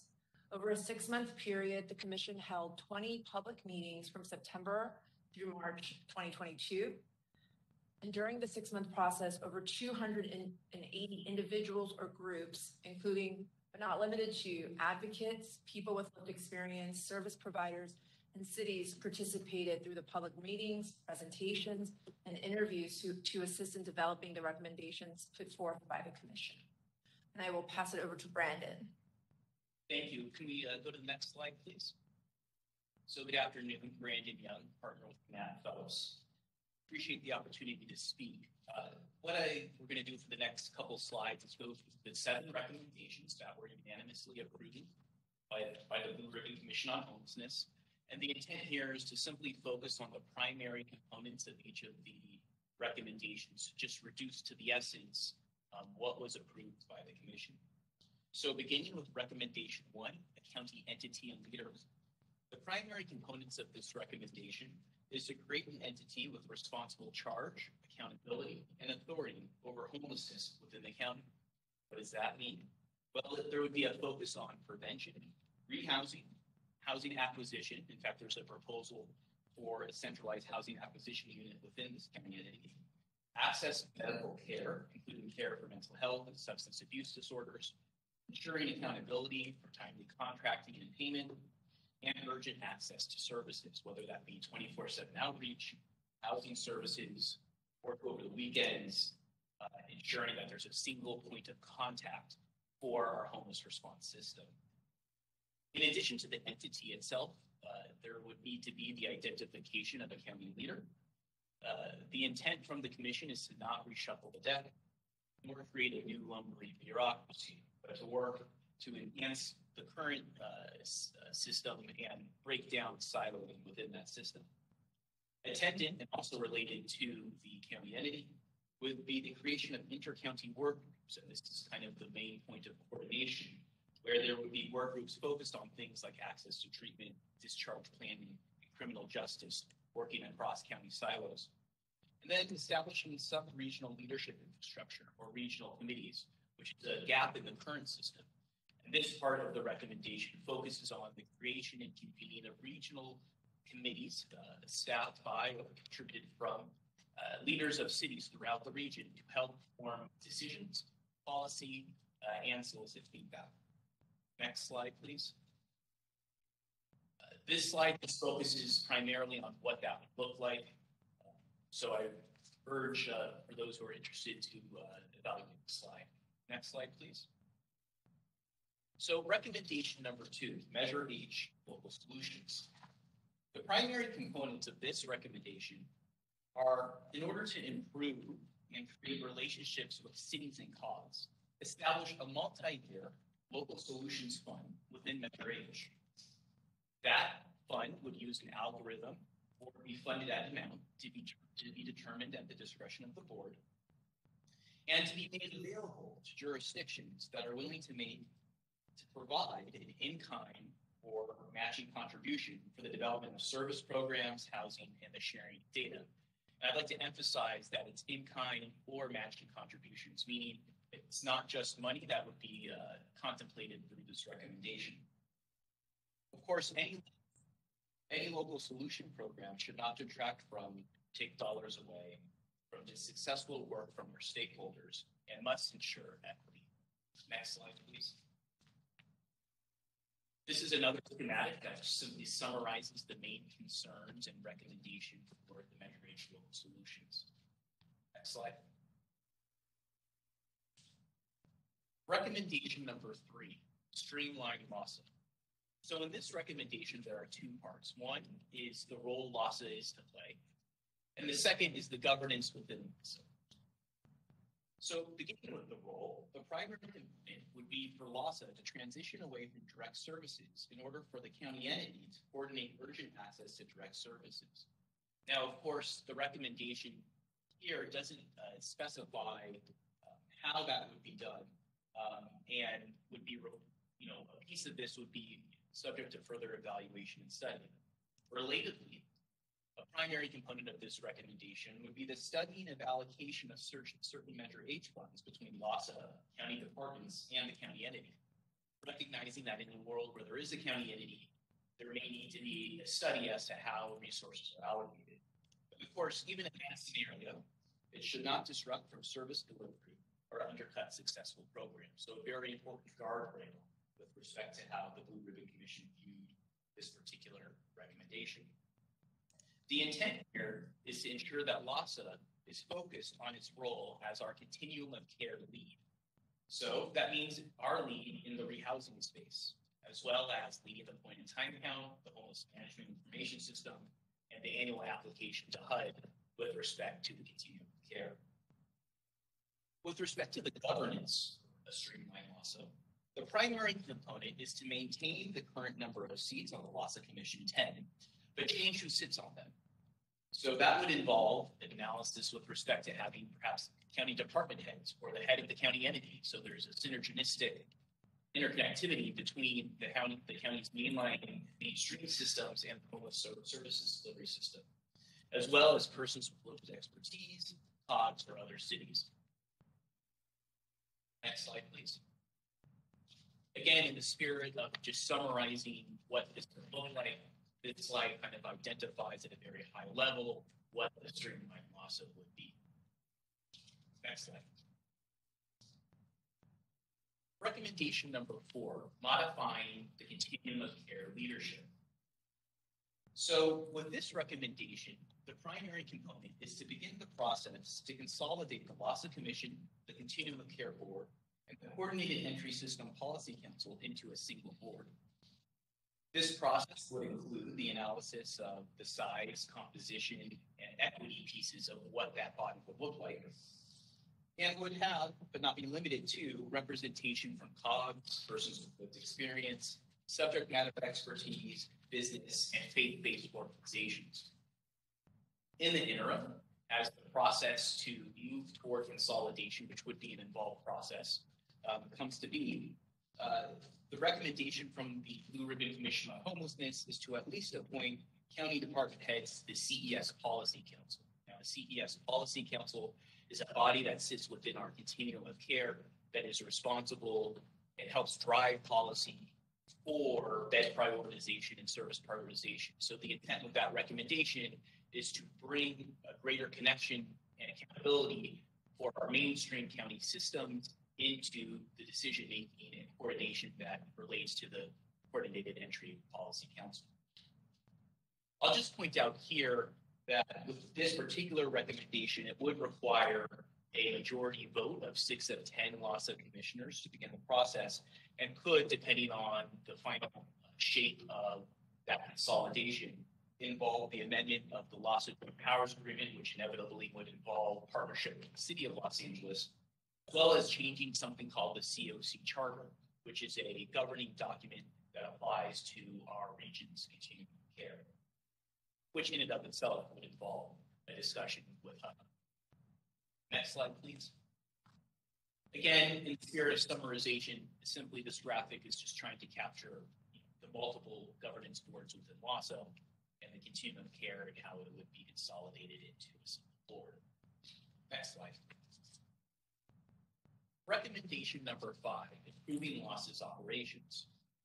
The primary components here are first, defining decision-making responsibilities, including but not limited to between those with the LAHSA Commission, the LAHSA Executive Director, and the various boards within LAHSA and the COC, as well as other entities.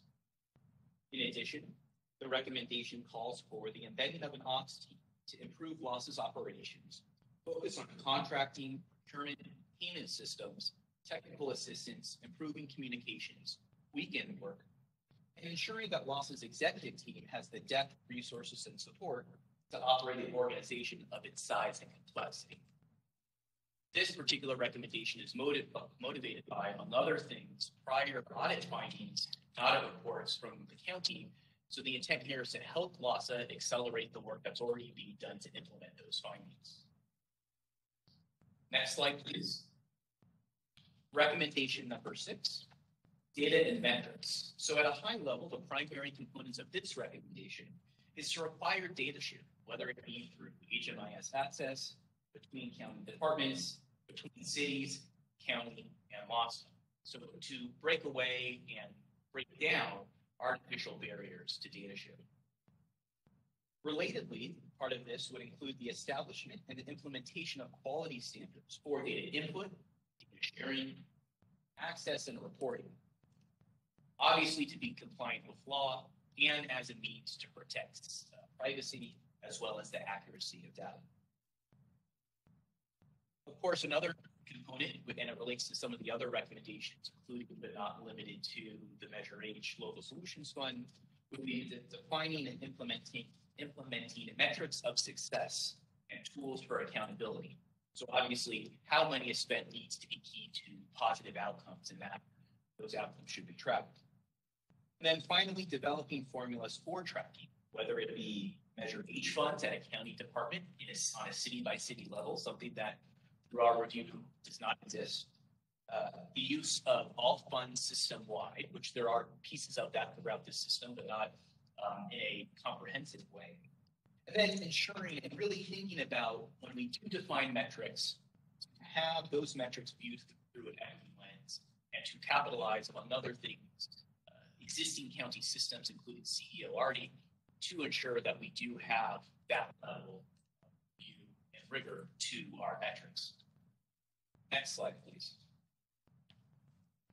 The final recommendation is the creation of an executive level action team. So the primary components here were, would be for the county to support a centering forum, a forum that would be designed for the highest level decision makers in our region to convene. And it's intended to define, to drive reforms requiring urgency, discuss issues of common interest, and to facilitate the, the, the data development and sharing. So again, the idea is we would have a county entity, but we would also have an executive level action team at the very top to ensure consistency uh, across the system and urgency across the system.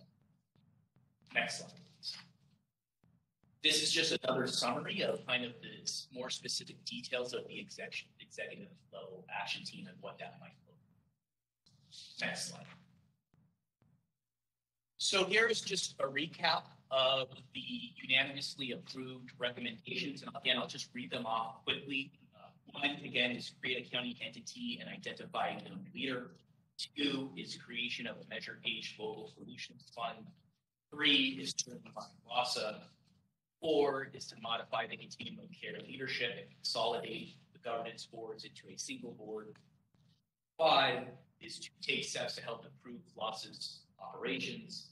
Six is to take steps to ensure better data tracking, data sharing, data input, and metrics for success and equity. And seven, the support of an executive level action team. Next slide. So that is the, uh, those are the recommendations, and we're happy to answer any questions the board may have. Thank you. Yeah, thank you. And I, and I would like to start by conveying my thanks to all the individuals who locked arms with me to make this motion a reality. Um, in particular, thank you Supervisor Solis for partnering uh, on this motion, and a special thanks to Mary Wickham and the entire BRCH staff and the eight commissioners who dedicated their time and service over the half over this last six months to craft a BRCH recommendation after extensive analysis and process. I'd like to thank Fesia Davenport, of course, Cheri Todoroff, and all of the LA County department heads and staff that participated in the BRCH robust planning process. You all were vital to really coming up with the recommendations that are before us today. Additionally, I want to acknowledge and thank our 88 cities for their participation and the wide array of service providers working to help people experiencing homeless in Los Angeles County each and every day. When I thought of creating the BRCH in July of last year, the Commission's purpose was really partly to collaborate and engage as many stakeholders as possible to create a shared approach toward combating homelessness because I do believe that collaboration is the key. The timing of the Commission's report back is indeed really interesting in the sense that just a few weeks ago, our County Department of Public Health released their third annual report on the mortality rates of the homeless. Their report found that 1,988 people experiencing homelessness died in our county in a single year. That is a 56% increase in homeless deaths during 2021 in comparison to the prior year. That number, I think we would all agree, is appalling and unacceptable. It is urgent that we change what we're doing or not doing to help the most vulnerable individuals living on our streets. To me, this is a call to action. Our county must address homelessness with sustained focus and commitment to fundamentally changing how our homeless support systems are managed. We've known for some time that we need to make big changes. Last July, I took a stand to reject the status quo and introduced the motion that established this Blue Ribbon Commission on Homelessness, which was co authored again by Supervisor Solis. The Blue Ribbon Commission was charged with taking a hard look at the Los Angeles Homeless Service Authority and coming up with recommendations to reform the systemic dysfunction within Los Angeles homeless service system at large. And let me just say that it wasn't just about LAHSA, it was about all county departments. Every everyone that comes in contact with homeless services, I believe we needed to take a hard look at. Initially, there may have been some skepticism about why we would want to create a commission to assess homelessness systems when they were already pre existing reports on the topic. However, none have been quite as comprehensive and collaborative as the Blue Ribbon Commission's assessment. I'm proud of all the cities who participated in this process and truly appreciate their invaluable feedback. They are ready to partner up with the county and to get to work in their communities. Mary, you did an excellent job presenting the seven BRCH recommendations with your team, but allow me to recap and expand on what I am asking of this body today. There is no question in my mind that we need a new county entity specifically charged with tackling homelessness. However, I really want to be clear this isn't about creating a new lumbering bureaucracy. It's about creating a nimble entity that will be directly accountable to this board. It's about creating a county department that will support flexible solutions that help people experiencing homelessness by meeting them where they are and helping them to heal. It, It would coordinate and unify the various efforts of county departments, such as the Department of Mental Health, Health Services, Public Health, and of course, Social Services. It would also be authorized and equipped to act as a centralized housing acquisition unit designed to get people experiencing homelessness a roof over their head, connected to support services, back into the workforce, and the goal off the streets for good. There is a second recommendation creating a local solutions fund through Measure H, which we can utilize to partner with our cities that are ready to implement their own homeless housing and service plans. This is something that I'm sure some of my colleagues would agree is long overdue because we've heard from our cities time and time again. They've been paying into Measure H since its passage, and it seems only right that they would establish a system that, that we would establish a system that they could tap into and leverage this funding for homeless solutions that make sense for their communities. This is not a one size fits all. Flexibility is going to be a critical component in establishing this local solutions fund since homelessness really cannot be solved by just one view based on what one entity believes is necessary as an approach. To be clear, I support having multiple models. I support housing first, I support recovery, and there are many, many more. However, I believe we cannot narrowly prescribe these solutions to our cities. Every city should be afforded the necessary flexibility and choice to determine the best models for their vulnerable residents with the strategies and services that make sense to their homeless populations. The county will, of course, establish some guiding principles and parameters through our Measure H funded strategies, but these strategies should constantly be reevaluated and changed as needed. Our cities will play an active, collaborative part in determining these strategies, and I am looking forward to our continued partnership with our Council of Governments and our contract cities. Agenda item 26, which addresses the, um, this further by integrating our cities into a formal framework that outlines homeless strategies to be funded by Measure H. And then there's recommendation three, four, five, and six, which were derived from the Commission's charge to analyze LAHSA structure and governance and LA County's continuum of care and provide detailed analysis with recommendations to reform and to enhance our system. The Commission's conclusion shouldn't surprise anyone. LAHSA needs to be streamlined and clear role clarity needs to be established. Additionally, our continuum of care model should be strengthened by consolidating various governing bodies into a single unified board. As we've all heard, LAHSA's decision making authority is very limited, and it is further burdened by little to no authority over funding, prevention, housing acquisition, and substance abuse and mental health treatment. This confusion on role clarity and acting authority was referred to as the LAHSA conundrum within the BRCH Report. In order to address this, the BRCH outlined some thoughtful considerations that would help alleviate its burden and allow it to do what it does best function as Los Angeles County's continuum of care lead.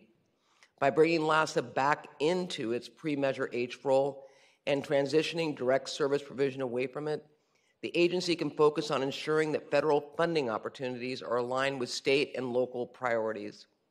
LAHSA could also lead ch- uh, charge take lead and charge on seeking changes to federal requirements that would make it difficult to house individuals in Los Angeles County. And I know we've heard the hurdles that are in place. So we have an opportunity, and LAHSA should take advantage of that and look at how we can work with our federal partners to break down those barriers. Specifically, LAHSA's role in the administration of our county's homeless management information system could be strengthened and better positioned as a data driven approach, which serves as a pass through, providing data access to governments, nonprofits, and other relevant partners, thus adding value to our overall system. Consolidating the various governing bodies and commissions down to a single decision making entity is going to be an important and, quite frankly, and a difficult task. It will be something we need to work collaboratively with our city partners on accomplishing with great thought and care. Just as important will be the composition of the people appointed to this new board. And I would encourage my colleagues to take a very coordinated, fresh approach when making appointments to this body. On that note, I want to thank my appointee, um, uh, to LAHSA Commissioner Andy Bales for his dedication and service to the people experiencing homelessness in Los Angeles County. His leadership through the work at Union Rescue Mission is just an example of the kind of diverse stakeholders we need to engage and serve in the space. And then, speaking of leadership, this brings me to my seventh and final recommendation put forth by BRCH encouraging philanthropy to convene a small, action oriented, executive level, quote, mastermind group comprised of leaders from the county, its city, the state, and other stakeholders. While many of these changes will need to make, uh, will need to make through adopting these recommendations are long term, this small action could rally necessary stakeholders for more immediate change and solicit support from our state and our federal partners. And I want to thank Commissioner Sarah Dusseault, your appointee, Supervisor Solis, and Miguel Santana from the Committee of Greater Los Angeles for advocating for this centering forum. It will truly be exciting to see what kind of immediate actions can be taken towards uni- uni- uh, unifying Los Angeles in our efforts to end homelessness and help our brothers and sisters on the street. In close, yes, we do have a lot of work ahead of us, but thanks to the work completed by the Ribbon Commission on homelessness, we now have a roadmap, and that path moves us forward. So I would humbly ask yes to enact the Blue Ribbon Commission's recommendations, which is taking that first step. And I'm hopeful that we're ready to start this journey because I truly do believe a lot of lives depend upon it. Thank you, Madam Chair. Thank you very much. We're going to hear from um, Supervisor Kuehl, followed by Supervisor Hahn. Of course, Supervisor Solis. Sorry, I was. Um, I got you. It's all right. I see you. okay, thank you. Uh, thank you, uh, Madam Chair. And also, I want to thank Supervisor Barger and her staff. And I'd also like to thank my staff also for work that they conducted. And Mary Wickham, it's good to hear your voice. Uh, good to see you. Amy and Brandon, and also my commissioner, uh, Sarah Dusseault as well as the many other stakeholders and individuals that participated in this uh, stakeholder event that took place in the past several months. I think it was really, really important for us to take a look back because it's been almost five years now since the passage of Measure H. And uh, undoubtedly, we've learned a lot of lessons, and we've learned about some of the gaps in our homeless service system. The Blue Ribbon Commission on Homelessness helped us to synthesize everything we've learned about serving unhoused Angelenos. And it provided the framework for building a transparent, inclusive, and accountable homeless governance system.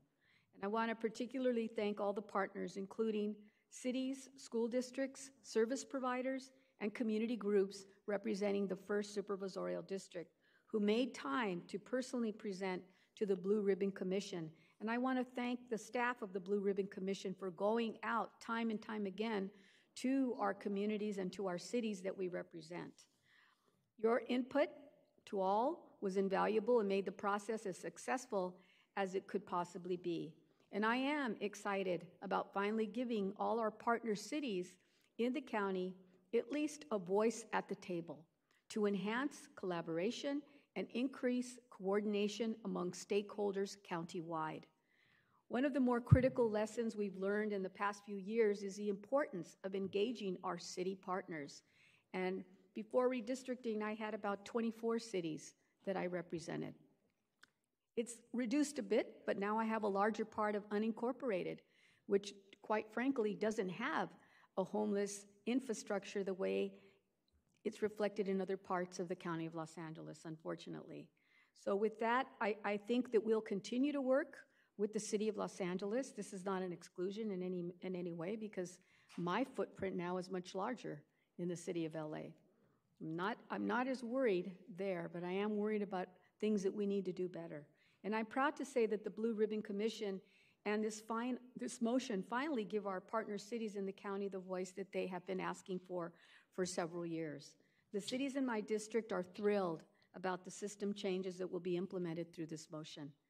They feel that they will finally have that voice and the resources to support unhoused individuals living in their jurisdictions. And I don't make any pretensions here that somehow we're going to turn over an abundant fund of monies to our cities. That's not what this is about. It's being very strategic about it and working with those cities that want to work with us. And we'll continue to make those changes to improve our homeless service system. And we know how important it is to preserve the parts of the system that really are working. I don't want to avoid, uh, I, I, I want to avoid disruptions, and I don't want to tangle up or duplicate. I don't think that's what this is about at all. And that's why the motion is methodical when it comes to implementation. And it's important for the Board of Supervisors to fully understand the implications of the Blue Ribbon Commission and the recommendations before implementing them. And I look forward to seeing how a new county entity that can provide leadership and coordination across our homeless service system, not to create another bureaucracy, but to make it more forceful and more strategic. This entity is much needed to ensure that we're directing our county resources in the most efficient and possible way. And I'm glad that we're considering the Blue Ribbon Commission motion alongside item 26 by Supervisor Hahn and Barger to implement the new strategies to govern the homeless service system. When the strategies revision motion was passed last year, I authored an amendment to that motion to include recommendations that would increase cities' participation in each strategy and strengthen opportunities for cities to augment Los Angeles County's investment in interim and permanent housing solutions within their own city boundaries for residents experiencing homelessness. The Homeless Initiative has included in this strategy revision examples of how we can co invest with cities to strengthen our homeless service system.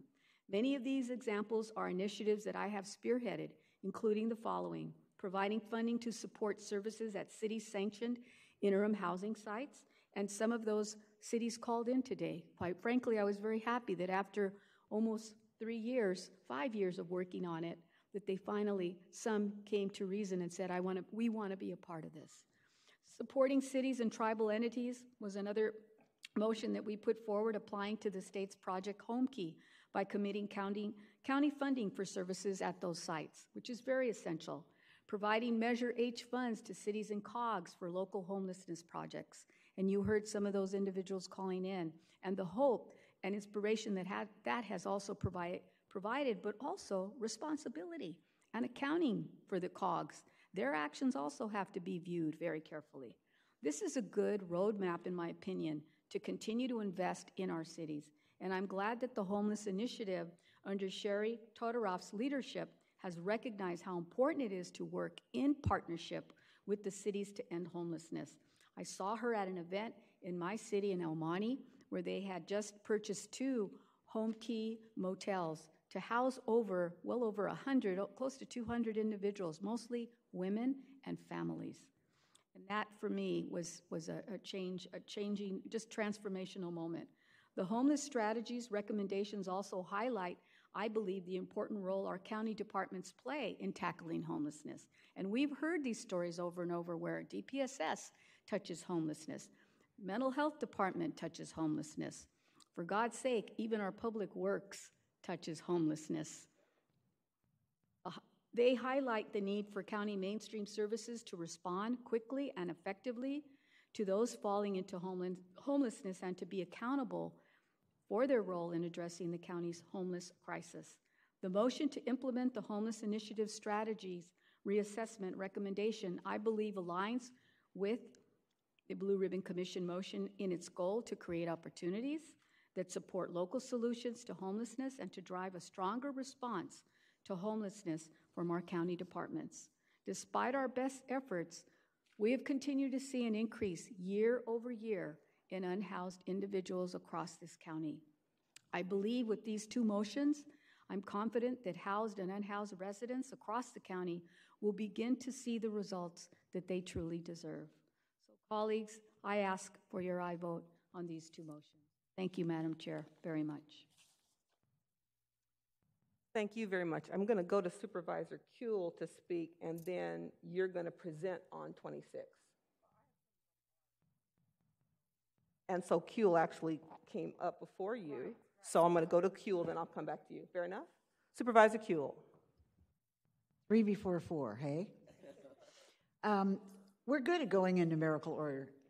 Uh, Thank you very much, Madam Chair, and thank you to my colleagues. I, I think, um, you know, I did not vote to uh, even establish this Blue Ribbon Commission, and I continue to feel that the recommendations are not going to help in any way. And I apologize, or not, that I can't support this today. I Apologize to my colleague Christian Horvath, who I work with on the uh, Clean Power Alliance, who's great. But let me just say uh, why. Uh, There's no question that we all agree, and we've all been working hard to do everything we possibly can to rehouse more people faster. Rehouse. I believe that this um, motion is motivated by a sincere frustration with the progress we have not made on the homeless crisis, despite the fact in the past five years, we've put over 100,000 people in permanent housing. That is not a failure, it's just not enough. And we've put 80,000 people in interim housing. And our prevention models have prevented at least 20,000 people from falling out of their housing and into homelessness. Uh, of course, it's flawed, but I want to acknowledge that the system we have stood up has rehoused enormous numbers of people. It is making a dent the crisis. The current system is exponentially more capable of rehousing people and preventing homelessness than it was five years ago. I mean, I've been here seven years, I can tell you what it looked like five years ago. So I just don't want us to overlook our successes. Everybody says, oh, we're not bashing LAHSA, we just think there need to be changes, et cetera. So I think it's important to start there. I'm very supportive of item 26, which provides, uh, in my opinion, a thoughtful and practical and very specific guidance about how to stop more people from falling into homelessness and rehouse more people faster. Uh, the motion has a lot of moving parts, but in my opinion, most of the directives are really miles away from being able to actually rehouse more people faster or prevent homelessness. It's more like what my grandmother used to call re- resetting the deck chairs on the Titanic and thinking that that might keep it from sinking.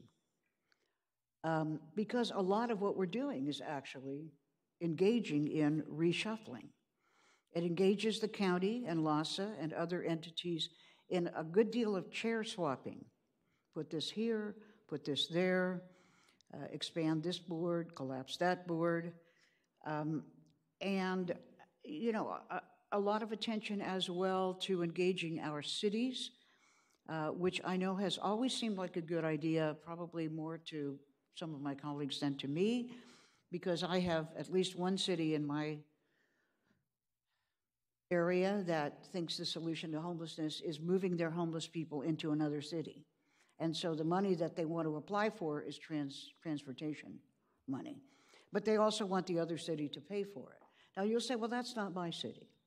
But you know, one of the things that I think we've been somewhat critical of LA about is that every one of their council districts has the ability to say, don't build it here, don't build it there. I don't want this in my council district.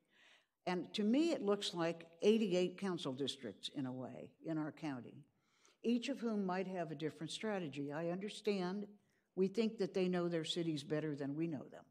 And in some cases, they do. But city councils, they're even worse at figuring this out than we are. I mean, honestly, they are not experts on homelessness in any way. They need to look to their providers, they need to look to their experts.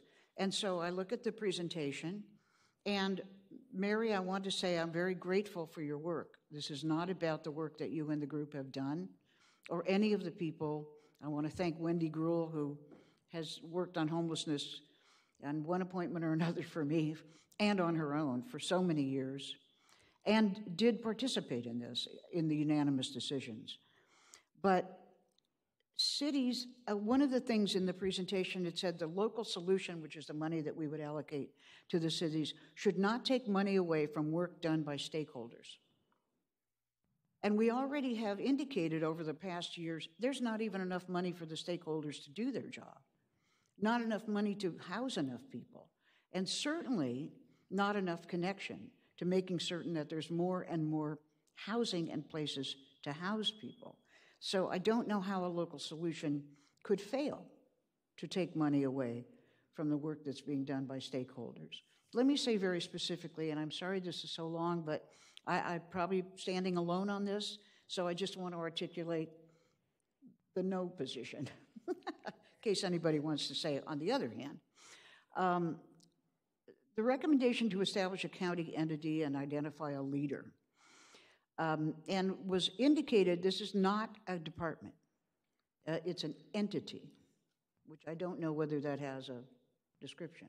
However, maybe it is a department because I believe Kathryn said uh, that it's a part, well, we should use the word department and it needs to be a department. So the question that I would put out, and not to you, but simply to raise into the uh, elements, was how do we believe that a new department would have any leverage over the budgets of other county departments? Say, I'm a department, like a super department. Sounds to me like the old agency solution, which we tried and like did away with instantly because it, you know, it didn't work. So it, it's not that anything can't be worked out. It's just that one department is not going to be able to say to the other, and you spend your money this way. Uh, secondly, I talked about the solution fund for the cities. Um, uh, thirdly, transitioning uh, some Measure H funding back to the county, moving outreach away from LAHSA's um, HET teams. I think it's pretty pretty tough. Uh, these uh, LAHSA staff are unionized, and we are pretty, I think, responsible to organize labor about it. Um, the um, I don't know whether the outreach that they're doing in the unincorporated areas could actually be replicated uh, by others. I, I just uh, think that I had a, I was at an event over the weekend for PATH, and they were really freaked out really freaked out about what was going to happen if they didn't have this kind of help in outreach. Uh, fourthly, uh, the uh, improvement of data sharing, always very important. I, I think creating metrics is very good. But if you look at the directives in item 26, most of them are already in there about creating metrics and data sharing. Um, the executive level action team, recommendation seven, um, I think the recommendation largely came from LAHSA's governance report and the Weingart report, which, which suggested that leaders need to meet to set system goals and outcomes. Um, and I think that um, Supervisor Mitchell and I introduced a motion last year to do that, but it didn't pass. So I think we're going to have to look very carefully if that's really what we want to do, but uh, it could be, I think, difficult. It's just saying we need another kind of structure and another kind of structure, but it doesn't feel to me like it builds or fills housing. Um, yesterday, I believe the New York model was elevated as an example, but the New York model currently costs taxpayers about $3 billion a year and their count has not gone down on homelessness. Um, so it's not that it's a bad idea, it's that this is not necessarily a model that has worked. So I do understand the impetus. I don't want to say that anyone is wrong or doing this for all the wrong reasons. I just feel that when you're confronted with a hemorrhaging wound, you don't say, let's reconstitute our hospital board of directors and then restructure the way we send the ambulance out and then deploy our paramedics differently. And if you bleed out while we're trying some of this stuff, really sorry. This is not to say we don't care on this board. I know we do. I just don't think this is the right answer. It's, it does look to me like deck chairs on the Titanic. I want to see more affordable housing. Uh, you know, putting direct the, the uh, department directors on the board instead of um, appointees. Frankly, every appointee that I put on every commission knows more than I do about that issue. And I have found, now at Metro, we're all on the Metro board. Metro's got billions of dollars to spend. And we are the people directing billions of dollars to be spent. That would not be the case with this group. So I don't know how directors would necessarily, you know, spend their time. Um, and if they would, and if it would actually be a gain for us. So I feel like I kind of want to apologize because I like the way this board works together. And I want you to all to understand I have no question about your motivations. Just think, looking at this item by item, honestly, I don't think it really helps. So thank you, Madam Chair. Supervisor Hahn. Well. Although, you know, I, I do appreciate, because I do think some, I think they're not writing the stories anymore about five women on the board, and isn't it great? And don't you all get along? I think we've, we've read the last story about that, but uh, it, you know, we're not the same, and, and we, we look at things differently, and we have a different perspective. But I will say, uh, Supervisor Kuehl, we, we agree on uh, it's not it's not going in the right direction. You referred to it as the Titanic, so that's a sinking ship, and you referred to it as like a gaping wound that's bleeding. So at least we agree that, uh, you know, I think we have a problem. And I'll say, um, you know, it was almost a year ago that I think we talked about the creation of this Blue Ribbon Commission on homelessness. And I was a little bit there too. I was thinking, are we just uh, rearranging uh, the chairs on the deck of the Titanic? I was a little bit on the fence, but then it just struck me that. Um, you know, it, what we were doing to me didn't seem to be working. And I was hearing uh, from so many of my constituents that also didn't believe like what we were doing was working. It seemed like we were spending more money and our numbers were going up every time we had a homeless count. So I ended up voting for this. Um, I think I was the third vote that uh, got this t- uh, uh, to pass um, because I thought I just didn't feel good not doing anything. For me, the status quo is not acceptable. And uh, is this going to work? I don't know if we ever know if things are going to work, but I personally believed in this commission and believed in trying something again. Um, again, I appreciate the work that the Blue Ribbon Commission did. Uh, thank you, Mary Wickham. It's really uh, nice that you came back briefly uh, to, to facilitate this commission. Uh, thanks to Christian and to Sarah uh, for your leadership. Um, uh, I appreciate this. I think, I mean, I'm going to support these recommendations today. And I know there's still a lot of work that we have to do to get us to the place uh, where we really do begin uh, eradicating homelessness on the streets of LA County. Uh, but I think these reforms will add some accountability and some coordination. And I always believe uh, reform and accountability are two key components for any progress uh, that we attempt to make. You know, when Heidi Marston announced her resignation from LAHSA last week, she talked about how LAHSA never has had the authority to solve the biggest challenges in the homeless crisis. And that's why I'm hopeful about one of the major recommendations uh, that we're going to be voting on today, and that's to create a new county entity that is empowered to take on the crisis, has the resources to do so, and is ultimately accountable for the outcomes. I think that's something we've needed for a long time. I think it's going to get us in a better position to implement this Marshall Plan uh, that I know I've been talking about, and a lot of people have been talking about, uh, that actually will uh, start looking at this uh, like a, a, major disaster that it is.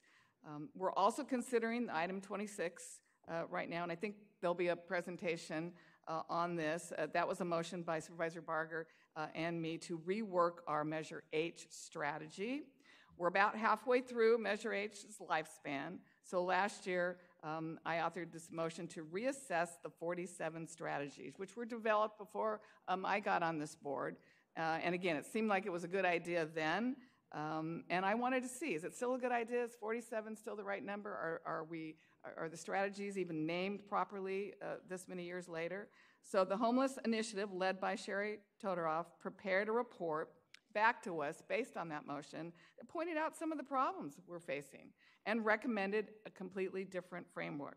One thing the report said was that while Measure H is getting people into housing, it's been most helpful for people who have just fallen into homelessness, part of the rapid rehousing uh, that I think you were speaking about, Supervisor Kuehl. But it pointed out that we're still not doing a good job helping the people who are chronically homeless. Those who have been living in our encampments for years, those are the ones that I believe um, the public sees day in and day out and doesn't understand why we haven't been able to help them. And the data shows that we need to adjust our strategy there. We need to focus our Measure H resources on those hardest to reach individuals, individuals, the chronically homeless. That means we need other departments in the county to do more to strengthen our safety net and help people who are on the brink of homelessness. With other departments doing more to prevent people from falling into homelessness, and as we said, so many of our departments touch people who are on the brink. Um, if they can do more of that work, then we can preserve our interim housing beds and permanent supportive housing units for those individuals who live in encampments and desperately need our help. Secondly, uh, they found out that having Measure H organized into 47 strategies has been a bit of a headache uh, for our service providers. I've heard from nonprofits that have spent endless hours on separate contracts, separate reports, separate invoices for each different strategy. It's a waste of their time.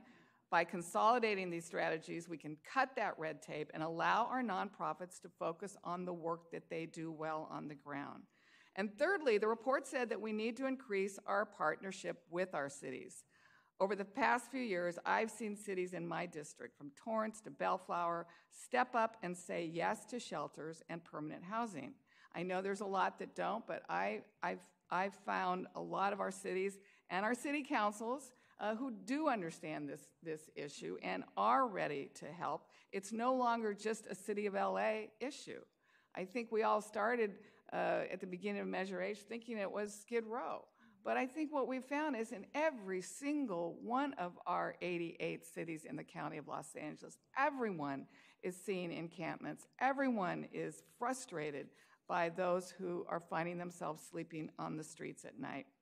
Uh, Measure H really wasn't set up with the partnerships with the cities in mind, and we still don't have a reliable stream of Measure H funding for these cities, but we did allocate one-time funding for the Council of Governments to draw down from, and I think that's helped our cities with some of their interim housing projects.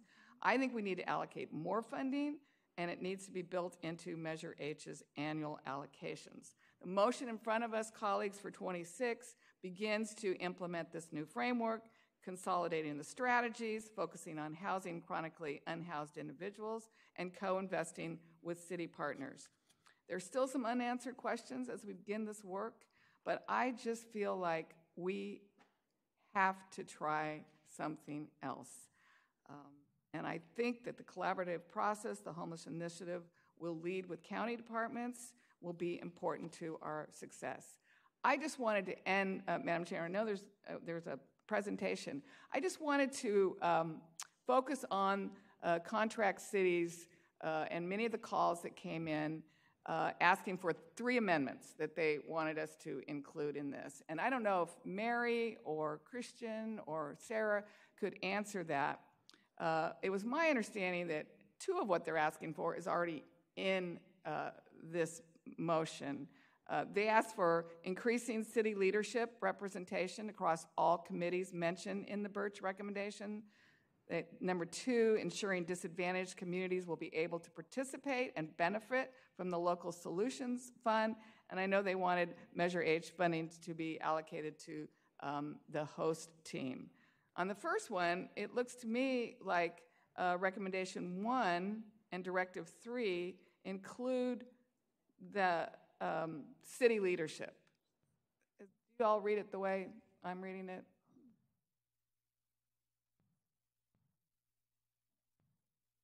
Yes, Supervisor, yes, correct. The cities will be represented throughout the model that's been presented. There's, there's uh, opportunities uh, for the cities and the COGS to participate in this model everywhere. That's number one. Uh, I think another question was, uh, Uh, I think it was many, a lot of them didn't, were concerned that they couldn't afford the financial match uh, contribution. Uh, But I think this local solutions uh, recommendation allows for in-kind to be That's matched. exactly right. Right. You don't need money in order to participate. You can bring something else to the table other than money. Do you have any examples of what some of the in-kind um, services would, would be acceptable moving forward? Uh, real estate, you know, they may have a facility. Uh, they may have a commitment, just to the commitment to want to house their homeless. Uh, Well, I know, Mm-hmm. like that, and in-kind, just the commit, just the heart is there in-kind. Uh, Okay, I like that. Um, Okay, I just wanted to highlight, because I know many people called in this morning asking uh, for that, but it does look like two of their three uh, so-called amendments uh, are embedded in what we're voting on today. Um, I think in terms of allowing funds to be used for host team, don't think at, at this point uh, uh, there's support on this board to do that, but I, I think we are still going to look at uh, solutions uh, as it relates to that kind of outreach going forward. So, colleagues, I'm going to end by saying we've been doing this work for a long time. So has everybody else in the county. There are so many people that have had that heart, that have had that commitment, that have really been working uh, to end homelessness. I've been frustrated by how persistent the problem of homelessness and the human suffering that goes along with it has been. But I'm just not comfortable with settling for the status quo. Think we need to keep adjusting our strategies until we find the most effective way to get people the help they need and ultimately uh, off of sleeping on our streets at night. I'm not going to kid myself into believing that we've done enough today uh, to solve the homelessness crisis, but these reforms, in my opinion, represent progress, and I'm hopeful they will help. Thank you, Madam Chair. Thank you very much. Um, let me just add my two cents too. Uh, I, I too want to extend my appreciation. You know, having served before I ran for office on any number of boards and commissions where you know we were asked to bring our policy area or direct service area of expertise to the table as a volunteer is actually what encouraged me to run for office. I'm like, you know, let me run for office so I can be in the decision making position as opposed to having my expertise sucked out of my body and then maybe never seeing it come to fruition. So let me thank the people who volunteered, LaCheryl Porter, uh, the second district appointee who works for St. Joseph Center, for your time and commitment and what you poured into this process. I appreciate you. Um, like Supervisor Kuehl, I have, I have more questions than I have answers, and frankly, I think that's the case for all of us. You know, when I think about the Measure H process, I was not here, but as I recall, that was a two-year experience with hundreds of people who provided their expertise and perspective, which I think is helpful. Um, I, during that time, was the author of the Housing First bill that became law in the state legislature. I, at that time, was the author of the bill that created the state's interagency council on homelessness. Um, I believe in partnership. I believe in streamlining processes that are too bureaucratic and, and no longer work and are no longer relevant, which is why I introduced the motion seven months ago to streamline LAHSA. Um, is LAHSA perfect? No. Have they done work in supporting community based agencies who do the work every day to get people housed? Yes. Um, and so I agreed that it needed some help and direction and refinement, but I won't call it broken. My concern today, and you all know I spend a lot of time talking about budgets, is what I don't see in any of these recommendations is a sense to me as a given my fiduciary, our collective fiduciary responsibility as board members, about the costs and funding sources of implementing the BRCH recommendations and continuation, quite frankly, of BRCH staff in our fiscal year 22 23 budget. We're in the middle of a budget process. This six month activity has already cost all of us as county taxpayers a million dollars. And Like Supervisor Kuehl, I didn't support the motion, but I remained hopeful. And must say that I'm disappointed because I didn't, there is no um, golden ticket in these recommendations. When we discussed that failed motion, I heard lots of comments about how this issue has been studied and we needed to take action, and so that motion was voted down. And yet I see seven recommendations, many of which include report backs still. So when I walk outside of this Hall of Administration today or drive home and count, as I have taken to do, the number of RVs and tents I see, I can't say that my vote on this action today will have, in, in an immediate fashion, direct impact on those women, families, seniors, veterans, black and brown people who are unhoused in our county. Um, there are far too many questions and concerns from people who have studied this way beyond six months, who do this work every day, our homeless spa leads, for me to be comfortable voting for this package as a whole. I appreciate the BRCH voted for all seven recommendations, but they also had the opportunity to make adjustments to those recommendations as they voted for them based on our infrastructure, based on the fact that our um, motion authors weren't willing to bifurcate, we aren't, I'm not empowered to do that today. And that's unfortunate from my perspective because there are some elements that I would support. I would support the streamlining of LAHSA. Again, that was in the motion seven months ago. I would support LAHSA operations without question. I would support data and metrics. But there are other key elements that I have no idea in terms of um, budget, how we pay for it, how this will, how, how it will happen. That's problematic for me. Uh, what I believe we all need is, the ex, is to expedite the streamlining of services. And while we talk about our important partners and we use the term cities, we have to acknowledge the missing elephant in the BRCH room, and that was the city of LA. I appreciate that two council members came and presented to the second to the last meeting, but they presented as public members. They weren't involved in the development of recommendations. And so when we talk about streamlining and bringing these county departments together all under one, we all know I just got here, but I have heard repeatedly it took some inordinate number of years for two department heads to come to some agreement on who was responsible for claiming the Medi-Cal funding to pay for ODR. So I'm not quite sure how, under this process, all these multiple department heads are going to come together and we're going to streamline funding silos. So much of this funding is federal and state and through regulation. And so it's challenging. It's, it's so much easier said than done how we streamline and bring all these departments together and just magically make it happen. And we know it is not that simple.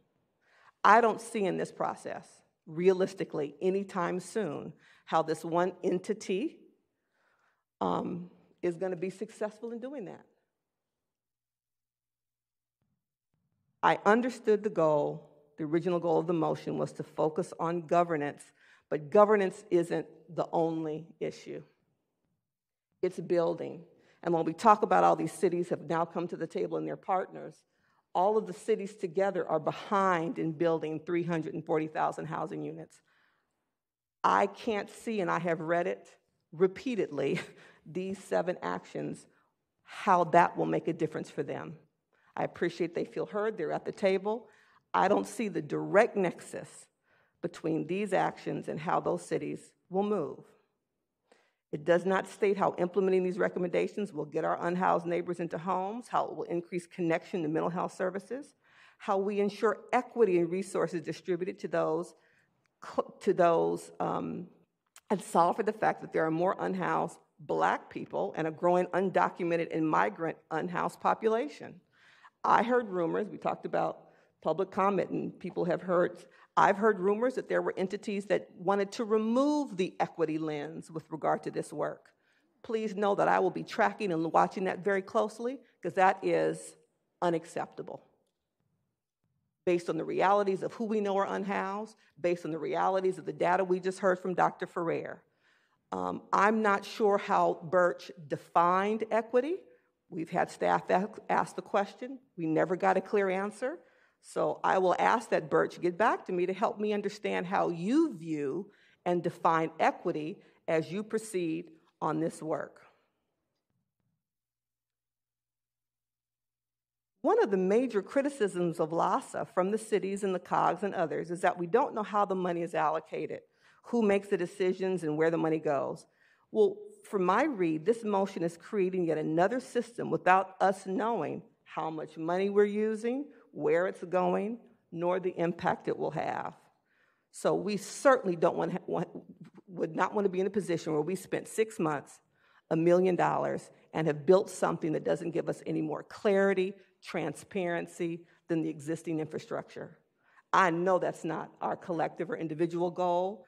I just think it's important that we fine tune and get clear to make sure that we're not simply creating one infrastructure that will be um, as hampered by bureaucracy as the one we're trying to improve and replace.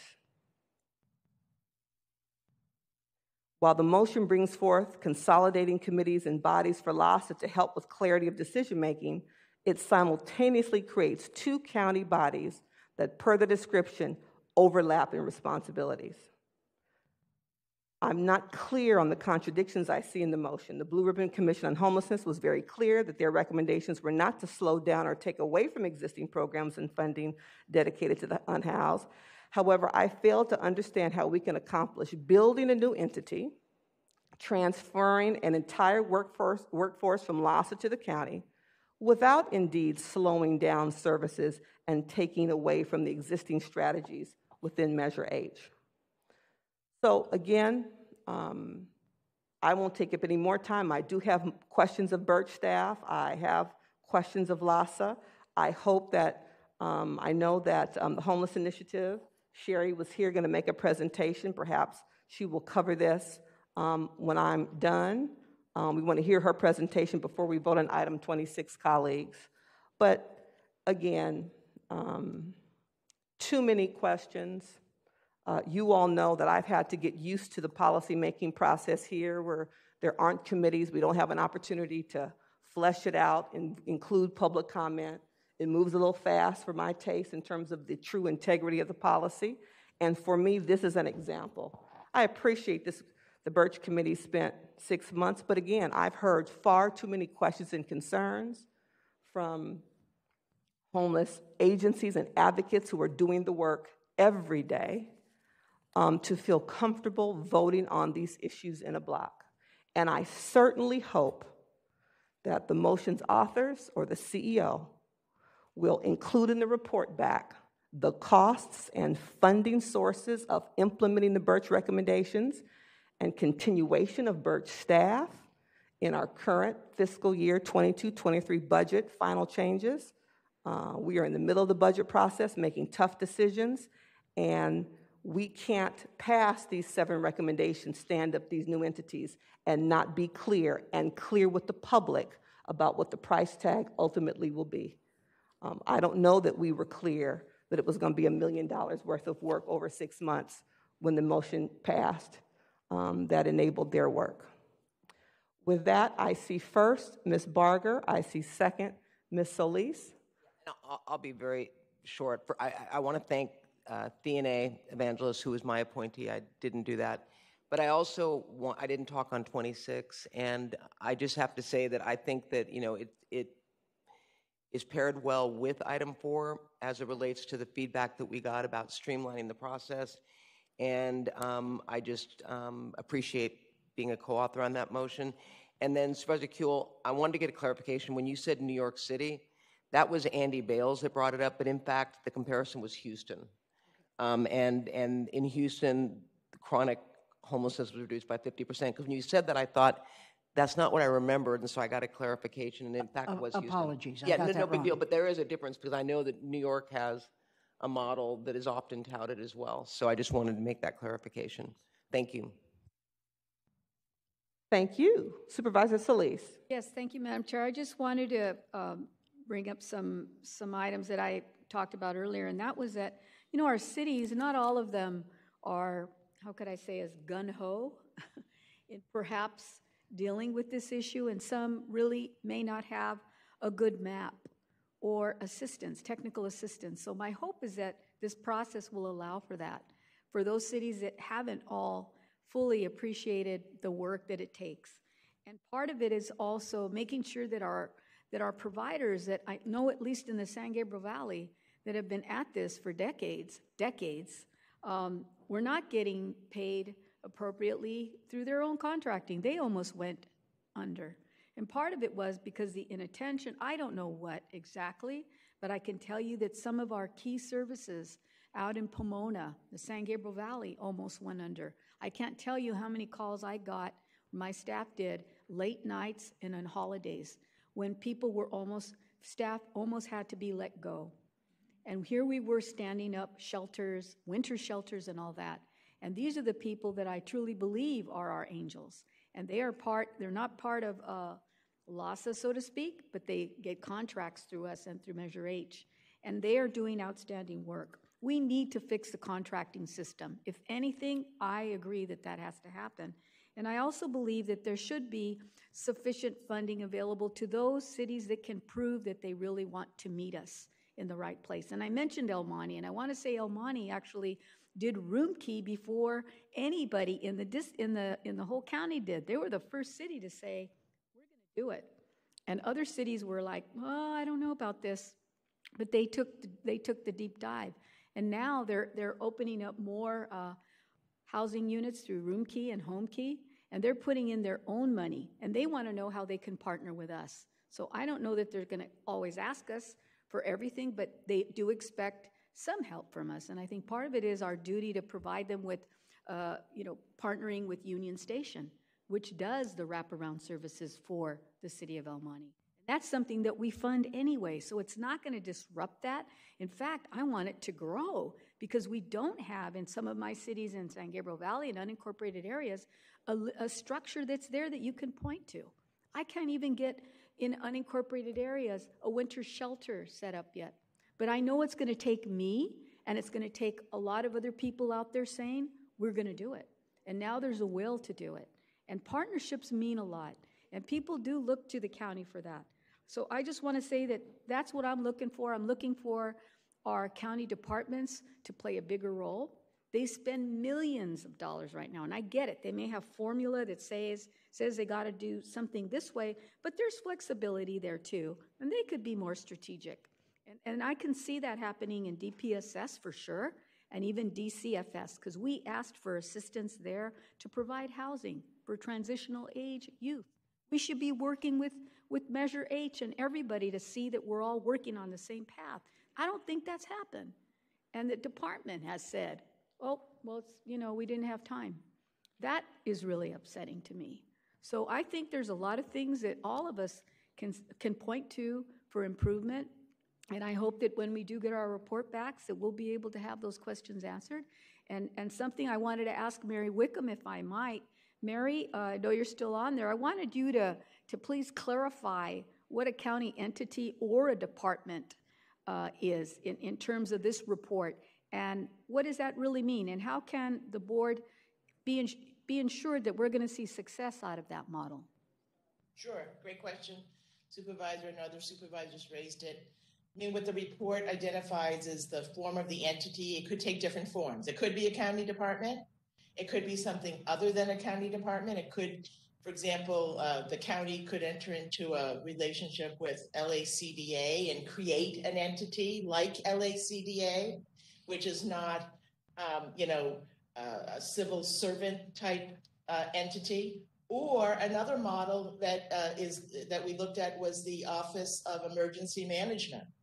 You know, uh, one of the great quotes that kind of came out of this exercise is that we have a crisis, but we're not operating in crisis mode.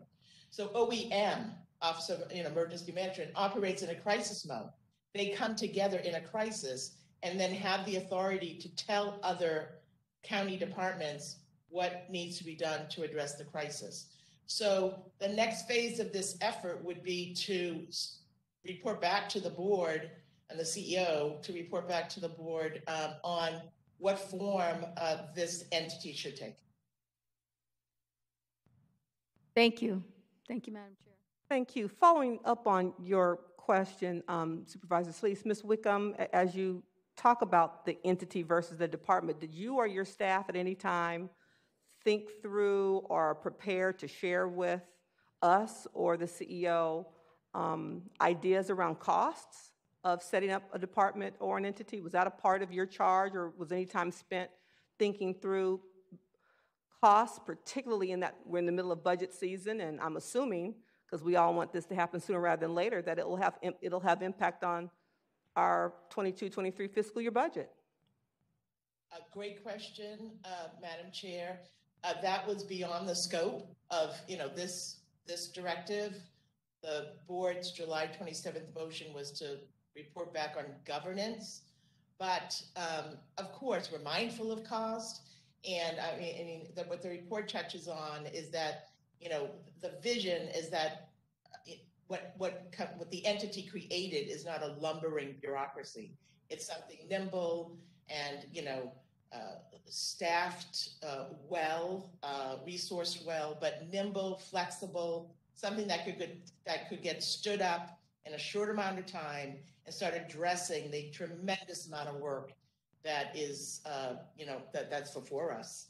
I'll also add, if, Yes. if I may, you know, the report does define or gives parameters around what it could look like. So as Mary mentioned, department, joint powers authority, or something like OEM. The importance of just identifying those those options, we're mindful because there's a difference between a department and OEM from a cost perspective. So the fact that the report even recommends, or not recommends, but suggests that, let's say, an OEM type entity might be something, or a joint powers authority, is motivated by the fact that there are going to be differences between the two. We could have said, for example, or the commission could have said, for example, just a department. Uh, but it didn't do that. And the reason it didn't do that is, uh, Supervisor Mitchell, your precise concern, which is there are going to be cost implications that are going to need to be studied. But it was the charge of the commission under the board motion to identify models for governance that could be there. The ultimate uh, discretion, obviously, to the board.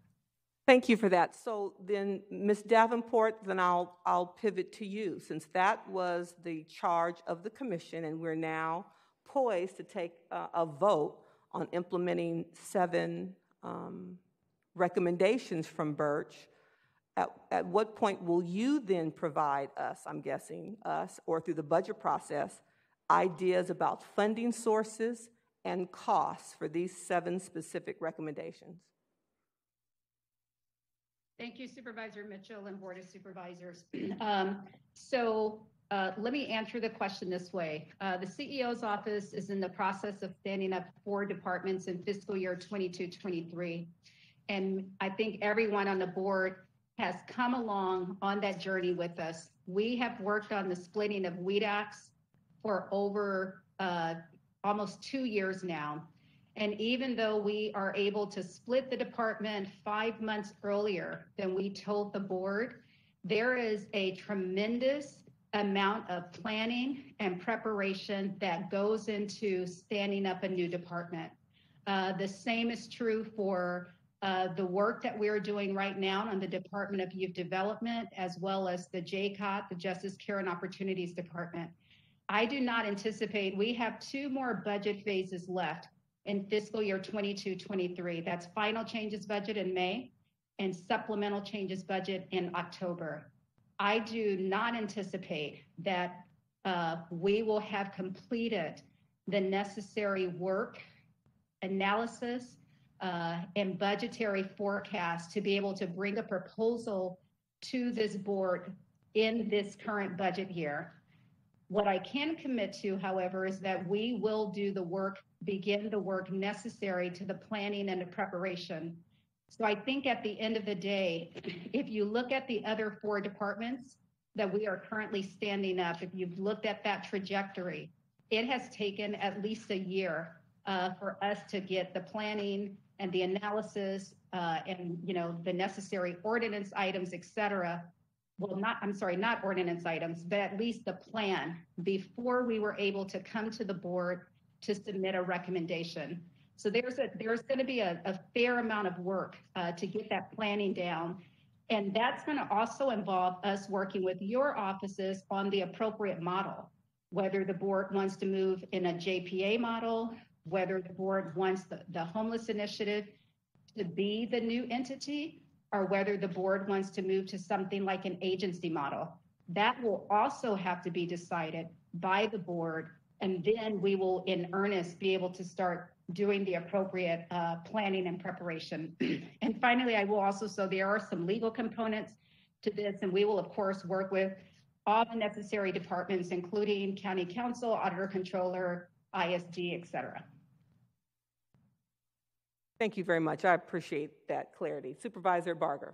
Madam Chair, I just wanted to say that on item 26, and I think Supervisor Hahn's okay with not having the presentation because I think we've talked about it unless you all need it because I think that our motion speaks for itself. I, The I would agree. presentation, you mean the presentation from Ms. Todoroff? Yeah. Okay, that's fine. Um, Ms. Todoroff, are there any, like, one or two bullets you just want to share before we shut it down? I appreciate you coming and spending your time and giving us the PowerPoint. Any quick, anything? I actually I want to thank the supervisors. I think you've had a very good discussion today, and during your discussion, you've actually covered all of the highlights of the strategy reassessment and the proposed framework. Um, so, just appreciate listening to your conversation, and also just want to thank everybody who participated in the process. It was um, a very collaborative process. We had very uh, a high number of community input sessions. We had hundreds of participants. Um, we had our homeless services providers, people with lived expertise, we had our county departments, we had our agencies like LAHSA, LACDA, we had um, our cities and COGS. It was just really wide participation um, and came back with a really good set of recommendations that will move our homeless system forward. Thank you very much. I appreciate that. That was comments for item 26. So seeing no other hands raised, my paper covers you all, but seeing no other hands raised, I think everyone has spoken. Um, Item four is before us. We will take two separate votes. Um, Item four, moved by Supervisor Barger and seconded by Supervisor Solis to approve this item. Executive Officer, please call the roll. Item four is before you. Supervisor Solis. Aye. Supervisor Solis, aye. Supervisor Kuehl. No. Supervisor Kuehl. no. Supervisor Hahn. Yes. Supervisor Hahn, aye. Supervisor Barger. Yes. Supervisor Barger, aye. Supervisor Mitchell. No. Supervisor Mitchell, no. Motion carries three to two. Item 26 is before us for approval, approved by, Han- moved by Hahn, seconded by Barger. Executive Officer, please call the roll. Item 26 is before you. Supervisor Solis. Aye. Supervisor Solis, aye. Supervisor Kuehl. Aye. Supervisor Kuehl, aye. Supervisor Hahn. Aye. Supervisor Hahn, aye. Supervisor Barger. Aye. Supervisor Barger, aye. Supervisor Mitchell. Aye. Supervisor Mitchell, aye. Motion carries five to zero. Item 11, proclaiming May 2022 as Asian American Pacific Islander Heritage Month uh, and renewed commitment to stop anti-API hate. Thank you, Madam Chair, uh, and thank you Supervisor Barger for joining me on this motion. Happy AAPI Heritage Month. Chinese nationals were the first Asian immigrants to arrive on American soil in significant numbers in the middle of the 19th century. Since then, from helping to build the Transcontinental Railroad to protecting the nation during times of war, AAPIs have played, as you know, a critical role in shaping our history. Their contributions have been found in every aspect of society. AAPIs are leaders in industry, politics, entertainment, culture, civic activism, education, and much more. Los Angeles County is proud to be home to more than 1.5 million AAPI residents, and more than 500,000 live in my district. And colleagues, AAPIs represent at least 10% of the population in each of our districts, according to the most recent census data. And yet, as we know, the rise in anti AAPI hate has really shaken our communities. In the San Gabriel Valley, a recent survey indicated that more than a third of the residents had witnessed or experienced an act of hate or harassment in recent years due to COVID 19 scapegoating. Nearly 11,000 AAPIs across the country reported hate incidents to the national tracker launched by Stop AAPI Hate between March 2020 and December 2021, including more than 4,100 reports in California and more than 1,000 reports in Los Angeles. The county's LA versus Hate initiative received 1,600 reports of hate through our 211 LA hotline that was established. Nationwide, 63% of hate incidents reported described verbal harassment, and three quarters, 75%, of hate incidents occurred in places open in the public, on public streets, on public transit, and businesses open to the public. And furthermore, 23% of non binary AAPI people and 19% of AAPI women that reported hate incidents identified gender as one of the reasons they experienced the reported discrimination. Many hate incidents involved street harassment, which included unwanted words, gestures, or actions that, forced on, that are forced on a stranger in a public place because of their real or perceived identity and can include radicalized or sexualized slurs. Existing California laws, members, are ill equipped to prevent and address street harassment because most laws are under the penal code, despite street harassment requiring a public health and civil rights response.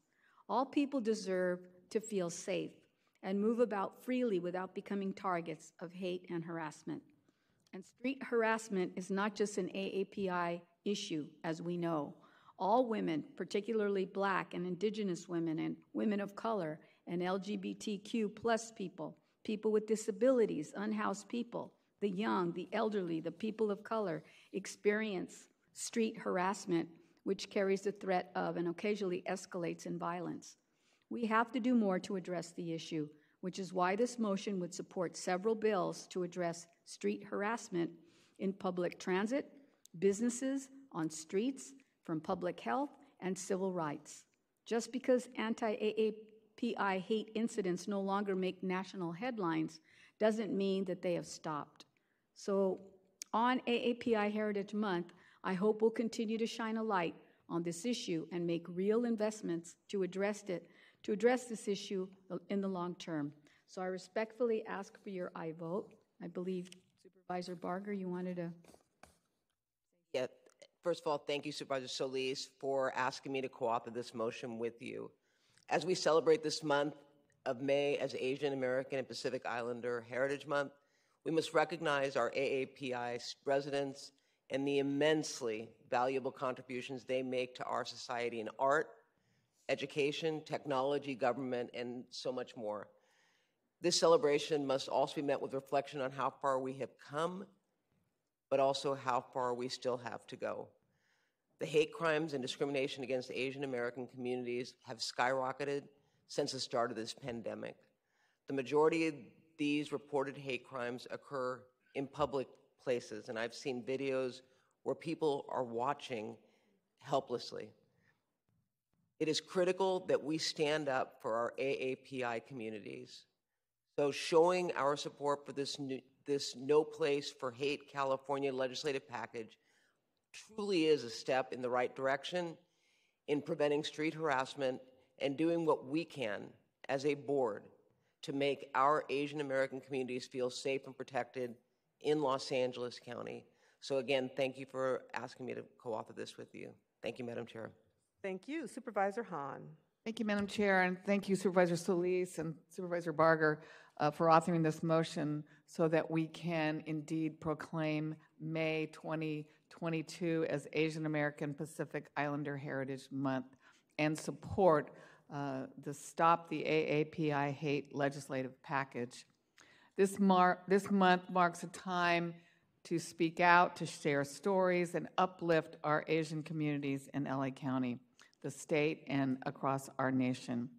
It's significant to note that Asian culture and history is filled with incredible stories of resilience, persistence, and determination to fight for basic rights. Last year, we supported the Federal Hate Crimes Act that was prompted by the recent outbreak of attacks and harassment against Americans of Asian and Pacific Islander heritage during the COVID 19 pandemic. Additionally, at our last board meeting, I authored a five signature motion to support Senate Bill 1161, which will develop an anti harassment transit plan to ensure that our transit agencies in the state develop and implement plans to address harassment of riders in a meaningful and lasting manner. I'm pleased to see that this bill and others will receive much deserved support as part of the Stop AAPI Hate legislative package. Still so much work to do. Uh, if you see something, say something. We all need to rise up and uh, right the wrongs that we see in our communities that, that have, uh, where we see discrimination and harassment. However, we are taking steps in the right direction. Thank you to both of you for your leadership on this important issue. Thank you. I agree. When you see something, say something. And this board took action and actually put money behind data collection around um, API hate, because collecting data really helps, you know, validate um, that uh, law enforcement and bystanders needs to step up and take action. So thank you both very much. Are there any other supervisors would like to make comments? Seeing none, hearing no other comments. Item 16 is before us. Happy to uh, ask that Supervisor Barger move, Supervisor Solis second. Executive Officer, please call the roll. Item 11 is before you. Supervisor Solis. Aye. Supervisor Solis, aye. Supervisor Kuehl. Aye. Supervisor Kuehl, aye. Supervisor Hahn. Aye. Supervisor Hahn, aye. Supervisor Barger. Supervisor Barger, aye. Supervisor Mitchell. Aye. Supervisor Mitchell, aye. Motion carries five to zero. That was item 11, not item 16. Once again, I got ahead of myself. Moving on now to item 16, proclaiming May 5th through the 30th as LA County Fair Days. We're going to see a little video in a minute. Um, after we all know, after a two year hiatus where we couldn't get turkey legs or corn on the cob or ride wonderful fair rides or, or smell the pigs. about chocolate, chocolate bacon donuts? That part, thank you. Um, as a result of COVID, we could not engage in all those fun gastro activities. But they're back. It's opening this week on Cinco de Mayo, as a matter of fact. Uh, so I'd like to encourage the public and members of our own county family to make the trip to the Fairplex for LA County Fair Day, which is on Saturday, May 7th. You can visit with staff from our county departments, pick up valuable information, and even get a COVID 19 vaccine or a booster from our very own Department of Public Health. Um, we're going to play the video, and when we come back, Supervisor Solis is going to talk about all the wonderful things Fairplex did for us while they weren't doing the fair. Um, but let's roll that county footage. Board of Supervisors, welcome to Fairplex, home of your Los Angeles County Fair. I'm joined this morning with our chair, Heidi Hansen, Thummer, and myself, Walter Marquez, President and CEO. I want to thank you, Chair Mitchell, Supervisor Solis, Supervisor Kuehl, Supervisor Hahn, and Supervisor Barger for all your support. We're looking forward to kicking off our centennial celebration next week at the LA County Fair. Uh, we welcome you all to come out and join us from May 5th through May 30th. And thank you again to the Board of Supervisors for this proclamation. Supervisor Solis. Thank you so much, Madam Chair. Uh, you know, one of the many things that I missed during the pandemic obviously was going to the county fair because they have they don't just have a lot of good food, but they have a lot of good entertainment as well as a bunch of goodies that people can go through these different uh, halls and pick up things that you wouldn't find anywhere else. The fair is really special to me because it's home at the LA County Fairplex, which is in the first district, which I represent. And starting from this year, it will be held in May, which is very different. So they figured out that it's better to have it early than in, in August and September when it was really hot. People couldn't stand the heat. So they got it, which is wonderful. So we're actually going before, I think, the Orange County Fair, which is good. So listen up, Orange County. this year marks the 100th anniversary. So I hope all of our residents will join us, especially on the opening weekend, May the 7th, when all of our LA County residents get in at half price. So get your tickets, folks. I also want to take this opportunity to acknowledge and thank the Pomona Fairplex for their partnership and collaboration with my office and also with the County of Los Angeles throughout the pandemic. Just remember, back in uh, 2020, COVID partnered with the hotel at Fairplex to serve as a quarantine site, and they helped to isolate about 2,547 people who had been exposed to COVID but had nowhere to go, no safeguards. And let me tell you, we had people from all around the county that were placed there. How wonderful for us to be able to help out the Fairplex and the hotel. And for the past two years since the onset of the pandemic, the Fairplex has been a testing site for us, and in fact, have been one of the county's largest testing sites, conducting over, get this, 445,000 tests at Fairplex. Can you imagine? So it wasn't just Pomona, it was a lot larger than that. And I want to remind everyone that while the county fair is running, the testing site will be temporarily relocated to Palomares Park in Pomona, just three miles away from the fairgrounds. However, there will be a testing kiosk available at the fair for attendees there.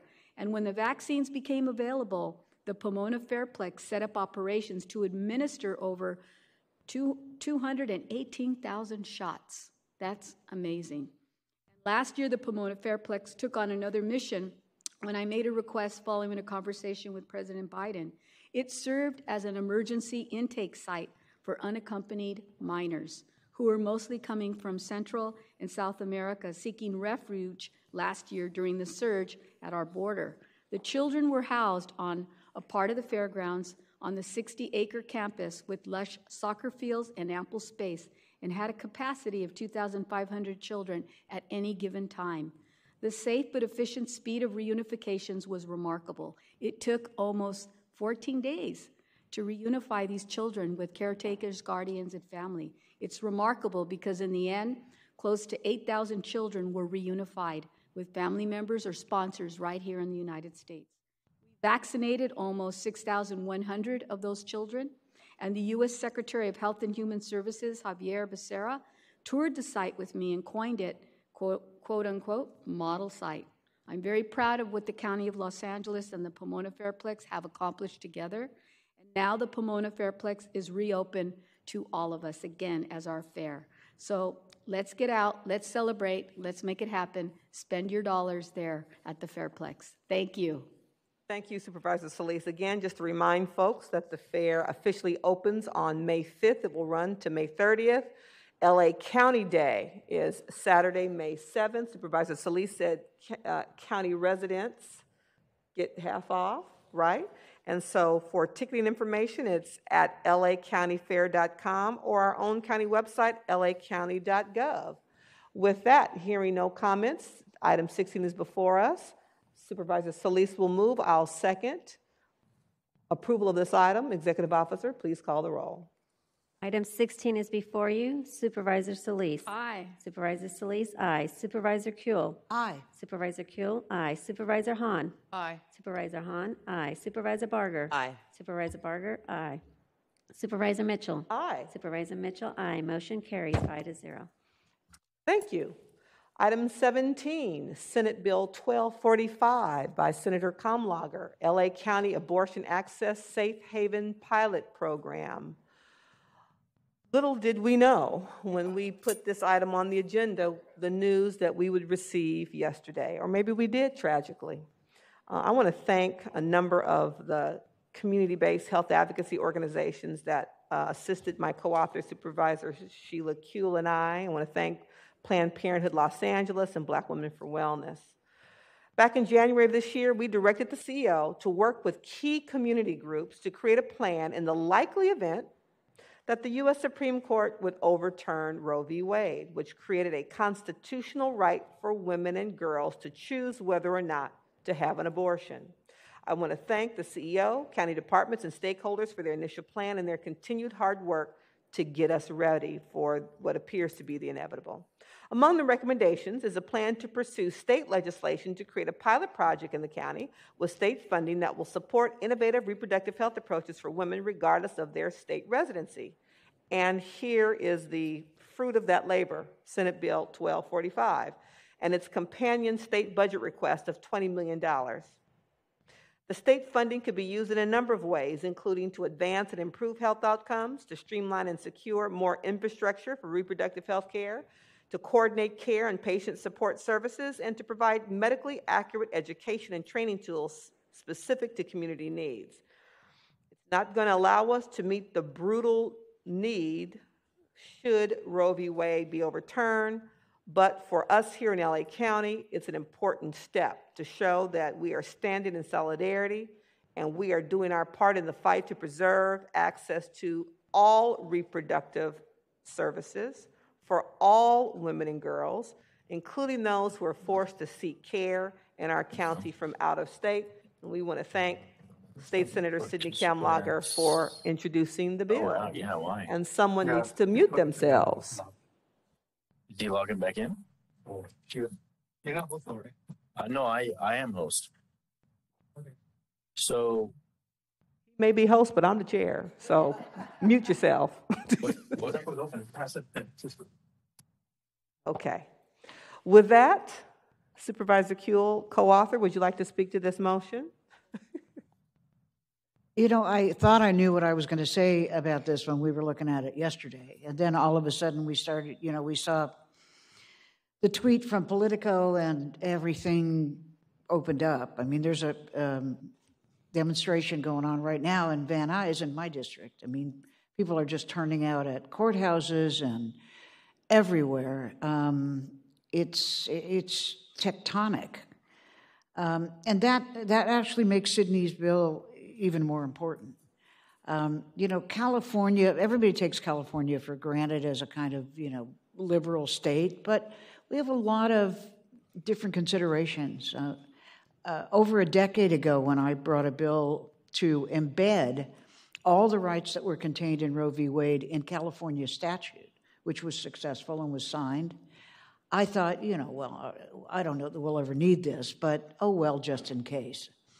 And now, of course, if Roe is overturned, having it in California statute is, I mean, the, the better thing would be in California Constitution, of course, and there will be a movement about that. But we need to stand at this moment, and that's really, I think, what Sydney's bill helps us do, as a, a, a beacon, as a, a rational, welcoming, and supporting place. Um, you know, LA County uh, provides a, a large percentage of the reproductive health care services in the state, including abortions. But that's appropriate. We're a quarter of the state. And we um, got the first report from the work group uh, to provide us with recommendations about how we might increase our services. Uh, Planned Parenthood actually added something like four or five million dollars this year to provide help to women coming from other states, and they're looking at nine or 10 million next year or more. So everything that we can do in California and here in LA County to help, I think is it's reasonable, it's rational. I can't believe 47 years later or whatever, 49, oh yeah, almost 50, you're right. I mean, that we start all over again. But I am experienced in the worm turning. Sometimes it turns the wrong way, and sometimes it turns back our way. It takes a lot of work. Uh, this may activate a lot of people who were thinking, oh, well, you know, this will never happen. I don't know what the Supreme Court is for. Can it be so bad, you know? And now it's kind of like, yeah, it's bad. So um, I'm happy to co author this, happy to support SB 1245. State legislation is really important.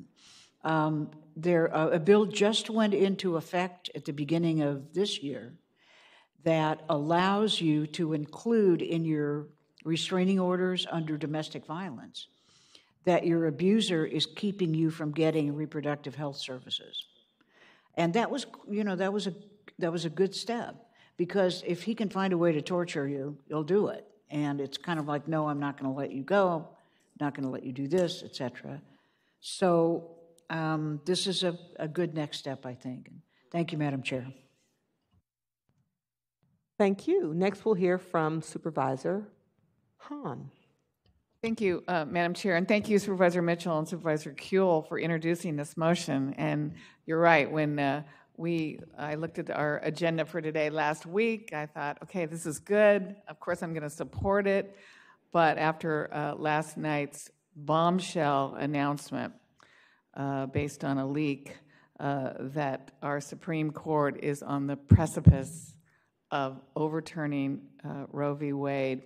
A lot of people made the comment, uh, uh, not unexpected or this was expected, not a big surprise, but nonetheless, I think once we actually heard it and saw it, it uh, is devastating. It is devastating to so many um, women, uh, to girls uh, who are going to find themselves in the position of having an unwanted pregnancy. And I, I agree. It's 1973. I remember uh, when we got this uh, fundamental right to make our own reproductive uh, choices, I think everyone thought, well, that's great for generations to come, right? All the, the girls growing up in this country will never have to, again, uh, be relegated to, you know, back alley, unsafe uh, abortions that many times led to death. And I, I think that's why this, what we're doing, supporting this bill, is so important because uh, you know, overturning Roe v. Wade is not going to end abortions, right? It's just going to cause uh, women to go to extremes um, to, uh, you know, do what they fundamentally have the right to do.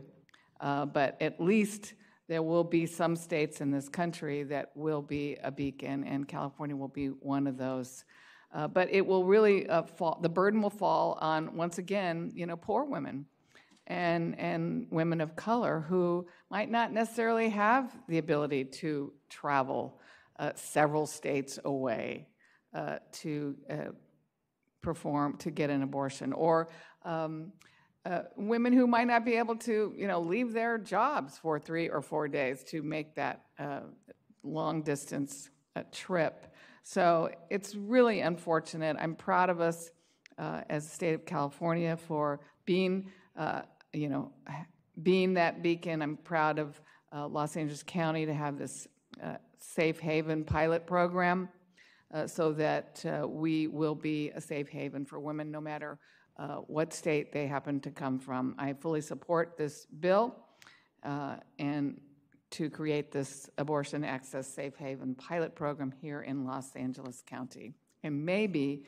just maybe, the masses that are now pouring into the streets protesting uh, this potential decision might turn, might uh, turn uh, the Supreme Court justices to rethink uh, this terrible, one of the worst decisions they would ever make. Supervisor Barger.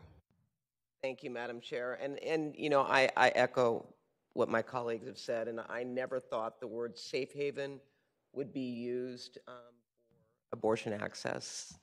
And it tells me that, you know, I've said it earlier in, in another issue, we've come a long way, but in fact, we've got a long way to go. Um, because as I was talking to, to Supervisor Kuehl eh, when we walked in, um, I thought this was the rule of law now, based on the Supreme Court ruling, and that it couldn't be overturned. And, um, and it leaves me scratching my head. And I think it's one of the most um, shocking things, quite frankly, um, that, that have happened recently as it relates to what's going on in Washington. And I didn't think I could be any more shocked than I have been, but I think this tops it. So um, I'm prepared, I was prepared to support this prior to the news um, yesterday, and um, I will support it, but I think it speaks volumes to um, the fact that we as women do have um, to continue to use our voice um, and protect our rights. So thank you, Madam Chair. Thank you. Supervisor Solis. Uh, I too am angry, I'm saddened, I'm devastated, and I'm enraged. Couldn't believe what I was seeing and hearing yesterday on television and around the world and seeing political reporting on what happened. Um, it's abundantly clear to me that abortion care, to me, is health care. It's reproductive care. So people should understand that we're really talking about harming our healthcare system for women and their children and their future families or that individual woman herself. And God knows if she's also being threatened from her perhaps abuser. It's very true, Supervisor Kuehl. We know that men are capable of doing a lot of unfortunately bad things when they become very possessive and try to hurt women and their children. Um, I too am very uh, struck by, by what um, has come about, and I plan on taking action. I don't think we need to grieve, we need to get active. And we need to support our sisters and our mothers and future generations, and that means everybody else. I, I am wholeheartedly in support of this legislation that Senator Cal, Kamlager has put forward. And I think people need to understand they shouldn't be confused, as you said, Supervisor Barger, about safe haven, because uh, Justice Amy Coney Barrett somehow thinks that that removes the need for abortions. Mixed, my opinion, she has it mixed up. Um, and obviously, she couldn't be so wrong. She's really terribly wrong.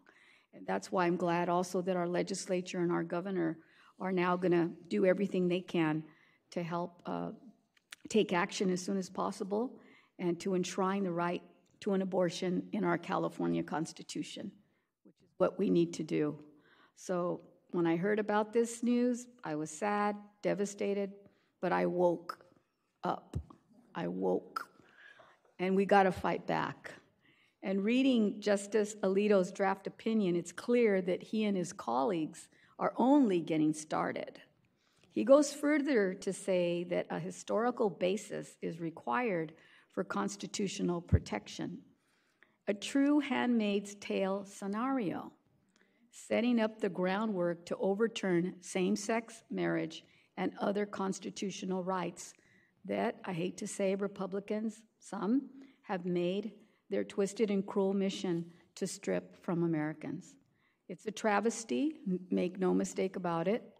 We have a lot of work to do, and I remain committed. And I want to thank our incredible partners here in Los Angeles, like this county, Planned Parenthood, and our federally qualified health centers for their support because we need all of them. And I want to urge our communities to seek out good information when it comes to abortions. Please consider visiting ineeda.com to find an abortion clinic, use pill by mail services, and find financial support. To our county residents, Los Angeles County will stand with you. I call on Congress to codify Roe versus Wade. Abortion is essential. Thank you, Madam Chair. Thank you to all my colleagues who have spoken. Supervisor Kuehl, when you made your point that you hope that um, young women in particular will, will, be activated, I was reminded, I think I was 24 when I was elected to serve on the Planned Parenthood Sacramento Valley Board. And at my board orientation and training, I sat next to a board colleague who had a wire hanger pin on, lapel pin, and I didn't know what that was because I'd come into my reproductive maturity under Roe v. Wade. And when they explained it to me, I said, then you need different symbols to communicate the risk of losing this right to my generation and younger, because that's not our orientation. And I'm afraid that that's what happened. We have several generations of people who only know life as it is under Roe. Perhaps now that it's at risk, more people will be awakened, Supervisor Solis, uh, and hope it's not too, light, too late for us to to fight. With that, thank you all for your comments and your support, uh, your stated support of the motion. Now let's make it official by voting. Hearing no other comments, item 17 is before us. I will move, seconded by Supervisor Kuehl, to approve this item. Please call the roll. Item 17 is before you. Supervisor Solis. Supervisor Solis, aye. Supervisor Kuehl. Aye. Supervisor Kuehl, aye. Supervisor Hahn. Aye. Supervisor Hahn, aye. Supervisor Barger. Aye. Supervisor Barger, aye. Supervisor Mitchell. Aye. Supervisor Mitchell, aye. Motion carries five to zero. Moving on to item 23, safeguarding the rights of incarcerated youth, support and implementation of State Assembly Bill 2417 by Assemblymember Phil Ting, which was held by Supervisor Kuehl. Supervisor?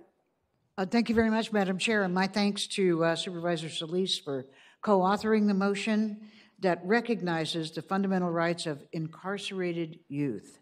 Example of the rights that are included uh, in the uh, BOR include uh, a right to live in a safe, healthy, and clean environment conducive to treatment and rehabilitation, the right to contact their attorneys, the right to receive quality education, including post secondary academic and career technical education, the right to, to contact with family, where family includes any adult who has an established familial or mentoring relationship, including godparents, clergy, teachers, neighbors, and family friends. And that also includes their right to see their own children. The right to receive adequate and healthy meals and snacks, clean water at any time, timely access to toilets, access to daily showers, sufficient personal hygiene items, clean bedding, and clean clothing in good repair, including clean undergarments on a daily basis. The right to visit, as I said, their own children, and also to get information about their rights as parents. No one of these rights or any of the others in the bill should be at all controver- excuse me, controversial, and none should be difficult to implement. The significance is not only in acknowledging that every youth should be afforded these rights. The significance is in making sure that they know about them, that they know they have these rights, and allowing them to hold us accountable. The motion has three key steps. Uh, we'll ask our LA County legislative team to support AB 2417, but we won't wait to find out if it passes because here in LA County, the Bill of Rights will immediately be posted and explained to our young people at Barry J. and one camp to be chosen by the probation department as a start. We will get a report from our probation department detailing an implementation plan because some of the rights listed in the bill are already part of probation's practices. Others are not. So the report back will provide details, give us a timeline by which we can expect the Bill of Rights to be implemented at every county facility. The Probation Oversight Commission will empower youth to hold us accountable. This county has been held accountable by the BSCC. We've been held accountable by the Department of Justice, which recently imposed a consent decree in our two juvenile halls. But I can't think of any better form of accountability than that coming from the youth we serve themselves. Probation Oversight Commission, under the leadership of its executive director, Wendy Julien, will develop a survey to hear from youth on a quarterly basis and then work with the department to report to the board on the results of the survey, and the department will address areas of concern that may arise. In the past five or six months, we've all been made painfully aware of how we're falling short in implementing these rights at Barry J. We've heard of programming deficits, canceled visits, poor quality food, lack of adequate recreation time, inconsistent education. The most credible reports have come directly from the young people themselves. So the vision put forth in this motion is one of consistent recognition, communication, and accountability around a set of rights for every young person. I ask for your aye vote. Supervisor Solis. Supervisor Kuehl for asking me to co-author this timely motion to support meaningful bill, Assembly Bill 2417. And it's no secret that we're going through some hard times right here in our own probation camps and our halls. In a short time, we dealt and are continuing to deal with the transfer of Central Hall youth to Barry J, Nidorf Juvenile Hall, the need to immediately move our secure track youth from Barry J. Juvenile Hall to Camp Kilpatrick, the examination and selection of probation camps for suitable placements for other secure track youth will be joining us from state facilities that are closing, the numerous failed BSCC inspections at Barry, Barry J and Central Juvenile Hall, and the feasibility study on the closure of Central Juvenile Hall. Throughout all of this, I've heard disturbing accounts of staff calling out and not showing up for work, resulting in programming in school being modified and visits and outdoor recreation time being cut or canceled outright that are likely contributing to the youth on staff incidents. And we heard about some earlier today as well. Probation leadership is also making significant changes to its leadership, structure, and culture that will impact youth. But what remains is that we need to continue to safeguard and protect the rights of almost 400 youth who are incarcerated in the county's camps and halls. When these youth are entrusted to the county's care, we're obligated and mandated to provide the very basics, which include housing and food. But as something I know both Supervisor Kuehl and I have continued to push for with the support of the board is ensuring that these youth have the right to receive programming and services. The Bill of Rights for Incarcerated Youth was already implemented at state DJJ facilities, but should this bill pass, it would require every juvenile justice facility to post and distribute the Bill of Rights, given these state facilities are closing. And just because DJJ facilities are closing, the Bill of Rights for incarcerated youth shouldn't disappear with it. I'm proud to not only support AB 2417, but what this motion does beyond that.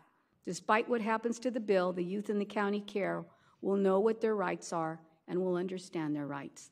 Their rights will be posted and distributed throughout the county camps and halls, and the oversight entities we have in place will ensure that their rights are not violated or threatened. These are not just words or a piece of paper.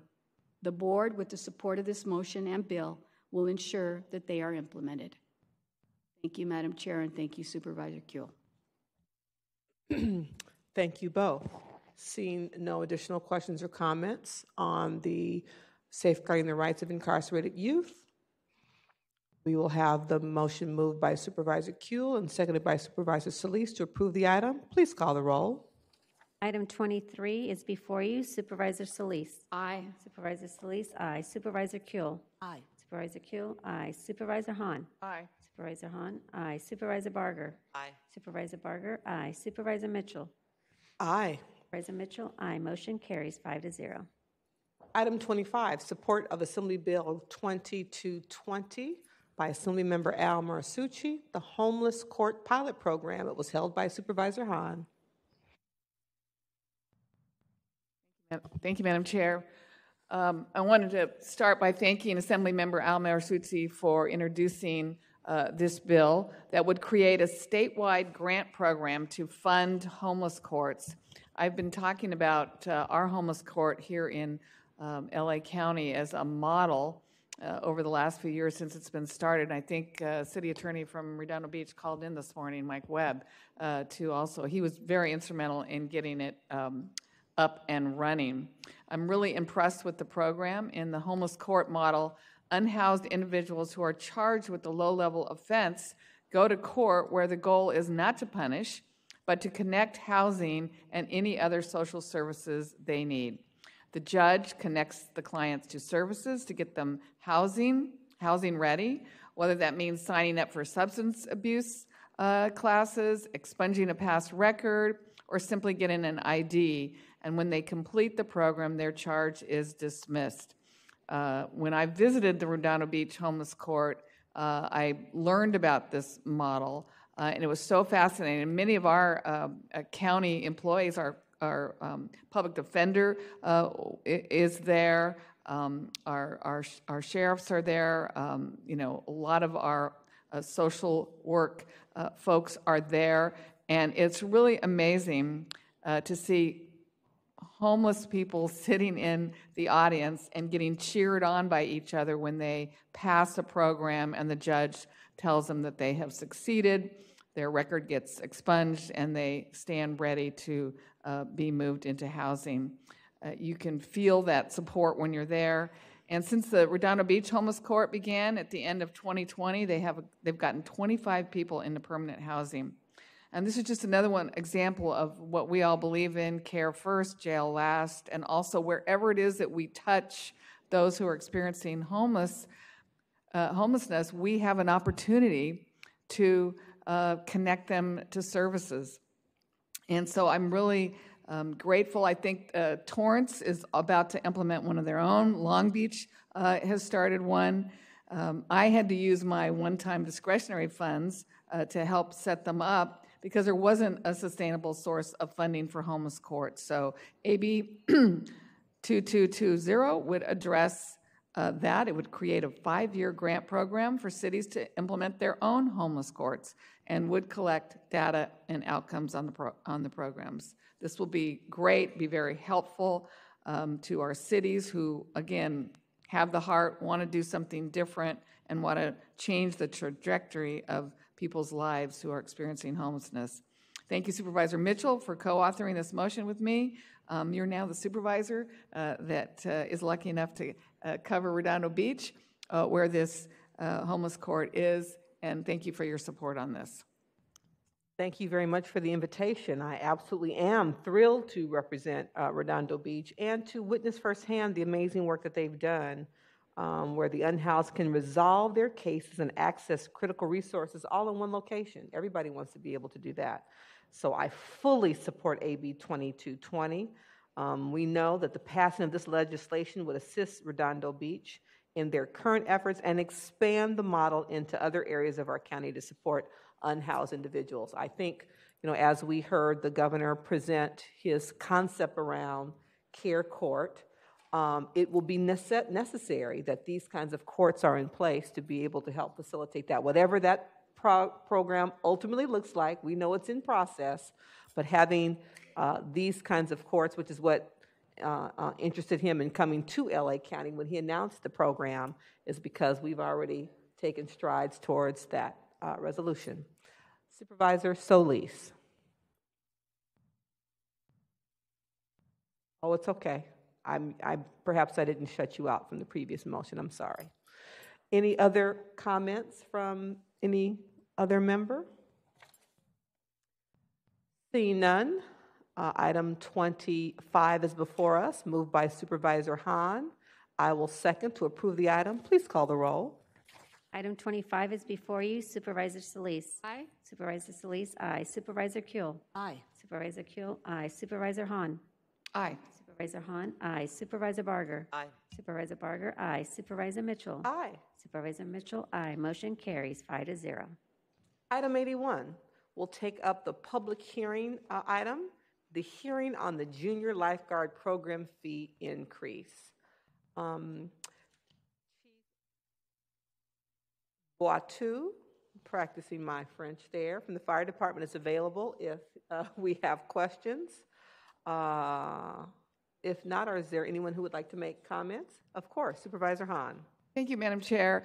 Uh, colleagues, I just held this because uh, the junior lifeguard program is so fantastic, and we're doing a much better job of outreaching to kids from all over the county and not just those who uh, live at the beach uh, and have easy access to it. We're really reaching out to, to kids from all over the county. Many of our current county lifeguards actually started uh, as a junior lifeguard, so it really does more than just give them, you know, uh, water safety skills. It could be a, uh, a road, a pathway to a good career uh, with the county.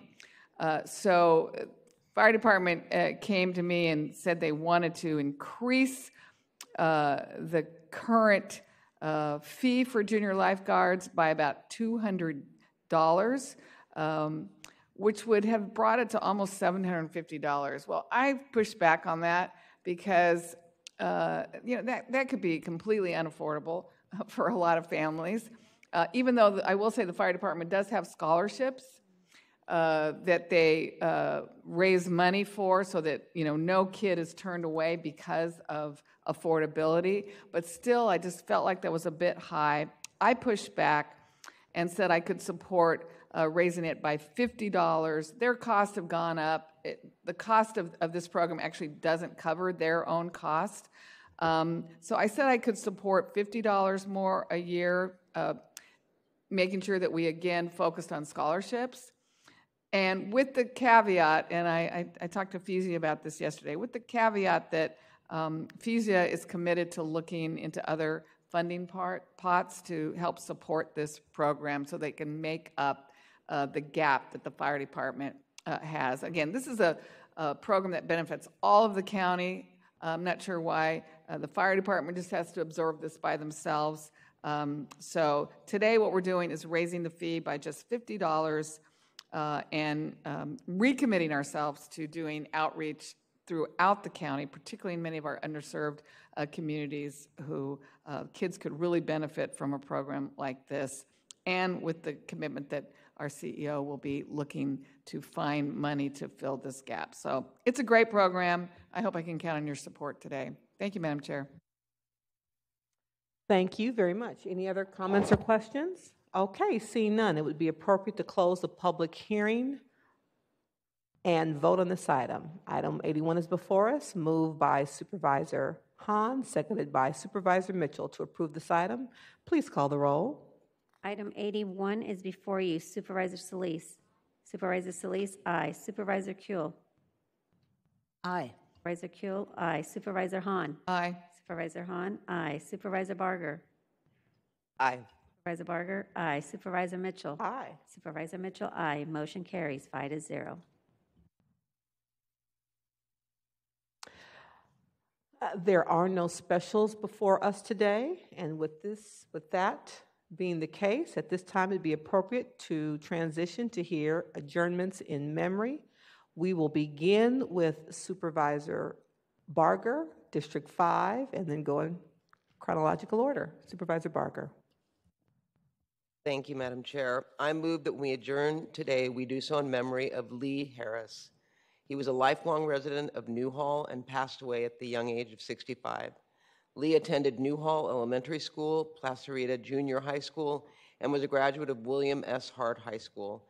He attended Occidental College with actually Supervisor Kuehl, your Chief of Staff, Lisa Mendel, um, where he played rugby and golf and was a proud member of the Oxy Old Boys. He graduated in 1979 and began a career as a stockbroker at Dean Witter, now known as Morgan Stanley.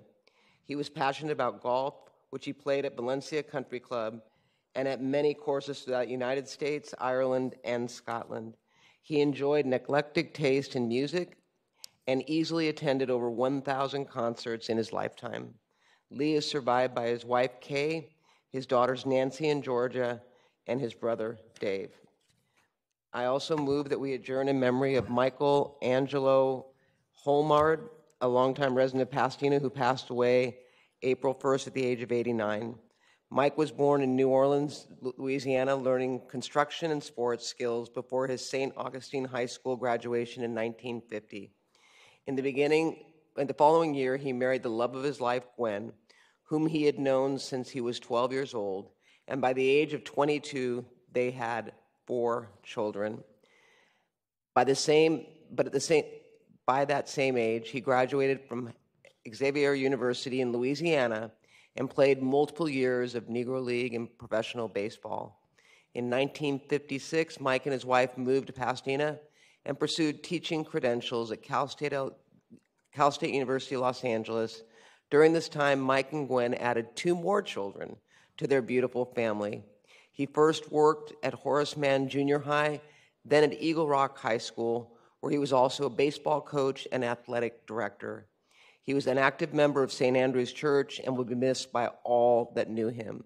Michael is survived by his children, Michael Jr., Denise Jones, Stephen Kevin, Marie Foster, Keith, and his sister, Marie Yvette Marine.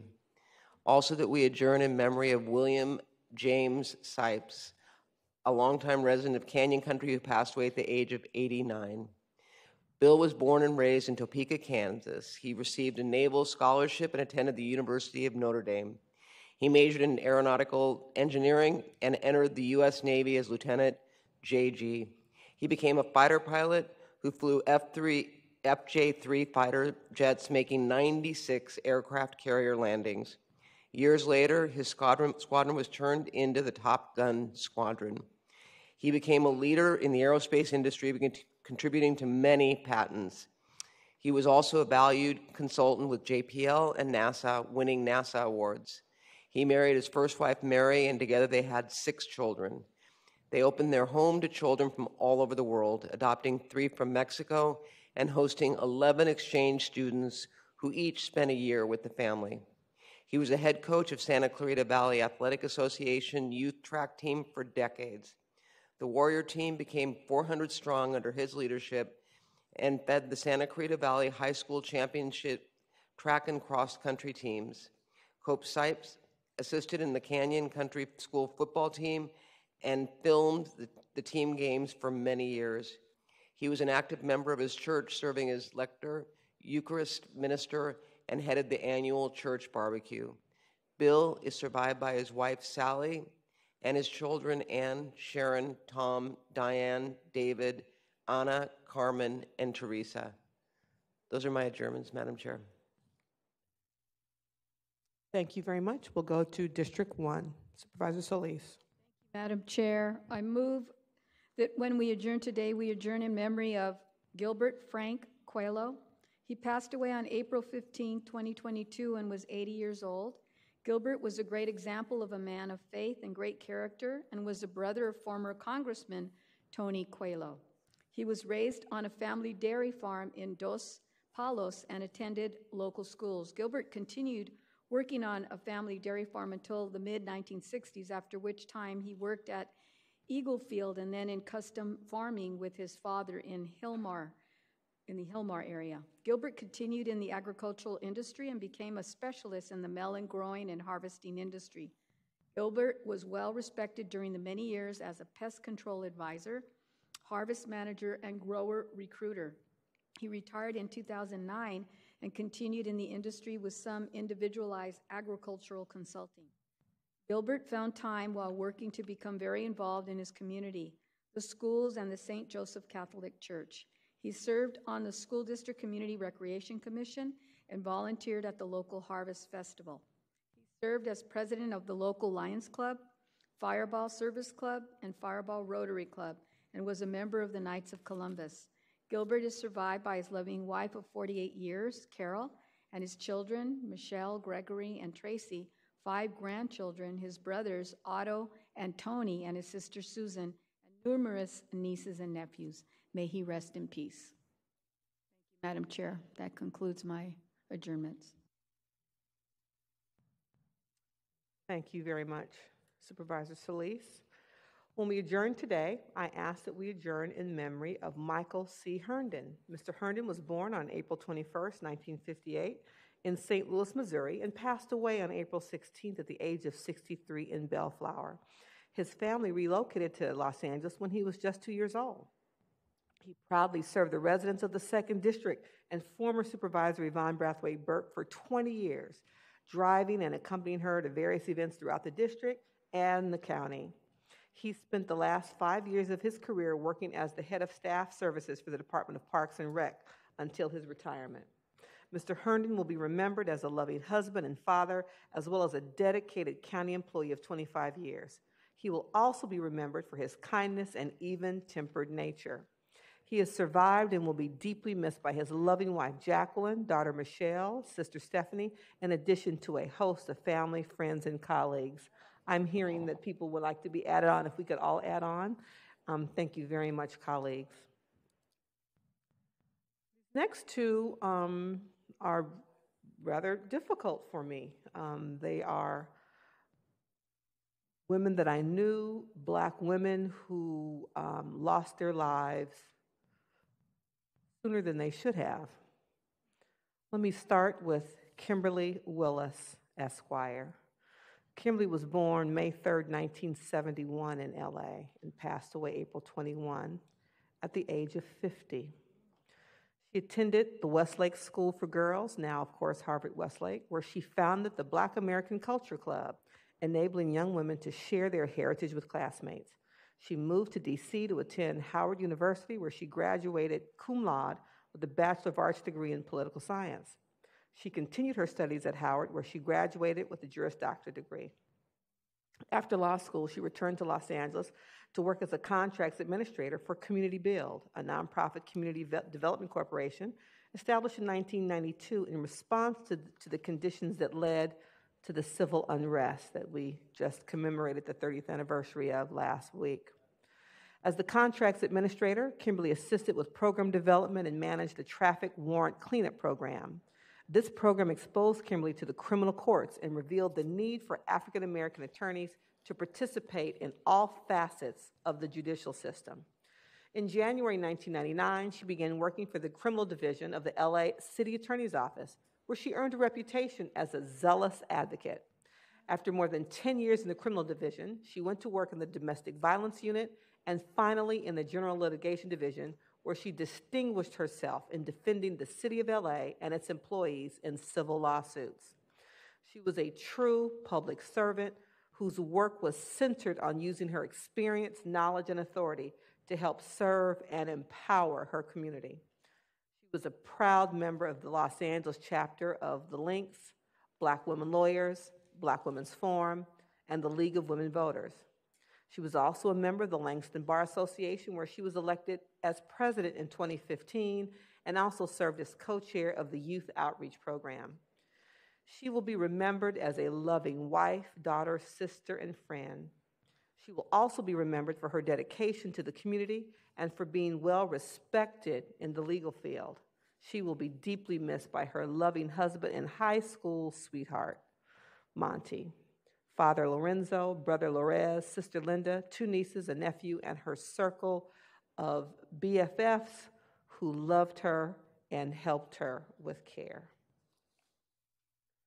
When we adjourn today, I ask that we adjourn in memory of Sabongale Bradley West, who was born April 2nd, 1955, to the parents of Manuel and Adeline Bradley and passed away unexpectedly in her home in Windsor Hills April 15th, just a few days after her birthday. She was a Windsor Hills resident for many years. She was raised in Pacoima and attended San Fernando High School. She graduated with a business degree from the Maharishi University of Management. And in 1973, she undertook training in Ethiopia, where she became a certified teacher of transcendental meditation. She had a successful career of 49 years of guiding many to spiritual solace through meditation, as well as teaching it at universities and in the private sector. During COVID, she wrote a grant and got funded and was teaching transcendental, transcendental meditation to African Americans, largely women, as a way of using meditation to help people get through the isolation um, and, in many instances, depression brought on by COVID. Ms. West achieved success as a real estate agent for many years. She also served as vice president of Young Communications Group Incorporated, where she managed the public affairs and community engagement divisions. Her deep roots in the black community and wide connections made her an invaluable leader in the firm. She worked on many high visibility public, educa- public education campaigns, including LA Cares COVID 19 vaccination education, the Stop the Stigma campaign, and capacity building and training for First Five California. Ms. West worked on the Special Advisory Board for African PTSD SD relief, where she established an internship program for students at Spelman College. Was a phenomenal artist uh, in the 70s and 80s and 90s. Um, becoming a internationally recognized expert braider. And many of the entertainers, including Patrice Wilson, Patrice Rushen, and even the Flip Wilson wig when he became uh, Geraldine, were her works of art with intricate braiding and elaborate beading that uh, many of us who have chosen to wear our hair natural in the African American community can certainly respect and acknowledge and remember. It is a true art form, and she was an internationally recognized artisan. She'll be remembered as a storyteller and an expert in the fields of public relations and transcendental meditation. She was preceded in death by her loving husband, Rick West, who was a successful music professor. Her infectious smile and warm spirit will be deeply missed by her brother Daryl, sister Gaynell, best friend Michael, and a host of extended family, friends, colleagues, and clients. She will be thoroughly missed. Supervisor Kuehl. Thank you very much, Madam Chair. I ask that when we adjourn today, we adjourn in memory of Samuel Aroni. He was a Holocaust survivor, joined the UCLA faculty in 1970, and eventually served as Dean of the Graduate School of Architecture and Urban Planning, Chair of the UCLA Academic Senate, and Director of Academic Cooperative Programs and International and Overseas Studies. On his retirement, he was granted the title of Professor Emeritus. He mentored many generations of UCLA students, not only in the classroom, but equally in life. He also contributed his wealth and his breadth of knowledge to the Israeli government, as well as other foreign governments and educational institutions. He's survived by his daughters, Ruth and Miriam. And I ask that when we adjourn today, we adjourn in memory of Lila Orrick who died on April 15th. In her long life, she had a wide variety of roles wife, mother, community organizer, activist, passionate volunteer. Professionally, she had worked as a human computer in the early aerospace industry, something that we saw in the movie Hidden Figures. Later, she was a fiscal analyst for the LA Community College District. After she retired, she served multiple terms, including president on the board of Haven Hills, which is a leading domestic violence shelter with multiple programs in the San Fernando Valley. She was also very active in leadership roles in the Folk Dance Federation of Southern California, West Valley Folk Dancers, the American Association of University Women, and the Woodland Hills Community Church. She, uh, survived by her husband, Wally, and her children Lee, Sherry, and Mike. I ask when we adjourn today, we adjourn in memory of Florence Davidson, who died on April 23rd. She lived a long and happy life. In her first few decades, crisscrossing the country, finally making her home in LA, but also had come from New York City, Iowa City, Buffalo, Milwaukee, Falls Church, Virginia, finally coming back to LA for the last 53 years of her life. She was much beloved for being the kindest, the sweetest, the most lovable, creative, generous, and intellectually curious person that anyone knew. She's survived by her sons Peter and John. John Davidson, you may remember, was the CEO of the Lambda Legal uh, Organization. Uh, and I ask that when we adjourn today, we adjourn in memory of Yao Katagiri, who died on April 28th. She came to Santa Monica via the RAND Corporation after completing her graduate studies at Harvard. She created RAND's first sustained private philanthropy program, led the effort to secure development rights for its Santa Monica headquarters, and created their community relations program, supporting dozens of community organizations. She served as chair of the Santa Monica Chamber's Board of Directors from 2009 to 2010 she retired from RAND in 2015, the same year that she was given the Chamber's Roy E. Naylor Lifetime Achievement Award for her many years of service to the Santa Monica community. In addition to RAND and the Chamber, EL also held leadership positions. We, we actually in Santa Monica said in everything, because everything you'd go to, she was either running it or on the board. But I'll just list a few um, Connections for Children, Santa Monica Child Care and Early Education Task Force, Santa Monica Arts Commission, Wise and Healthy Aging, the Westside Food Bank, and the Santa Monica College Associates. She's survived by her sister Lori. And finally, I ask that when we adjourn today, we adjourn in memory of Harold Livingston, a screenwriter who died on April 28th. He wrote the screenplay for Star Trek The Motion Picture and many episodes of Mission Impossible and novels that explored the changing world in the aftermath of World War II.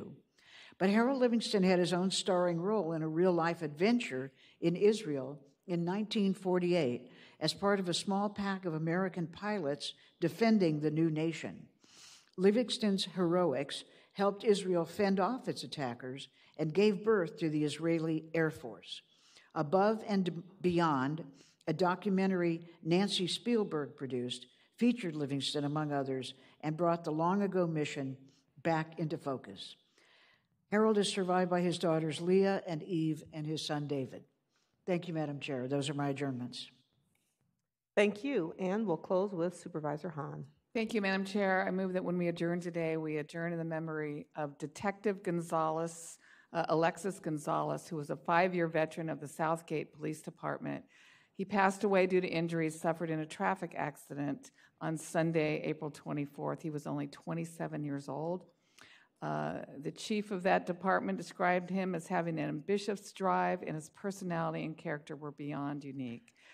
I went to the hospital uh, as his body was being taken uh, from the hospital to the coroner's office, and there was such an incredible outpouring of support for his family and fellow officers. Um, his youngest brother is a volunteer with the department and is hoping to follow in Alexa's footsteps and become a South Gate police officer. He survived, survived by his parents and two brothers. I also move that when we adjourn today, we adjourn in the memory of William Urso, who was a longtime resident of San Pedro, who passed away at the age of 77. He was a successful business owner, well known general contractor. He was an active member of the community and Holy Trinity Church, where his children and many of his grandchildren attended school. He's survived by his wife, Barbara, children, Nicole, William, Sam, and Kate, and 10 grandchildren. And I wanted to add one that uh, is not up on the screen, but I just found out about this a couple hours ago, and I wanted us to adjourn our meeting in the memory of Norm Mineta, uh, who was uh, first generation Japanese American. Uh, who was held in an internment camp during World War II and later became one of our country's highest profile Asian American political leaders as a mayor of San Jose, and then he was a 10 term Congress member and a cabinet secretary. He just died uh, May 3rd, and he was 90.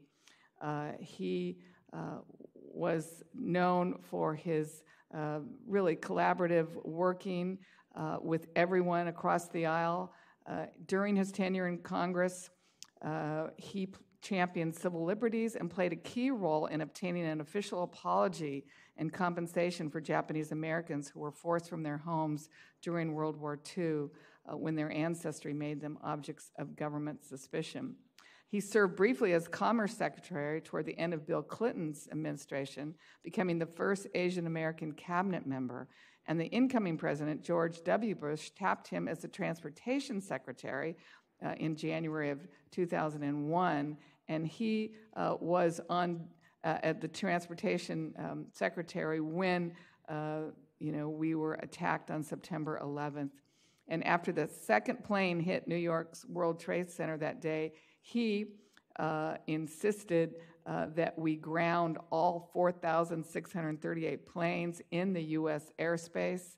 Uh, no emergency protocol had been established to bring them all down at once, uh, but he felt that that was uh, important that that happen. Uh, he will be known for his work as a transportation um, secretary, as a big city mayor. mayor. Um, he also, it was his work that led to the brand new department of uh, TSA. Uh, so he was responsible for that as, as well. Um, I knew him uh, for uh, most of my time in public service, and I um, really respected him uh, as a city council member, a mayor, a member of Congress, and then as a transportation uh, secretary uh, in uh, the president's cabinet. God rest uh, his memory, Norma, Norma Mineta. You were a true public servant. You know, I bet Hilda would probably like to too, I would think. And so maybe all five of us, because he was incredibly important. Great guy. Supervisor Hahn for letting us join in on that adjourning memory. Thank you, and we'll take all the motions as seconded. If there is no objection to a unanimous vote, such will be the action. Executive Officer, please read us into closed session. In accordance with Brown Act requirements, notice is hereby given that the Board of Supervisors will convene in closed session to discuss item CS2, conference with legal counsel regarding existing litigation, CS3, department head performance evaluation, and CS4, conference with labor negotiator negotiator, Fesia Davenport, and designated staff as indicated on the posted agenda. Thank you.